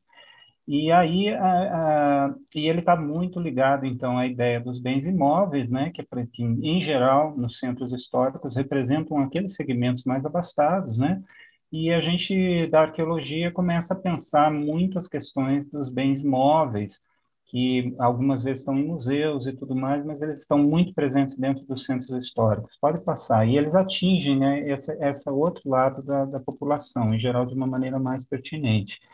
É, uma das questões aqui ligadas é o potencial do subsolo urbano enquanto patrimônio arqueológico. Ele tem uma relação muito direta, na realidade, com o meio ambiente. Tanto é que a gente pode dizer que esse patrimônio está ligado às, às, diferentes interfaces desse momento de risco, né? Uh, seja da fragilidade ambiental, da vulnerabilidade social, da suscetibilidade aos riscos. Uh, ou seja, o patrimônio arqueológico em geral está no solo, está no meio ambiente. Então, é, tudo que acontece em relação a esse solo, esse ambiente, afeta diretamente o patrimônio arqueológico, existe uma relação direta. Mas não só isso, né? A qualidade do meio natural influencia na qualidade do sítio. Vocês estão vendo esse, esse mapinha aqui do lado? É o município de Curitiba e ele mostra os pontinhos são sítios arqueológicos. Então, os sítios arqueológicos são descobertos nos lugares onde tem mais qualidade ambiental, né? Pelos verdinhos e tal mas também nas áreas, aí, alguns caminhos históricos que podem ser observados, a legenda não vai dar para ver agora, mas é o centro histórico, né, o centro inicial, também pelo processo de ocupação humana, ele se caracteriza como de elevado potencial. Né? Nós temos muita coisa no subsolo urbano que vem sendo revelado constantemente por pesquisas arqueológicas nas últimas décadas. Pode passar é, esse subsolo ele acaba se tornando uma espécie de ele é um patrimônio cultural, do ponto de vista da arqueologia, pelo menos se pretende esse entendimento, e na maioria das vezes ele está escondido, né? Como a gente pode ver até nessa janelinha ali no Paço Municipal, que é um, uma área cultural de Curitiba, mas que já foi museu, já foi passo é, da prefeitura e antigamente era o, o mercado municipal, com diferentes características e, mas eles estão constantemente sendo né, retrabalhados pela cidade, a cidade é uma coisa em movimento, mas esse, esse patrimônio está lá, né? Então, aqui a gente propõe que, na realidade, essas categorias de solo e subsolo possam ser observadas segundo um outro ângulo, né? Como uma categoria, na realidade, intermediária entre os bens móveis, que é aquilo que ele, que ele permite, que ele contém, que são as evidências históricas e arqueológicas, e, e um bem imóvel, né, que tem estrutura, tem composição, tem feições, né, de, é, relativas ao suporte das ações humanas, né, e muitas vezes esses, o, o, solo é sempre visto sobre o ângulo econômico, né, sobre o ângulo da propriedade e outros ângulos que não de patrimônio cultural. Né? Então, o subsolo da cidade é, um, é, realmente ele tem um potencial revelador e mediador desses processos históricos, sociais e patrimoniais, e por isso deveria ser visto com mais cuidado. Pode passar o próximo. É, eu usei uma foto muito parecida com a apresentação anterior ali, não sei se não é igual, mas muito interessante, porque essa característica dos solos ela faz uma ponte muito interessante também com as sociedades originárias, com os, a, as sociedades indígenas ameríndias, né? O solo aí com outra característica, né? Ele é vivo, sustenta a vida, detém humores, memórias, sabedorias, há todo um envolvimento com as cosmovisões, né? Ameríndias, e que não estabelece uma diferença entre cultura e natureza, entre o humano e não humano, né? Existem uma série de interrelações, e a gente vê isso na arqueologia através do manejo contínuo do solo, seja para construções, como casas subterrâneas aqui do sul, os geoglifos lá, são verdadeiras arquiteturas de solo, né, as, as terras pretas amazônicas, as próprias cerâmicas indígenas, que a gente vai tratar aqui um pouco, e dos etnoconhecimentos, que, que não há uma limitação é, é, temporal para isso, né, isso advém de uma série de conhecimentos. Obrigado. Arqueologia nos contextos urbanos, então eu vou, vou passar um pouquinho de, de, pesquisas que estão sendo, que foram feitas em Curitiba e que estão trazendo à luz uma série de evidências, né? Pode passar na Praça Tiradentes, né? É, só um pouquinho anterior. Então esse, no, no momento que a arqueologia entrou dentro de uma proposta de modelagem dessa praça, se descobriu um calçamento, uma série de evidências associadas, e isso propiciou um remodelamento completo do plano inicial, né? trazendo um, um potencial muito interessante também para a cidade, mas que revelou outros elementos. Pode passar, né? É, além do, do, material tipicamente europeu, né, que, que ocorre dentro da, do, do, da, da, das áreas, pode passar o próximo. Nós temos também outros elementos que, em muitos casos, em outros sítios, como no Rio de Janeiro, no caso do Valongo, tem sido observado em outros lugares, é, elementos da alimentação, e determinados é, cachimbos, pode passar um pouquinho atrás, um pouco só da alimentação, não atrás, isso. E essas rodelas, né, que são retrabalhadas também, que muitas vezes estão ligadas, por exemplo, a grupos africanos ou afrodescendentes ou a indígenas. Pode passar as cerâmicas manufaturadas, essas são o ponto do nosso enfoque, porque muitos trabalhos já que estão acontecendo no Brasil como um todo têm identificado cerâmicas, padrões de cerâmicas ligados a determinados grupos, e que nos traz, então, essa referência indígena, seja no processo de, é, de, de, fabricação própria, de interação, seja no processo de transmissão dessa tecnologia também. Pode passar. É, e aqui um outro, um outro elemento, você vê, em é, valas de... Hoje, cada vez mais, o solo está perdendo, você não tem mais solo nas cidades, então há uma busca desenfreada por áreas que não estejam já com tubulações e tudo. Então, nesse caso em que foi feito o monitoramento arqueológico de uma linha de fibra ótica, a gente já percebeu inúmeros pontos onde ocorrem sítios. E vocês podem observar essas, essas em vermelho, pode passar o próximo, elas são identificadas na pesquisa, pode passar o próximo, é, por uma área que está mais ou menos aí um pouco amarelada, está difícil de ver, por uma área onde, além de, do, do, material que a gente considera, a gente chama neo-brasileiro, que tem um olhar até um pouco de aculturação, que é uma coisa já que já caiu no, na, na, na, na, perspectiva conceitual, mas nesse ponto em específico, e aqui a gente vê a parcela onde está o Centro Histórico de Curitiba, e, e aonde está ocorrendo essas, essas cerâmicas. Essas cerâmicas são tipicamente guaranis, né, arqueologicamente falando. E, e, elas demonstram, então, a particularidade de um local que está longe, então, já dessa delimitação atual, né, em, muitos, em muitas áreas, nesse sentido, a gente vai encontrar isso ao longo de todo o centro histórico, onde demonstra, sim, né, a presença desse material e qual que seria o significado dele. Então, há ainda muito para se conhecer, né, provavelmente, talvez, um sítio de contato nesse sentido. Pode passar o próximo. É, e, e ne, numa dessas características ocorrem essa que já vem sendo documentada em várias é, partes do país, né, como em Goiás, em Mato Grosso, das cerâmicas tipicamente corrugadas, que na realidade elas têm uma associação não só com panelas, como a gente vê ali, pintadas, né, com várias decorações plásticas e tudo mais, com técnicas e tecnologias indígenas, mas também muito ligadas aos torradores de mandioca, que nos transmite a ideia realmente dessa produção da farinha de mandioca nos primeiros momentos e na sequência na produção dentro da, das cidades, na venda de panelas e tudo mais, como descritas como uma técnica essencialmente indígena, né, realizadas por mulheres índias, e também responsáveis pela preparação dos alimentos e da forma como, como se preparava na época. Então, uma série de trocas que, nos, que, que traz à luz, então pode passar ao próximo, traz à luz uma série de, de relações, né, que uh, aqui, nesse ponto, a gente procura trazer né, na perspectiva do quê? De a gente pensar o subsolo, na realidade, de uma maneira um pouco diferente, a gestão pública, a gestão cultural, é, observar essas características né, e definir diretrizes em relação, por exemplo, aos centros históricos né, das cidades, onde existem muitos espaços que têm um potencial imenso, na realidade, de, da, da presença desses materiais, mas não só por eles em si, mas também num diálogo efetivo, na realidade, desse entendimento do solo como um componente vivo, não renovável, que é carregado de significados e valores, que é muito próximo também desse diálogo com as comunidades indígenas para discutir o seu papel, o seu patrimônio dentro das cidades. Né? Então, algumas diretrizes desse trabalho então, é, envolveu esses levantamentos, pensando num, aspecto de definir algumas diretrizes para que essas áreas possam ser observadas sob um ângulo diferenciado, né, que não do parcelamento do solo, é, do, do aspecto comercial que está normalmente envolvido. Né? Então, e aos arqueólogos não cabe direcionar né, essa coisa da hierarquia científica, da, da autoridade científica, mas cabe aos arqueólogos, na realidade, auxiliar nessa mediação, né? a partir do momento que as pesquisas possam ocorrer e que esse solo e suas evidências podem ser ou não apropriadas por essas comunidades, né? mas que a gente possa estar trabalhando em conjunto dentro de uma abordagem colaborativa. Então, essas são algumas das conclusões desse trabalho. É, obrigado. Desculpe se passei do tempo.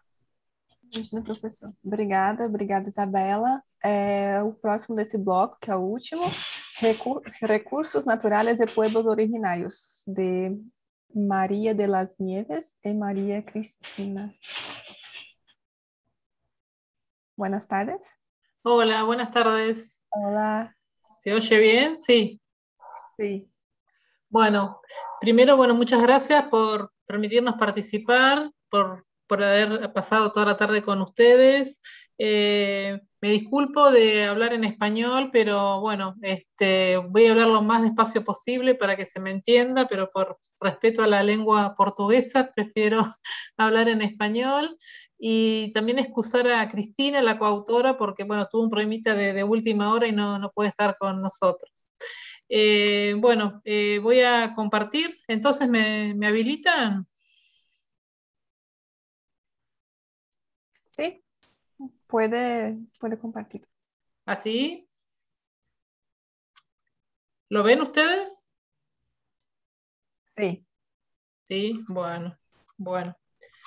Bueno, em, este trabajo se inserta en un proyecto de investigación más amplio que hacemos aquí en la Facultad de Ciencias Jurídicas y Sociales de la Universidad Nacional de La Plata sobre Derecho Agrario, Ambiental y del Agua.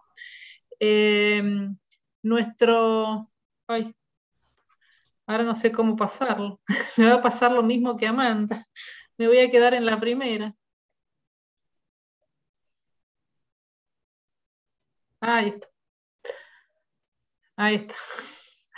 Em, bueno, eh, nuestra idea es eh, realizar una, aproximación a las decisiones de los órganos del sistema interamericano de derechos humanos a propósito de poder identificar eh, cómo se ha receptado en el corpus juris interamericano los derechos de los pueblos originarios a los recursos naturales existentes en los territorios que tradicionalmente ocupan, así como el derecho a la participación según sus propias tradiciones, costumbres, su propia cosmovisión eh, de, los recursos naturales precisamente, muy diferente a la nuestra, em, eh, precisamente para todos aquellos actos que los eventualmente puedan afectarlos.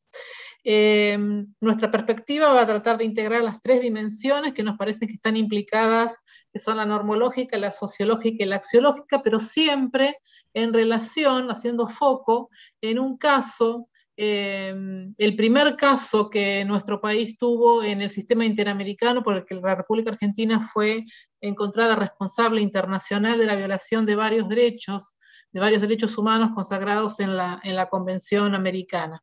A pesar de tener una población indígena importante en nuestro país, ningún caso había sido resuelto hasta el momento por los órganos eh, del sistema interamericano.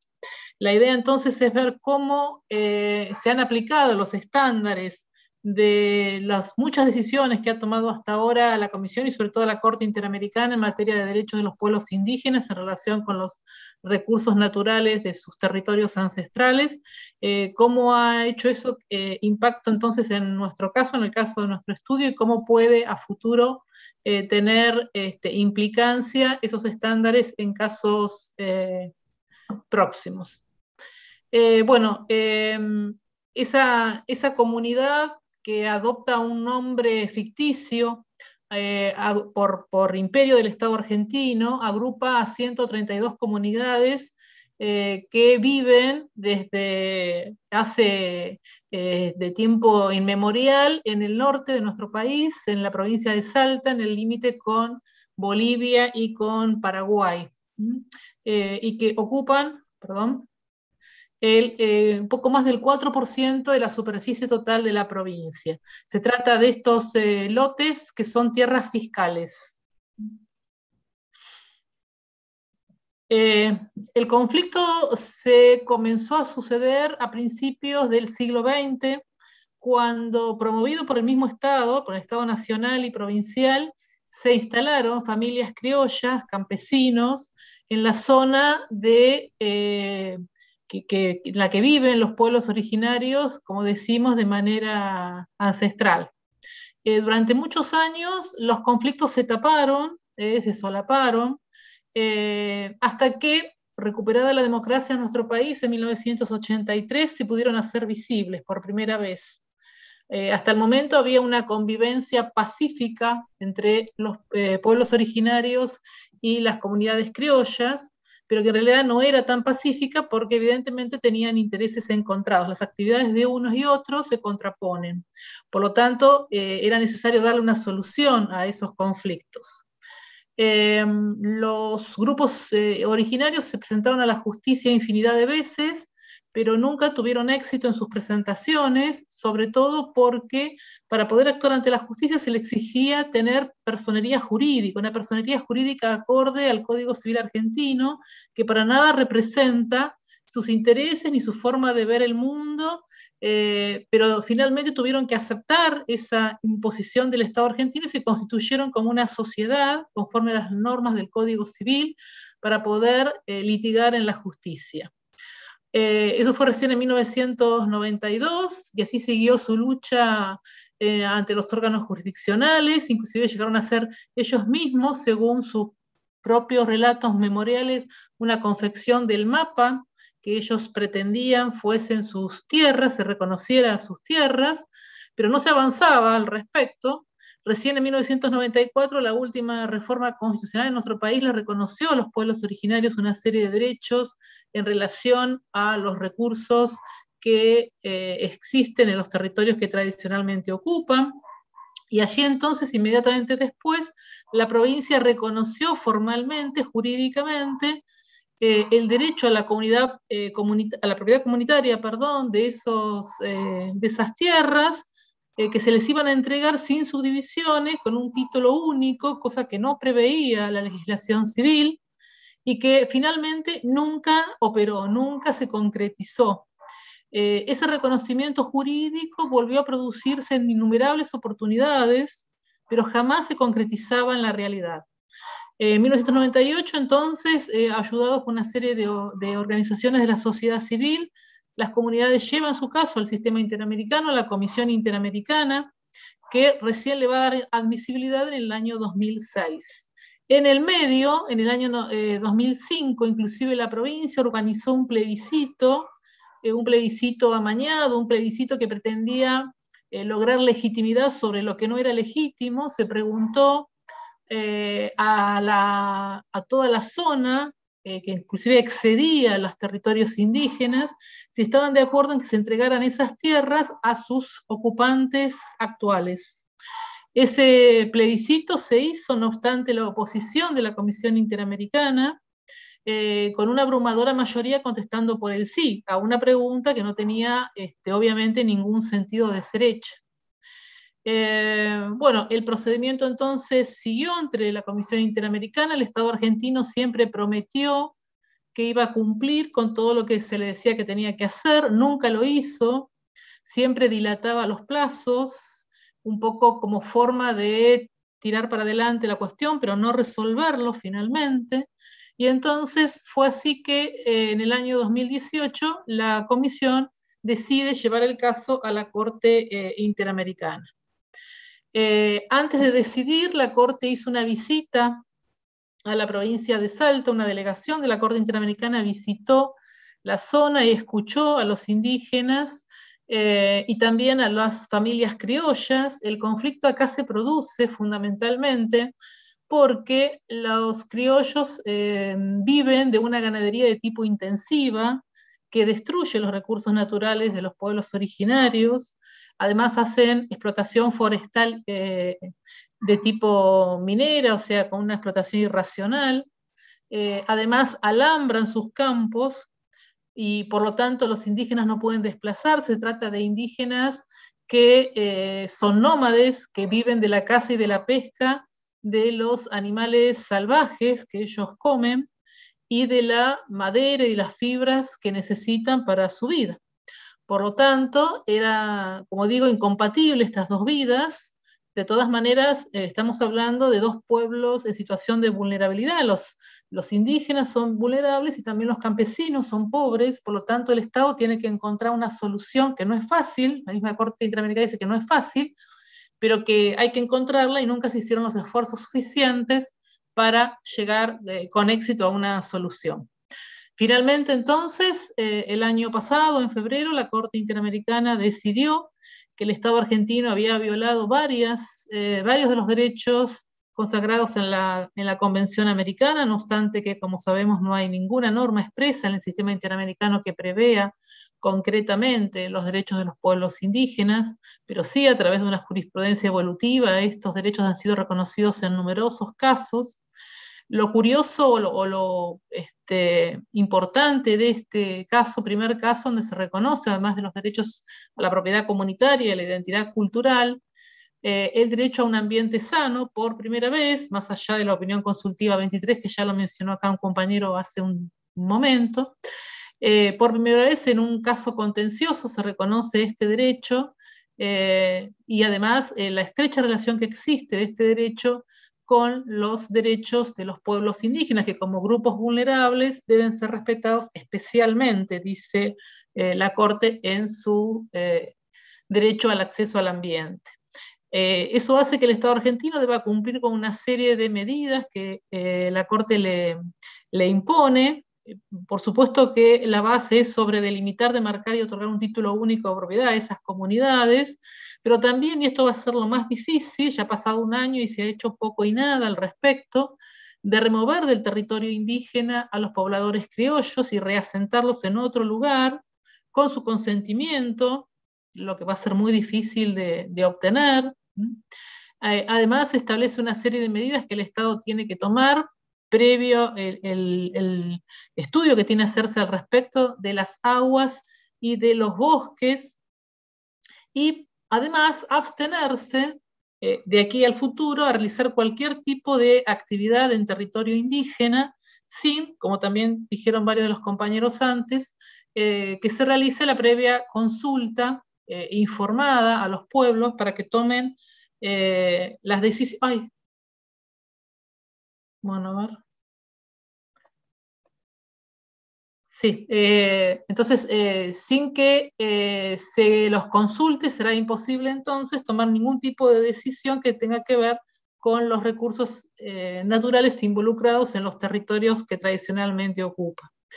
Como respecto de esto, de la consulta previa, libre e informada, eh, no estaba claro qué quería decir la Corte en ese sentido, a pesar de que ya en otras ocasiones la Corte Interamericana se había pronunciado al respecto, en casos contenciosos como Sarayaku y la Comisión Interamericana, como dijo antes la compañera Bruna respecto del caso de Belo Monchi. Pero eh, esto es importante en esta última sentencia de noviembre del 2020, en que eh, en una sentencia de interpretación la Corte le dice al Estado argentino que debe dictar una ley al respecto, dictar una ley sobre consulta previa libre e informada que serviría no solo para este caso, sino para cualquier otro caso futuro, en virtud del control de convencionalidad que todos los estados deben hacer y todas las autoridades estatales de todos los países eh, miembros de la Convención Americana deben realizar a su interior, en el ámbito doméstico, todos los países entonces, no solo Argentina, estarían eh, obligados a dictar este tipo de ley para eh, aplicarse a todos los pueblos eh, originarios de nuestro hemisferio. Bueno, nada más. Muchas gracias y disculpas nuevamente. Quise hacerlo bien rápido porque veo que estamos atrasados. Oh, no hay problema. Gracias. Muchas gracias. Bem, bem, bem eu me inscrevi, estou, estou inscrita, eu, eu fico animado, vai chegando no final, vou, eu estou no sentido contrário, né? Estou me animando no final. Mas enfim. É, Você começa? Eu queria só fazer uns comentários aqui sobre, sobre os trabalhos é, até queria comentar com o Gabriel, ele falou da descolonização. Ele está aí? Enfim, do, da questão da descolonização e, e do, dos trabalhos. Ele era do outro bloco. Ah, não, mas ele tá, mas o, eles estão ainda? Enfim, de toda sorte, só para mencionar, fazer uma ligação com todos os trabalhos, né, que eu estava pensando de que ele sentiu falta do, da questão da, descolonização enquanto palavra nos títulos do tra dos trabalhos, mas em conteúdo é o que não está faltando. Inclusive, Com a certeza. gente está além da descolonização, né? Pelo menos nos últimos três trabalhos desse bloco, não, não que os outros não, mas consistentemente, na verdade, é mais do que uma descolonização, né? Porque descolonização você desfaz aquilo que já é, né? Então você des tira a colonização de quem foi colonizado, como a, uma das perguntas do chat. Mas a gente está numa luta anticolonial, né? É uma resistência de séculos e séculos que não se deixam, não se querem e resistem a ser colonizados. Né? É justamente esse trabalho que a Maria traz, que a Isabela traz, inclusive repensando né, a, a arqueologia, repensando o, pró, o próprio o próprio fazer da arqueologia, né? Tentando tirar essa roupa colonial que que inclusive por muito tempo, e aqui eu peço licença para o professor Laércio, não sei se eu estou falando alguma impropriedade aqui, mas a arqueologia por muito tempo serviu para diminuir o outro, né? É, as outras culturas e legitimar algumas práticas violentas, e agora se abre Agora não, né? Mas, enfim, nesse exercício de, de, de, pensar o outro com os olhos do outro, ainda que o outro não esteja presente no momento em que a gente entende como presente, né? Porque até a questão da concepção do tempo é algo bem discutível, né? É, e aí, só para o trabalho da Isabela, do professor Laércio, eu gosto muito, inclusive, é, tem um livro lindo, maravilhoso na PUC que eu consegui do Museu Emílio Goeldi, que eu estudo a Amazônia, né? E uma das partes foram que eu utilizei na minha dissertação, inclusive, é, e aí ele, uma coisa que me chamou muita atenção foi, não sei se é um conceito, o que, que é, professor Minha até me corrija, sobre a simultaneidade generalizada dos acontecimentos, que é uma, quando se analisa as coisas, é como se você analisa uma cultura como ela sozinha, e não ela em contato sempre, sempre, sempre, sempre com todos os outros fenômenos que estão acontecendo ao mesmo tempo, no que a gente encontra, no que a gente considera, né, o mesmo tempo. É, e aí tem um trabalho interessante sobre a necessidade do direito, né? Falando desde o direito sobre a necessidade de se repensar a própria legislação de patrimônio arqueológico de uma colega que foi é, defendeu a tese no mês ano passado, ano passado não, perdão, mês passado, que é da Juliana Pedro, que ela repensa a lei de patrimônio arqueológico a partir da vivência das comunidades quilombolas no Amapá com esse o que a gente chama de patrimônio arqueológico. E ela fala inclusive da aplicação da consulta prévia sobre essa necessidade do IFAM de ir lá e retirar aquele patrimônio, então a consulta prévia se aplicaria inclusive para ver se o IFAM entra ou não no território e retira esse material, né? Que daí, na verdade, a comunidade, aquele material não é um patrimônio arqueológico, é algo da comunidade, né? É um elemento da comunidade. E aí a leitura que se faz de patrimônio arqueológico é algo como se tivesse que ir lá retirar para ser salvo, né? Algo que foi de alguém e não é mais. E quando, na verdade, continua sendo, né? Embora diferente, continua sendo. É, é, é, é, complicado esse negócio de é diferente, mas continua sendo, ou é continua sendo, mas é diferente. Ou se se diferenciam na medida em que continuam sendo. Enfim, né? coisas é, para se pensar. Então, eu só queria indicar essa tese da, da professora Juliana, que na verdade ela é professora da Universidade Federal da Amapá, é, posso até passar o contato dela, ela sobre patrimônio arqueológico é bem legal, especialmente do direito, né? Assim, a gente tenta conversar com cada uma tem suas limitações, mas a gente tenta fazer um, um, um uma ponte aí, né, dentro de cada uma das considerações. É, e, do, e aí eu ia falar também sobre o Quilombo Mangueiras, né, que a Giovana, a Rafaela e a professora Marisa apresentavam, que aí também estão presentes, né, as lutas anticoloniais, né, que da, da comunidade segue resistindo, inclusive ela resiste ao avanço colonial, não se permite colonizar e ainda consegue apresentar novas formas da gente de viver e de ver o mundo, né, de, de questão de compreensão do urbano e etc. E, enfim, eu queria fazer essa conexão com, com, com com os trabalhos e, e, destacar também a questão que a Maria, a Maria, perdão, Maria por por su, por mi espanhol não é Técnica no... Celaya. Bien?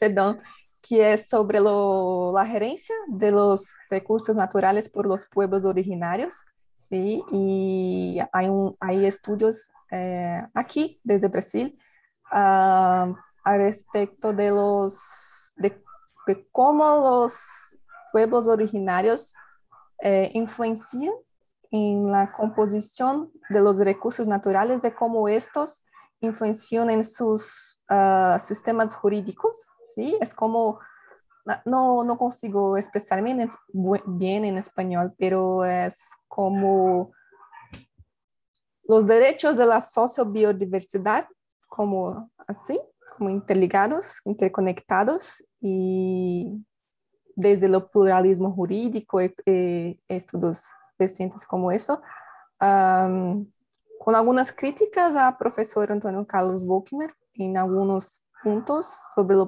pluralismo jurídico. Uh, mas é isso. É, su, su, su, estudio es un, un, más un ejemplo, uno más ejemplo de, lo, de la lucha anticolonial. Gracias. Perdão por meu espanhol, não é muito bueno. Posso? Sim.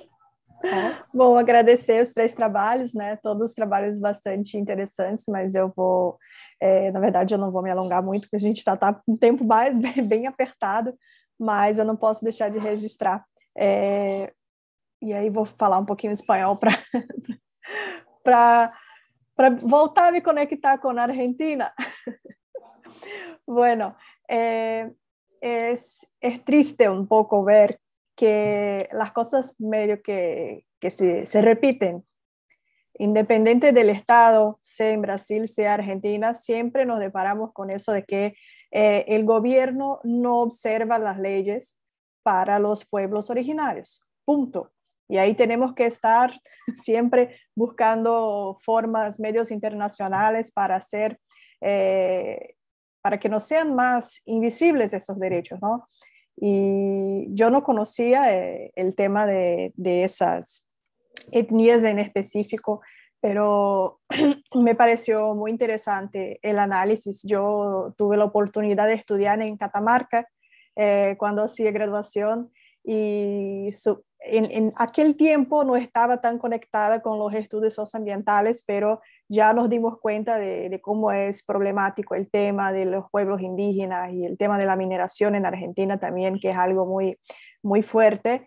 Y bueno, es un gusto escucharte eh, desde Argentina, que bueno, espero que, que puedas volver siempre al Congreso eh, trayendo estos oleares. Muchas, Muchas gracias. gracias. Muchas gracias. e, mais alguém? Alguém se inscreveu? Acho que agora é o último bloco, né, Amanda? Ah, é, agora é o último bloco. E assim, hoje estamos tranquilos porque não temos mesa hoje, mesa somos, é só amanhã, gente. Então a gente está além do horário, mas não tão muito. Não, tão não tá desesperador, né? É, assim, vamos lá, porque tá, tá, enquanto tiver bom, tá bom, né? Agora é a revolução ecojurídica da moda, a natureza como sujeito vulnerável perante os riscos da fast fashion, com Maria Luísa e Thaís da Lacorte. Olá, boa tarde. Já Olá. estou aqui. Eu sou Maria Luísa, sou estudante de Direito da UEMS, campus Naviraí, sou bolsista PIVIC. Primeiramente, eu gostaria de cumprimentar a professora Amanda e a professora Daniele, que são as coordenadoras desse grupo de trabalho. Gostaria de estender também meu cumprimento a todos os demais participantes do evento e também a quem nos assiste de casa. Eu agradeço pela oportunidade de apresentar esse artigo, intitulado Revolução Ecojurídica da Moda. A natureza como sujeito vulnerável perante os riscos da fast fashion. Escrito em coautoria com a minha orientadora, a professora doutora Thais Della Corte, que infelizmente não pôde estar presente, mas eu espero representá-la muito bem. O objetivo principal do nosso trabalho, como o título sugere, é destacar a natureza como um sujeito vulnerável diante dos riscos produzidos pelo sistema do fast fashion no antropoceno.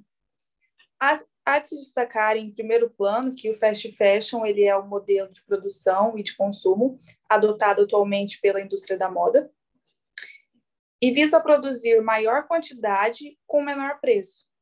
Mas para atingir esse menor preço, há um alto custo, principalmente um alto custo socioambiental que não é internalizado pela indústria da moda. Pelo contrário, externaliza-se para a comunidade e para a natureza, promovendo uma vulnerabilidade humana e uma vulnerabilidade planetária. Esse modelo de produção, ele ainda é baseado na visão de mundo mecanicista, ainda que nós já estejamos vivendo a era sistêmica. Contextualizando assim um pouco dessa visão de mundo que eu estou citando, é, a teoria da da revolução ecojurídica é baseada em três visões de mundo diferentes.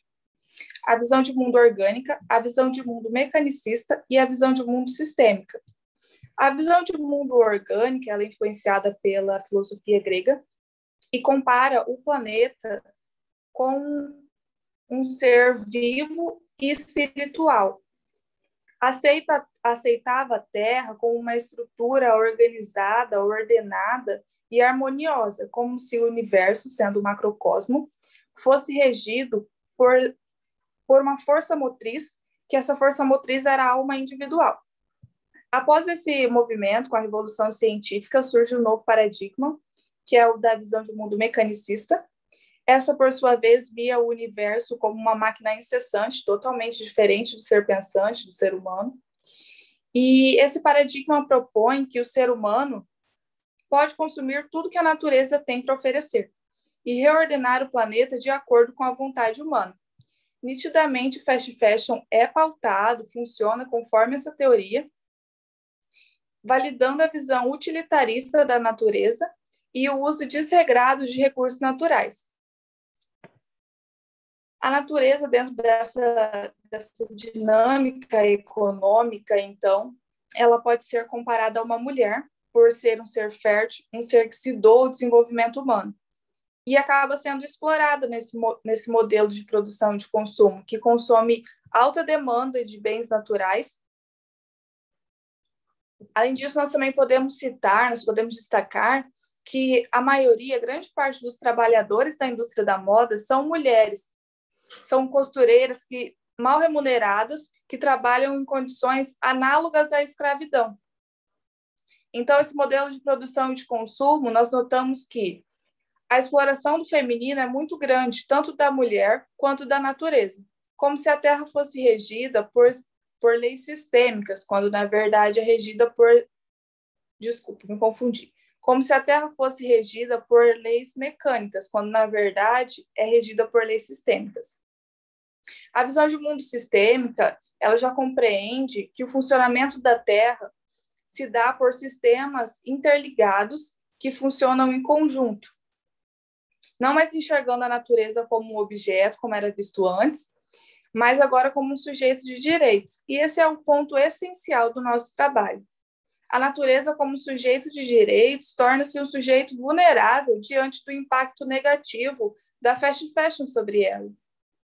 Sempre é bom relembrar que nós fazemos, até a professora Amanda já citou, que nós fazemos, nós integramos um todo, fazemos parte desse grande organismo vivo que é a Terra, né?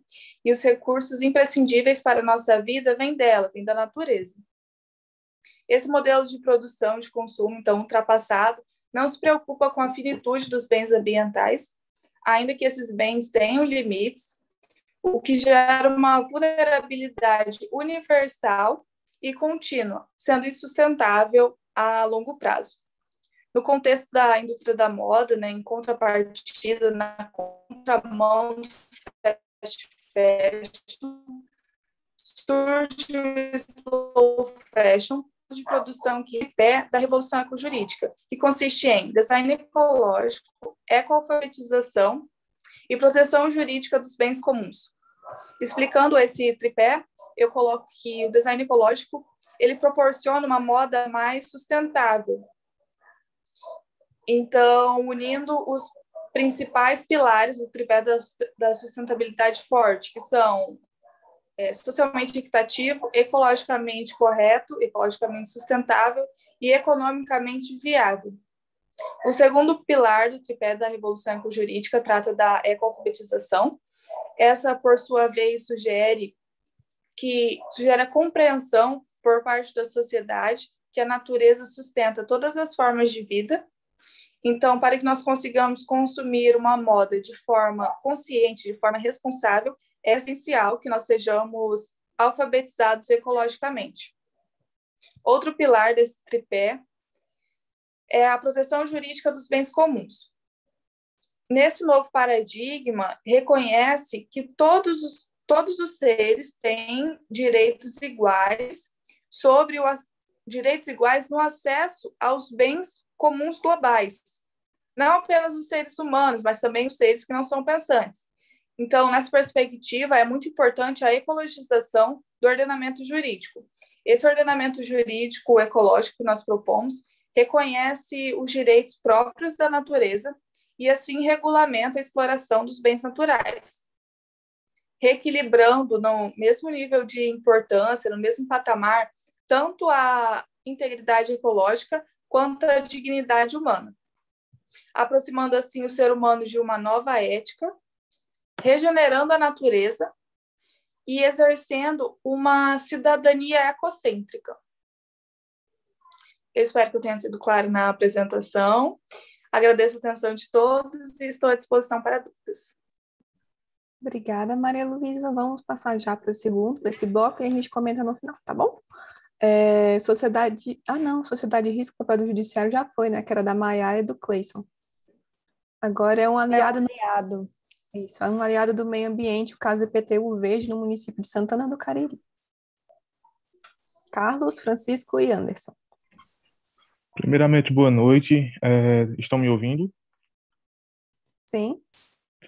É, estou aqui para apresentar o trabalho é, de, intitulado como Um aliado do meio ambiente, o caso do IPTU Verde no município de Santana do Cariri. É, eu sou Cássio Ribeiro, sou graduado em Economia pela Universidade Regional do Cariri. É, estou cursando a pós-graduação em Gestão Financeira também pela Universidade Regional do Cariri. E esse trabalho foi feito em parceria com o professor Dr. Francisco Roberto, que apresentou um trabalho agora há pouco junto com a Vitória, e o professor especialista Anderson Medeiros, que por motivos maiores não está presente aqui conosco. É, o, o, objetivo, é, o objetivo geral do trabalho é analisar os aspectos econômicos e jurídicos voltados à questão ambiental no município de Santana do Cariri no ano de 2003, 2013 a 2018. E temos como os objetivos específicos é, analisar os aspectos socioeconômicos voltados à temática da, da pobreza, extrema pobreza em Santana do Cariri, Ceará, e demonstrar, é, demonstrar a relevância da implementação do, do, IPTU verde no município e, por fim, a ação do poder público local no, no combate à degradação ambiental. É, Santana do Cariri é um município que se localiza no sul do Ceará é, e possui um território de cerca de 807 quilômetros quadrados. É, conta é, é, nesse nesse lugar, no lugar onde, eu moro, no caso, né, a gente conta com a Chapada do Araripe, que possui paisagens encantadoras. É, possui também uma área arqueológica que atrai pesquisadores e, e turistas de todo o mundo. Fato este que tornou Santana do Cariri conhecida como capital cearense da paleontologia. É, esse foi um título ganho no ano de 2005 é, pelo governador Lúcio Alcântara, que era o governador na época. É. Outro fato que merece destaque é, são os traços arquitetônicos marcantes das residências dos coronéis, que foram construídas no século XIX e elas formavam palco de disputas políticas armadas, né, o que mostra o, corona, o, corona, o coronelismo na época, desculpa. É, uma dessas residências, que até está ilustrada no trabalho, é a residência do coronel Felipe Cruz e sua esposa Generosa Amélia da Cruz. Essa, é, Generosa, ela é a primeira mulher do Brasil a ser prefeita é, de um município. No caso, esse fato, esse fato exalta o poder da mulher demonstrando a busca pela igualdade em épocas passadas. É, de acordo com o último censo realizado, é, Santana do Cariri possuía 17.489 habitantes, o que mostra que não é uma cidade tão grande, né, um município tão grande.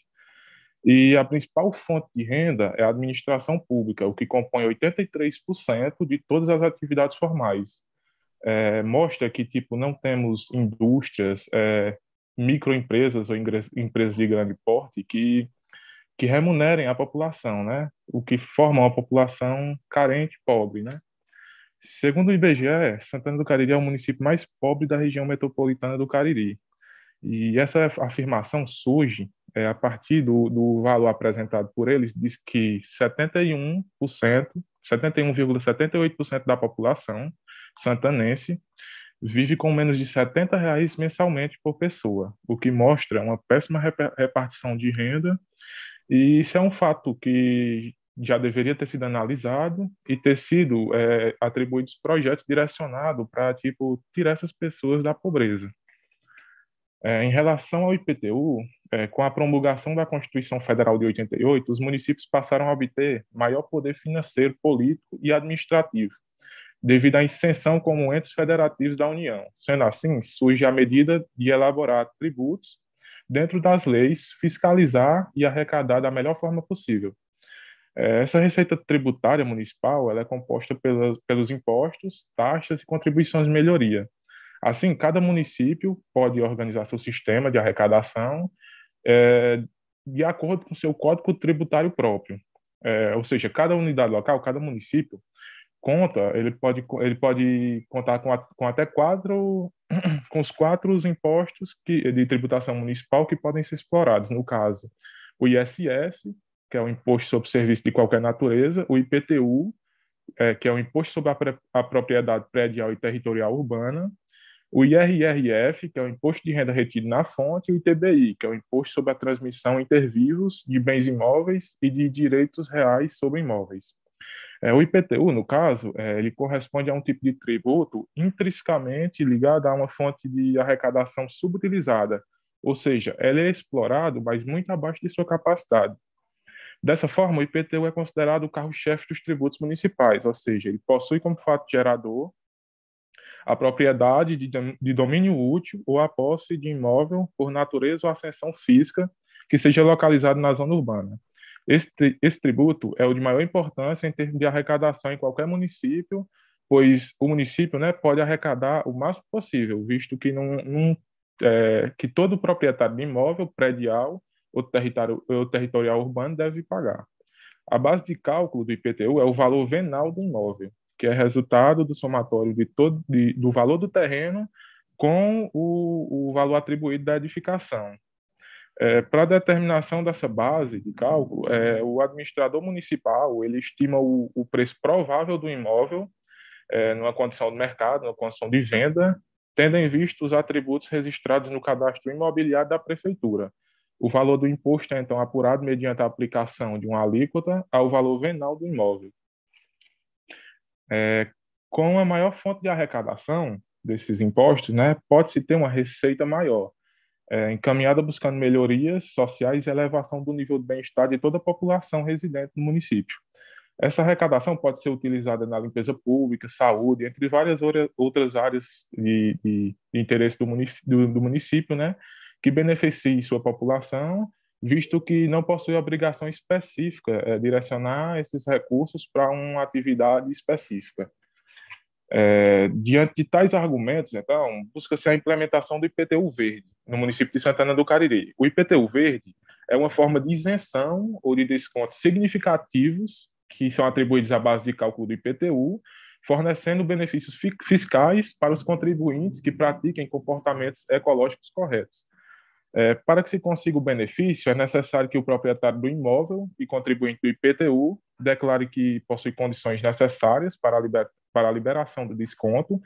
E mesmo assim, mesmo é, ele declarando, ele está sujeito à vistoria local, que podem ser realizadas todos os anos, que, é, buscando analisar se realmente está apta é, esse, essa benevolência para o contribuinte. É, o IPTU verde pode ser implementado pelas prefeituras, é, baseado na desoneração tributária, vindo a dispensar parte do tributo do contribuinte, que realmente merece, estando de acordo com as, as condições exigidas, sendo recompensada com descontos pela utilização de tecnologias sustentáveis e atividades corretas em suas construções ou em suas propriedades. É, esses, tributos com, utilização extrafiscal são, são aplicados é, visando a obtenção de sustentabilidade ambiental e realmente conseguem conservar o meio ambiente e incentivar práticas sustentáveis, visto que tipo diminui o, o, as alíquotas pagas, né? E isso desperta o interesse da população. É, e sem falar também, né, é, no nossa área geográfica, né, que a gente está situada justamente em meio a uma chapada do Araripe, né, uma região é, ambiental. É, em relação às considerações finais, é, é, visamos construir um estudo voltado à temática da tributação, que é algo altamente relevante para a economia, e não só para a economia, como também para o direito, pois a carga tributária incide diretamente sobre a renda disponível de todos os agentes econômicos, ou seja, famílias, firmas, e em virtude das relações de trocas comerciais que ocorrem entre todos os, os agentes econômicos desde, desde o início da história do município. Sendo assim, a arrecadação tributária é revestida como uma política fiscal eficiente é, faz com que temos medidas tributárias corretas, possibilitando a promoção do bem-estar para toda a população. É notório que a maioria dos tributos tem como fonte a distribuição dos recursos, como composição da máquina estatal, e através dessa arrecadação que são elaboradas práticas públicas em benefício da população. É praticamente isso e obrigado pela atenção de todos vocês e desejo boa noite a todos. Só um instantezinho, Cássio. É, em relação às nossas referências bibliográficas, é, gostaria de citar o Thomas Piketty, Economia da Desigualdade, e o Jeffrey Sachs, Com o Fim da Pobreza, Como Acabar com a Miséria Mundial nos Próximos 20 Anos. Dentro do nosso material bibliográfico, achei interessante citar esses dois. No entanto, em relação ao corpo do texto, o Cássio, também acho que foi bastante contundente. Estamos aí para qualquer tipo de indagação. Obrigado a todos. Obrigado a todos. Obrigada, Carlos e, e professor Roberto. É, alguém está inscrito? Não? Posso pegar? Posso pegar a palavra para mim? Enfim, já que eu comecei, eu vou falar então. É, sobre o. Eu queria fazer uma pergunta para Maria Luísa. Na verdade, Maria Luísa, você não precisa nem responder, é só uma provocação. Né? É, você começou, você comentou a questão das internalidades, né? De internalizar na cadeia produtiva é, os custos socioambientais desse de, dessa produção fast fashion, né? Que, enfim, não vamos não vou nem entrar na questão de, de gasto de recursos naturais dessa produção, da, enfim, questão do consumismo, então, não preciso. É, o ponto é, se há uma necessidade de internalização desses custos socioambientais, é, como seria feita essa internalização? Eu pergunto por quê? Porque uma das formas que majoritariamente se, se propõe, e aí é no sentido que o Carlos e o Francisco colocam no trabalho deles, que é a respeito da tributação, né? E aí você, a, a tributação é a, o carro-chefe da internalização dos custos se a gente faz isso, a gente não está basicamente reproduzindo a mesma lógica, no sentido de que a gente não vai conseguir romper muita coisa. Porque, assim, quando você internaliza, você acaba reduzindo a um preço, a um valor que acaba sendo compensado em dinheiro, que é basicamente essa lógica do direito estatal moderno, né? Você tem o um dano e aí você compensa em dinheiro. Só que quando você chega em danos socioambientais, né, dano a um povo ou à natureza, você não consegue fazer essa conversão tão facilmente quanto com com um acidente de carro, por exemplo, né? Que é um acidente de carro, um roubo, que é para isso que essa lógica foi pensada mais ou menos nisso. É, e aí eu pergunto, né? Não tem uma, uma impossibilidade nesse sentido? Será que a gente não tem que pensar em uma outra coisa para além dessa questão da internalidade?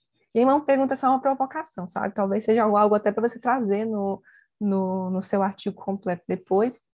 Não li ainda, né? A gente não recebeu, mas é só mais uma provocação, assim, é só... Eu, eu pergunto porque eu fiz, o, eu, eu fui professora de direito tributário, né? Eu fiz muitas coisas, meu Deus. Fui professora de direito tributário, fui advogada tributarista. Na minha, em uma, uma fase da minha vida, eu pesquisei é, tributação verde, né? No caso da, da internalização das externalidades, só que eu pesquisei CMS, né? Não pesquisei IPTU. E aí eu vou, já que eu já lancei a provocação para você, eu vou já voltar para o trabalho do caso, que depois vocês respondem, se vocês quiserem comentar que é a respeito que eu estou gostei bastante da questão de, do caso ter apresentado, né, o caso do Francisco no caso, ter apresentado a subutilização do IPTU, né, porque na verdade todo o sistema tributário brasileiro é um, é um, é, tem, seu, tem, tem vários problemas, né, não vou nem ficar enumerando eles não, mas a questão da subutilização desse IPTU e, justamente uma subutilização ao mesmo tempo que ele é a principal, uma das principais fontes de receita do município, se não a principal. É, e aí a gente tem a previsão constitucional de progressividade de IPTU, função social da, da propriedade, essas coisas que a gente acaba é, não, não, não falando. Mas já conectando a questão das internalidades com a tributação e vinculando os trabalhos de vocês, eu estava pensando aqui. É, na necessidade de, um, de, pensar um sistema de tributação e aí valorizando a questão do IPTU no sentido de né, aproveitar as potencialidades transformadoras que ele pode ter pela questão da progressividade de alíquota, é,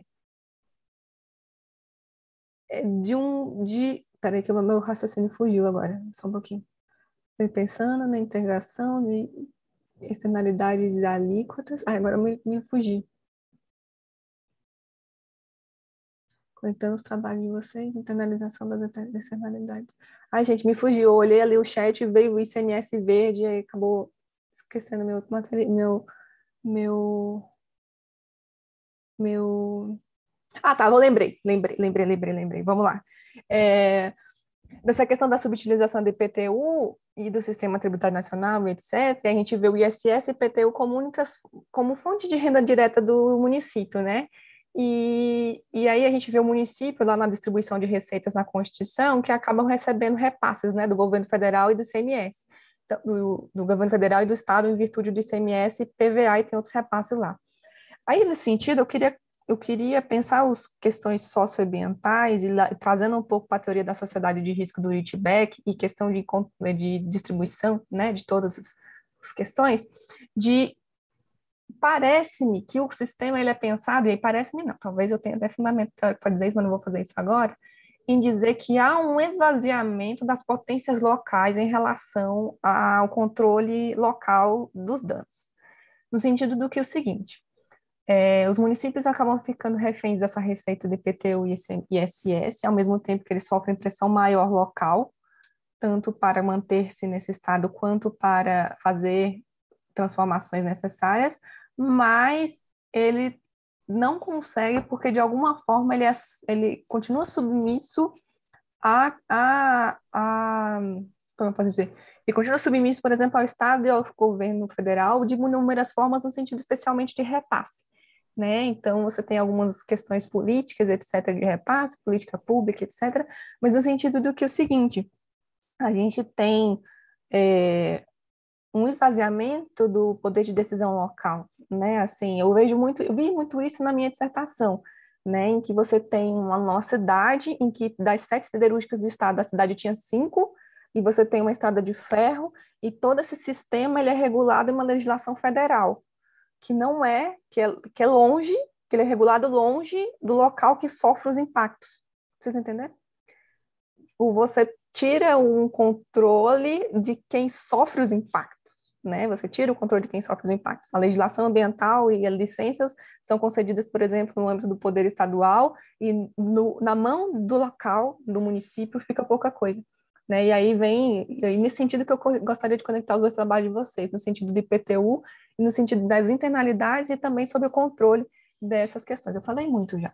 Então é isso aqui. Só queria comentar isso. Depois, se a Maria Luísa e o a, a, caso quiserem comentar mais alguma coisa, é, fiquem à vontade.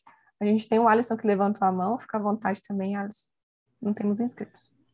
É, eu anotei aqui da questão do ICMS verde, porque eu, no caso da, da lei de Rondônia, né, do ICMS ecológico, que é a nomenclatura que usam, o, o mesmo coeficiente para instituição de áreas protegidas, né, unidade de conservação, é o que estimula o município a, a, a desenvolver a indústria. Então, é, é, eu, chamo, eu acho interessante no caso do ICMS ecológico que ele tem que ser pensado para se valorizar assim, ações sustentáveis, né? Porque o mesmo coeficiente que diz assim, ó, se, você instituir áreas é, especialmente protegidas, nós vamos é, aumentar o repasse. Se você investir em, em, na industrialização, é o mesmo valor às vezes até maior, dependendo da área do município daqui. É, e essa, vamos dizer assim, é, é, a minha crítica, né? Que às vezes, na hora de se pensar, o ICMS coloca esse tipo de erro de, de valores a, econômicos. E, por outro lado, o Tribunal de Contas daqui, ele lançou um estudo, né?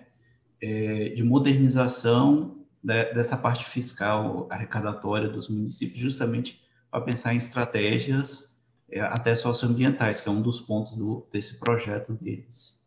Eu não estou muito por dentro para falar com propriedade, mas é, é, interessante que eles justamente estão pensando em é, a, aplicar medidas né, tecnológicas para racionalizar a parte do, da, do sistema de arrecadação, que eu acho que é o, o déficit de investimento é o ponto chave, assim, tipo, que prejudica, né, o, a, a, por exemplo, o IPTU verde. Aqui em Porto Velho, na capital, eles não fazem um levantamento de como é que estão as construções, a ocupação, né?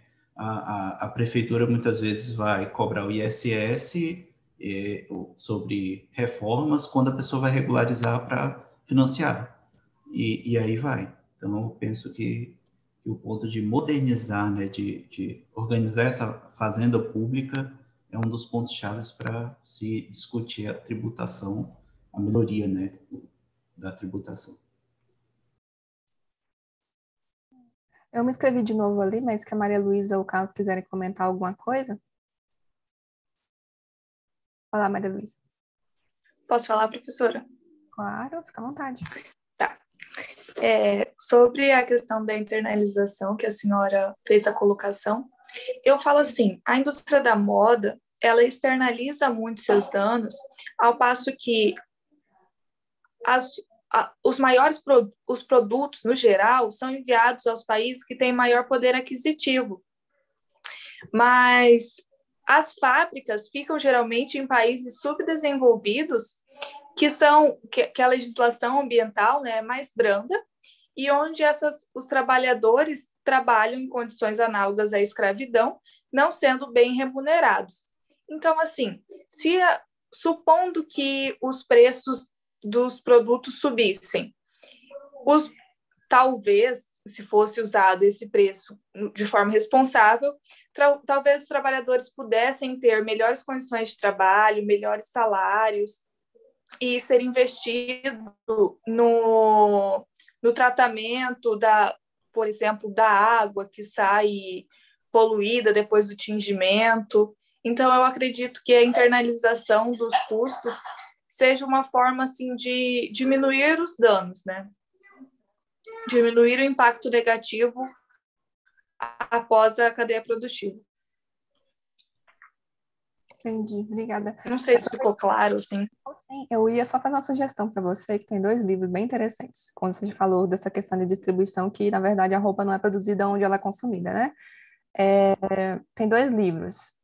Um que chama A Invenção do Desenvolvimento, é em espanhol, mas se você colocar lá Invenção do Desarrollo ou do Terceiro Mundo, é do Arthur Escobar.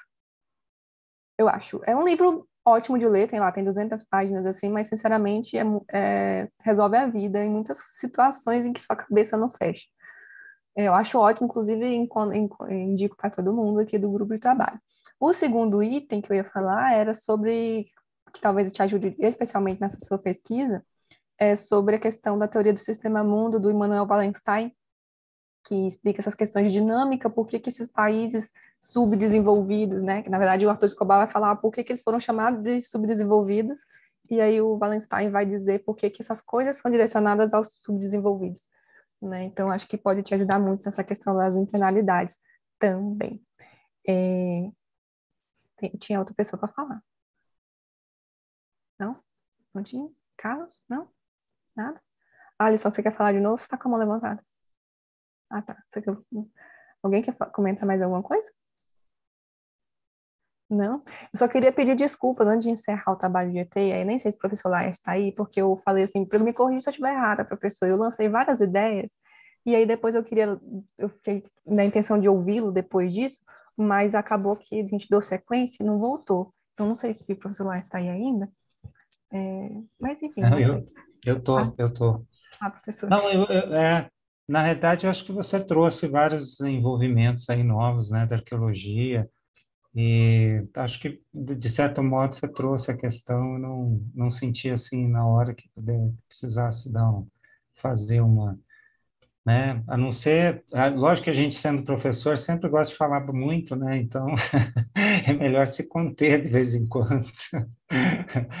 Mas é isso que você falou, assim, só para dar um adendo, essa coisa de que há muito já a arqueologia já vem escapando um pouco desses, né, desses olhares e tudo, e percebendo que não está lidando com o passado, está lidando com o presente, está lidando com, é, com valores né, da sociedade atual em relação ao passado. E isso é permeado né, por inúmeros processos. Então, eu acho que é isso um pouco que o nosso trabalho está querendo trazer. Existem outros exemplos hoje, então tem um foco muito grande. Que bom que que está tendo esse olhar, né, é, sobre isso e nos deslocando um pouco também em relação a a produção de conhecimento, quem produz e para quem, né? É isso. Obrigada, professor. Eu sempre quero fazer, quem sempre quero fazer várias coisas na vida. Já pensei em fazer arqueologia, já pensei em muitas coisas. E a vida é muito curta para a gente fazer tudo que a gente quer. É. Enfim, é, gente, ficou mais um trabalho? Tem alguém que queria considerar mais alguma coisa? Está faltando alguém apresentar? Pelos meus, pelos meus controles aqui, não. Eu ia perguntar isso, se de repente a pessoa é, dos dois trabalhos ausentes, se não, não entrou depois, mas eu acho que não. Acho que não também. Enfim, todo mundo que apresentou, preencheu a lista de, de, de presença lá, gente, aquela lista é importante para fazer a declaração de participação de apresentação também, tá? E também é importante para a publicação do artigo completo depois. Então, se vocês não mandarem, eu vou até mandar agora aqui o link. Quem não preencheu, por gentileza, preencha. E eu gostaria, de novo, de agradecer não sei se eu agradeci, então não sei se foi de novo, mas enfim. Gostaria de agradecer a presença de todos. Eu gosto muito de participar de ET, aprendo tanta coisa, me empolgo com tanta coisa. A gente sempre se especializa numa coisa, mas tudo é tão mais interessante. é a melhor parte dos congressos, né, Amanda? Né? Na minha opinião. Sim, nós estamos aqui, são quase sete horas merecer os palestrantes, é importante também ver as palestras, mas no GPs a gente aprende bastante.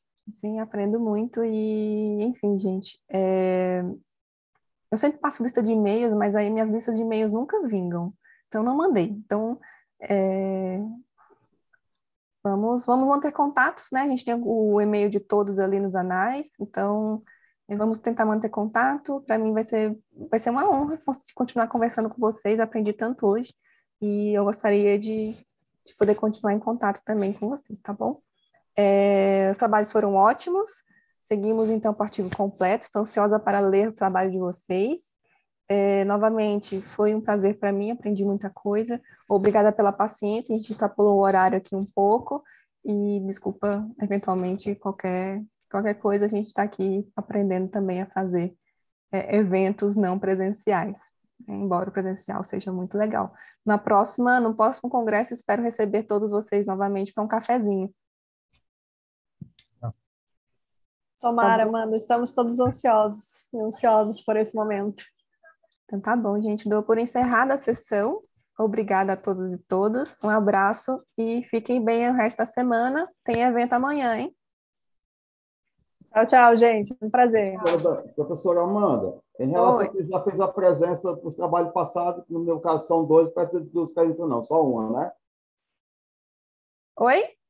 No caso que eu apresentei dois trabalhos, fiz a presença em um, não tem problema não, né? No caso, eu fiz do Não, jeito você tem que registrar uma presença para cada trabalho, porque você Ah, tem para que cada trabalho, o- é? É, você tem que selecionar o título e aí você escreve seu nome. Ah, Na tá, lista ok. Então, presença, dá, dá é. tempo ainda?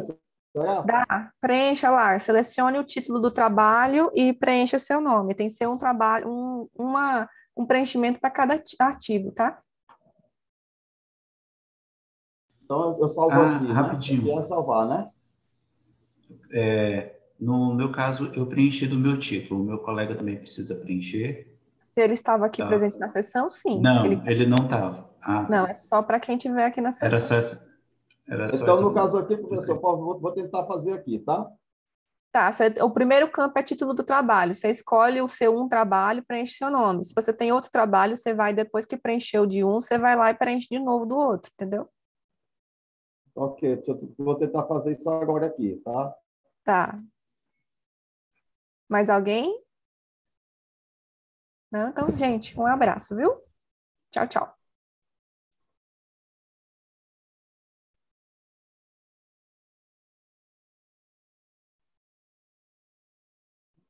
Pode ser não, ó.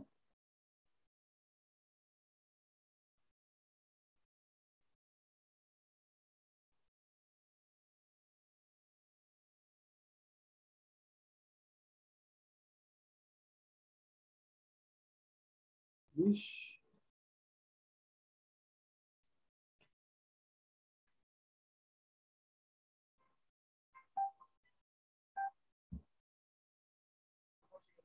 Tô não. O que, professor?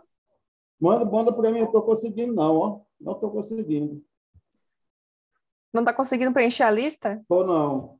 Caso você consegue mandar para mim, será que eu não estou conseguindo.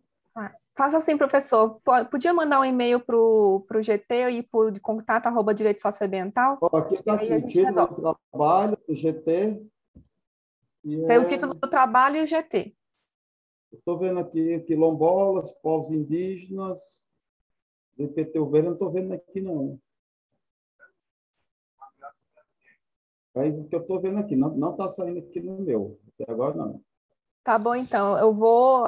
Por favor, manda um e-mail para a gente, que pode ser que tenha faltado no formulário, daí a gente resolve, tá bom? Tá certo, porque aqui não estou vendo, não. Tá, tá, tem como mandar para mim? Para aqui? Mande um e-mail, agora eu não consigo fazer isso, tem que pedir na organização. Aí, o senhor, por gentileza, mande um e-mail para contato arroba direito socioambiental com o título do trabalho. Tá certo. Pois é, um aliado do ambiente eu não estou não tô vendo aqui. Tá bom, então. Um abraço, viu? Tchau, tchau. Vê se você manda por aqui, Cássio, para ver se eu consigo. Eu tô- eu-